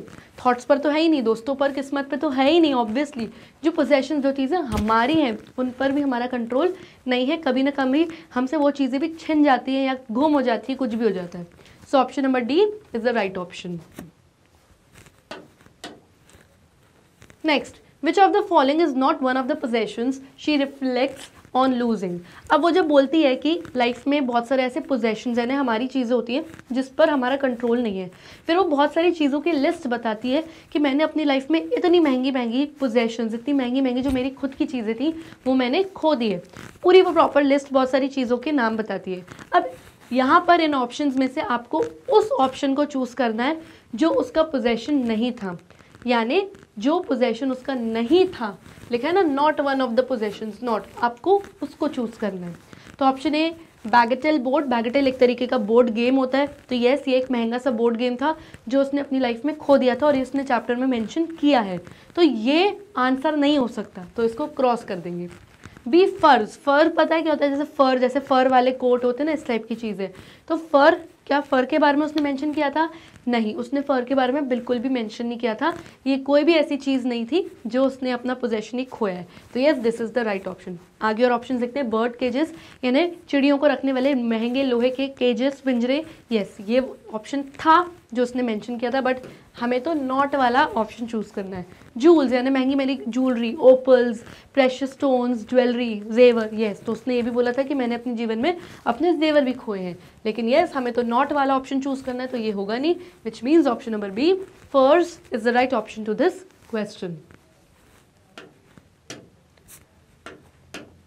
next she says life seems to be वो बोलती कि जो लाइफ है, ज़िंदगी है, ऐसा लगता है कि डैश ऑप्शंस रैपिड रैपिड यानी जो चीज़ बहुत स्पीड में चलती है, रुकती नहीं किसी के लिए. तो क्या वो ये बोलती है कि लाइफ बहुत रैपिड है स्पीड में है, बिल्कुल पलक झपकते ही बिल्कुल बहुत बढ़ जाती है आगे? Yes haphazard haphazard word आपके चैप्टर में यूज़ हुआ है, इसका मतलब होता है कन्फ्यूज़न यानी जो लाइफ है, बहुत कन्फ्यूज़ है. कन्फ्यूज़ या कन्फ्यूज़न एक ही बात है. यानी लाइफ में बहुत सारी चीज़ों का कन्फ्यूज़न है, बहुत सारी मिस्ट्रीज़ हैं, रहस्य जो हमें कभी कभी समझ में नहीं आते हैं। C full of waste and repair full of waste and repair का मतलब है मरण और जीवन। यानी लोग मरते हैं, फिर लोग दूसरे, फिर नए लोग पैदा होते हैं, फिर कभी लोग मरते हैं, फिर दूसरे लोग पैदा होते हैं तो मरना, जीना मरना, जीना इस ज़िंदगी में लगा हुआ है। या डी ऑल ऑफ़ दी अब ऊपर दिए गए सारे ही ऑप्शंस तो यस वो कहती है कि जो लाइफ होती है, वो रैपिड है, यानी बहुत फास्ट है, किसी के लिए नहीं रुकती। हैप हजार्ड है कन्फ्यूज़न में बहुत सारे रहस्य हमारे को समझ में नहीं आते कि ऐसा क्यों हो रहा है हमारी लाइफ में। और full of waste and repair यानी कि मरण और लोगों का जन्म। मरना, जीना लोगों का लगा हुआ है इस दुनिया में। तो yes D all of the above is the right option to this question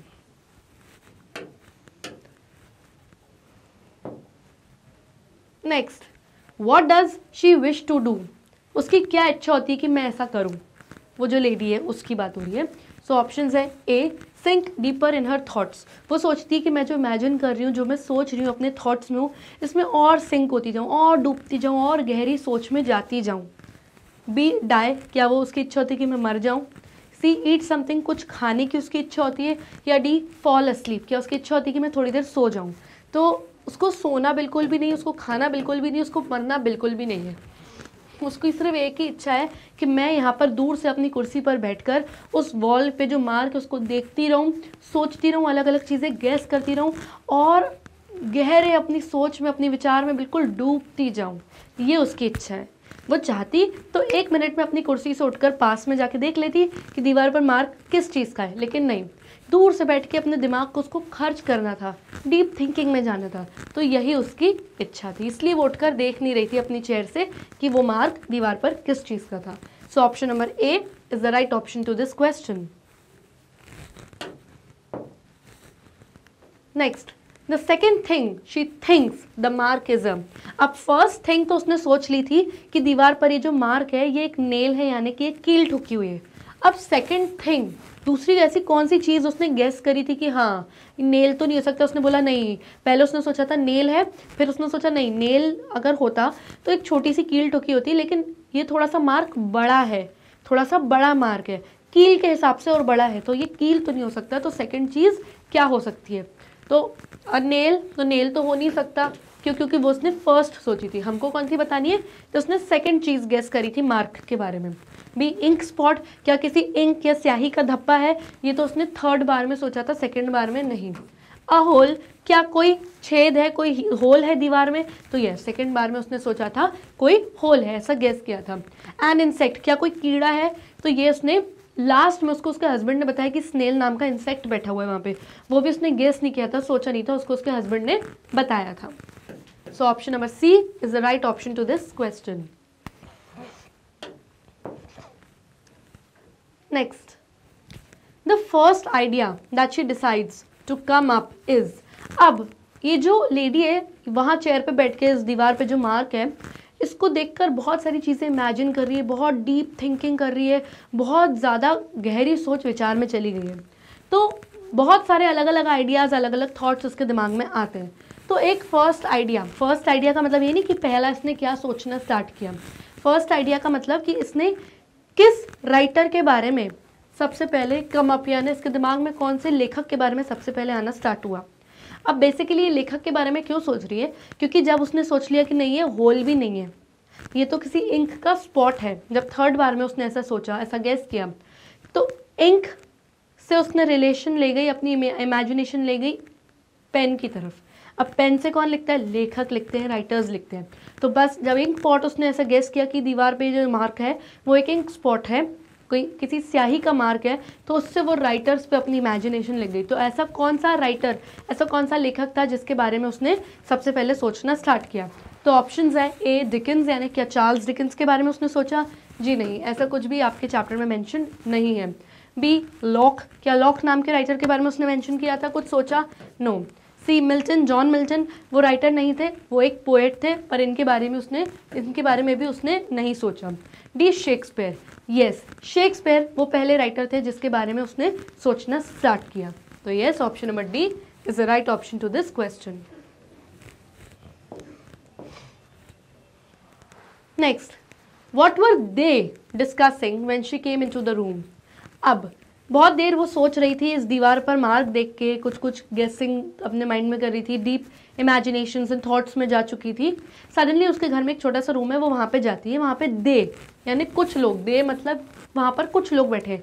chapter में बस दे करके बोल दिया गया बट ये नहीं बताया कि दे में कौन लोग थे। उनके घर में उसका हस्बैंड होगा, कुछ फ्रेंड्स होंगे, जो कुछ फैमिली मेंबर्स होंगे तो एक रूम में बहुत सारे लोग बैठे हुए और कुछ डिस्कसिंग कर रहे थे, यानी कुछ डिस्कशंस कर रहे थे। तो यहाँ पूछा जा रहा है वो लोग उस कमरे में किस बारे में डिस्कशंस कर रहे थे जब ये लेडी उस रूम में एंटर होती है जाती है? ऑप्शन ए रिलीजन क्या धर्म के बारे में बात कर रहे थे? No option B botany botany means the study of plants plants की जो पढ़ाई लिखाई होती है उसको हम बॉटनी कहते हैं। क्या वो बॉटनी के बारे में बातचीत कर रहे थे? यस yes, वो लोग बॉटनी के बारे में बातचीत कर रहे थे। और भी ऑप्शन देख लेते हैं। सी फिलोसॉफी फिलोसफी के बारे में डीप थिंकिंग आइडियोलॉजीज के बारे में बात कर रहे थे क्या? नो या डी आर्क्योलॉजी। आर्कियोलॉजी यानी पुराने ज़माने में हिस्ट्री में, जब ज़मीन में गड़ी हुई कोई सदियों सालों पुरानी कोई चीज़ मिलती है तो आर्क्योलॉजिस्ट क्या करते हैं? उसको स्टडी करते हैं कि किस टाइम की ये चीज़ है। All those historical facts past के बारे में, ज़मीन से ग्राउंड से जो चीज़ें मिलती है उससे उसकी पढ़ाई को आर्क्योलॉजी कहते हैं। तो क्या वो आर्क्योलॉजी के बारे में बात कर रहे थे? No so option number B botany is the right option to this question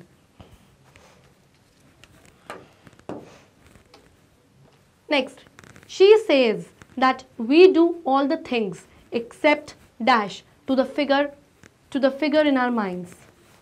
वो कहती है हम सारी चीज़ें करते हैं इस दुनिया में कोई भी चीज़ नहीं करती सब चीज़ करते हैं एक्सेप्ट यानी सिर्फ़ एक ही चीज़ नहीं करते अपने फिगर इन आर माइंड्स के लिए यानी अपने दिमाग को समझने के लिए अपने माइंड में चीज़ों को फिगर आउट करने के लिए। हम सिर्फ़ एक ही चीज़ नहीं करते तो वो कौन सी चीज़ है जो हम नहीं करते हैं वो हमें इन ऑप्शन में से चूज़ करनी है। ए ओपनली अडोर हम बिल्कुल खुले मन से एडोर नहीं करते, पसंद नहीं करते सारी चीज़ों को। अपने माइंड में उनको समझने की कोशिश नहीं करते। क्या ये वो बोलना चाह रही है? नहीं। B avoid anything to make oneself ridiculous हम कभी भी फालतू चीज़ों को अवॉइड नहीं कर पाते। अगर हम अवॉइड नहीं करते तो हम खुद को रेडिकुलस यानी बेवकूफ़ बेकार बना देते हैं। तो क्या इस चीज़ को हम इग्नोर मतलब इस चीज़ को हम नहीं करते? एक्सेप्शन में क्या ये पॉइंट आ रहा है? No C protect oneself from idolatry अब आइडलेट्री क्या होता है? आइडलेट्री वर्ड आता है आइडल से। आइडल यानी मूर्तियाँ। और मूर्ति पूजा को हम कहते हैं आइडलेट्री यानी जो लोग मूर्तियों की पूजा करते हैं। तो वो ये कहती है कि हम इस दुनिया में सब कुछ करते हैं, सिर्फ़ अपने आप को आइडोलेट्री से नहीं बचा पाते प्रोटेक्ट नहीं कर पाते। ये बात वो इसलिए कहती है कि क्यों भाई जो राइटर्स लिख रहे हैं, वो लिख के मार्केट में अपनी किताब को बेच देते हैं।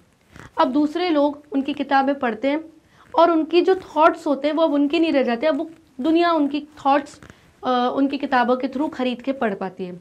फिर उन लोगों को लोग पसंद करने लगते हैं उन राइटर्स को और दुनिया उनकी पूजा करने लगती है जैसे कि लोग मूर्ति पूजा करें और फिर उन राइटर्स को बहुत अच्छा लगता है कि अरे हमारी तो पूजा हो रही है। पर इससे क्या हो रहा है? इससे उनके थॉट्स सिर्फ़ उनके नहीं रह जा रहे दुनिया में एक एक बुक शेल्फ पे बिक रही है उनके थॉट्स जैसे। तो राइटर कहती है आ, मतलब वो जो लेडी कहती है चैप्टर में वो कहती है मुझे ऐसा नहीं करना। मुझे अपने थॉट्स अपने अंदर ही रखना है, मुझे बुक्स बुक शेल्फ पे अपने थॉट्स नहीं बेचने। तो वो कहती है, हम सब चीज़ें कर पाते हैं, सिर्फ़ अपने आप को इस आइडोलेटरी से नहीं बचा पाते, क्योंकि हमें तो तारीफ़ें सुनना पसंद है। तो yes this is the thing she said D none of the above यानी ऊपर दिया गया कोई भी ऑप्शन नहीं। तो ये तो हमें, ये तो हो नहीं सकते, क्योंकि हमें हमारा आंसर मिल गया which is option number C next if we are only left with the shell of ourselves the world is dash अब वो लेडी ऐसा सोचती है कि हम सब लोगों का एक शेल होता है। हम सब लोगों का एक शेल होता है। शेल यानी हम लोग एक चीज़ से कवर्ड रहते हैं। फॉर एग्जांपल यानी मेरा बात करने का तरीका, मेरा नेचर अपने बॉस के सामने अलग होगा।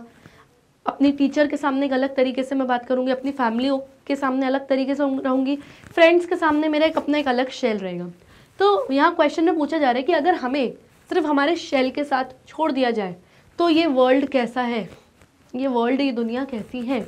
तो ऑप्शन है ए कन्फ्यूजिंग एंड कॉम्प्लेक्स ये दुनिया बहुत कन्फ्यूजिंग है कॉम्प्लेक्स यानी डिफ़िकल्ट टू अंडरस्टैंड हमारे समझ में नहीं आएगी.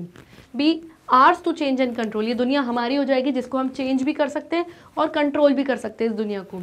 सी फुल ऑफ़ लाइफ ये दुनिया बहुत फुल ऑफ़ लाइफ है. यहाँ पे बहुत इंजॉयमेंट है, बहुत मज़ा है. या the airless and shallow airless यानी इमोशनलेस एंड शैलो यानी बिल्कुल जहाँ पर कोई इमोशंस नहीं है. सब लोग सरफेस पे रहते हैं, ज़्यादा डीप थिंकिंग में नहीं जाते. तो यस यहाँ पे वो यही कहती है कि अगर हमें हमारे शेल के साथ छोड़ दिया जाएगा तो जो दुनिया होगी, अगर हम मिरर में भी देखेंगे, मान लो मिरर में देख रहे हैं, कोई अच्छी सुंदर चीज़, टूट गया है वो मिरर फॉर एग्ज़ाम्पल तो बचेगा क्या? बचेगा सिर्फ़ हमारा शैली यानी जो हम एक्चुअली रियलिटी में हैं। तो बोल रही तो अगर हम हमारी रियलिटी में हमें छोड़ देंगे तो दुनिया हमारे लिए कैसी हो जाएगी? बहुत एयरलेस एंड शैल हो जाएगी। क्यों? क्योंकि हमारा रियल चेहरा दुनिया के सामने आ जाएगा। अगर मैं बॉस टीचर पेरेंट्स फैमिली सबके सामने रियलिटी दिखाऊँ कि मैं एक्चुअली में कौन हूँ तो सबको मेरा नेचर समझ में नहीं आएगा। येस और नो मुझे लोगों के हिसाब से अपना जैसे मास्क अपना मुखौटा बदलना पड़ रहा है। तो दुनिया मेरे से खुश है, लेकिन मैं अपने रियल शेल में आ जाऊँ, यानी मैं अपने रियल सेल्फ में आ जाऊँ और सबसे एक जैसा बिहेव करूँ तो दुनिया मेरे लिए कैसी हो जाएगी? एयरलेस एंड शैलो मुझे पसंद नहीं करेगी। तो yes option number D is the right option to this question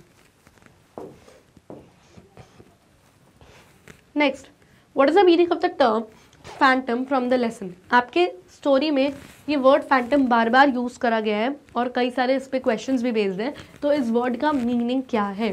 तो ऑप्शन है A something you think something you think is real but actually it is not कोई ऐसी चीज़ जो आपको लगता है कि हाँ रियल है, सच्ची है, पर वो होती नहीं है, हमें सिर्फ़ ऐसा लगता है। तो वो सारी चीज़ें जो हमें लगती है कि रियल है, लेकिन एक्चुअली होती नहीं है, उन्हें हम कहते हैं फैंटम्स तो येस फ़र्स्ट ऑप्शन में ही हमें हमारा मीनिंग मिल गया फिर भी सेकेंड ऑप्शन और देखते हैं। समथिंग एक्चुअली रियल कोई चीज़ जो एक्चुअली रियल है, सच्ची है? नहीं। समथिंग फेक कोई ऐसी चीज़ जो फेक है? यस फेक है, लेकिन हमको ये ये फेक लगना मत, होना मतलब कंप्लीटली हमको पता ही है कि ये चीज़ फेक है।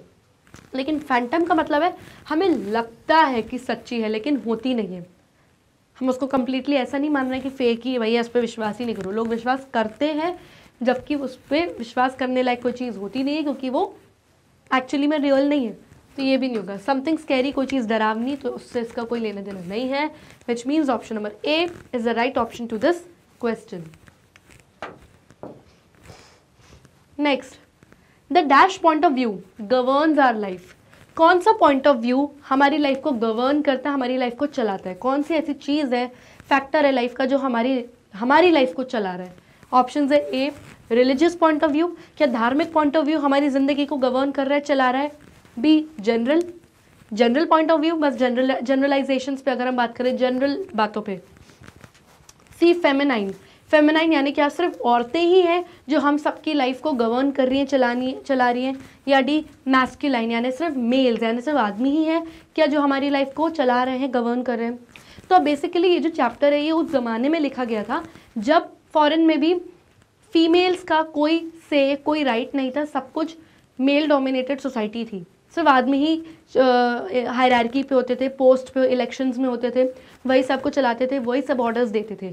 फीमेल्स का काम सिर्फ़ चीज़ों को फॉलो करना एंड सुनना एंड फॉलो करना होता था। यस yes, तो उस ज़माने के हिसाब से अगर ये क्वेश्चन है और उस ज़माने का ये चैप्टर है तो यस yes, जो मैस्क्यूलाइन पॉइंट ऑफ़ व्यू था वो हमारी लाइफ को गवर्न करता है एज पर द चैप्टर क्योंकि चैप्टर उस ज़माने में लिखा गया था। So yes option number D is the right option to this question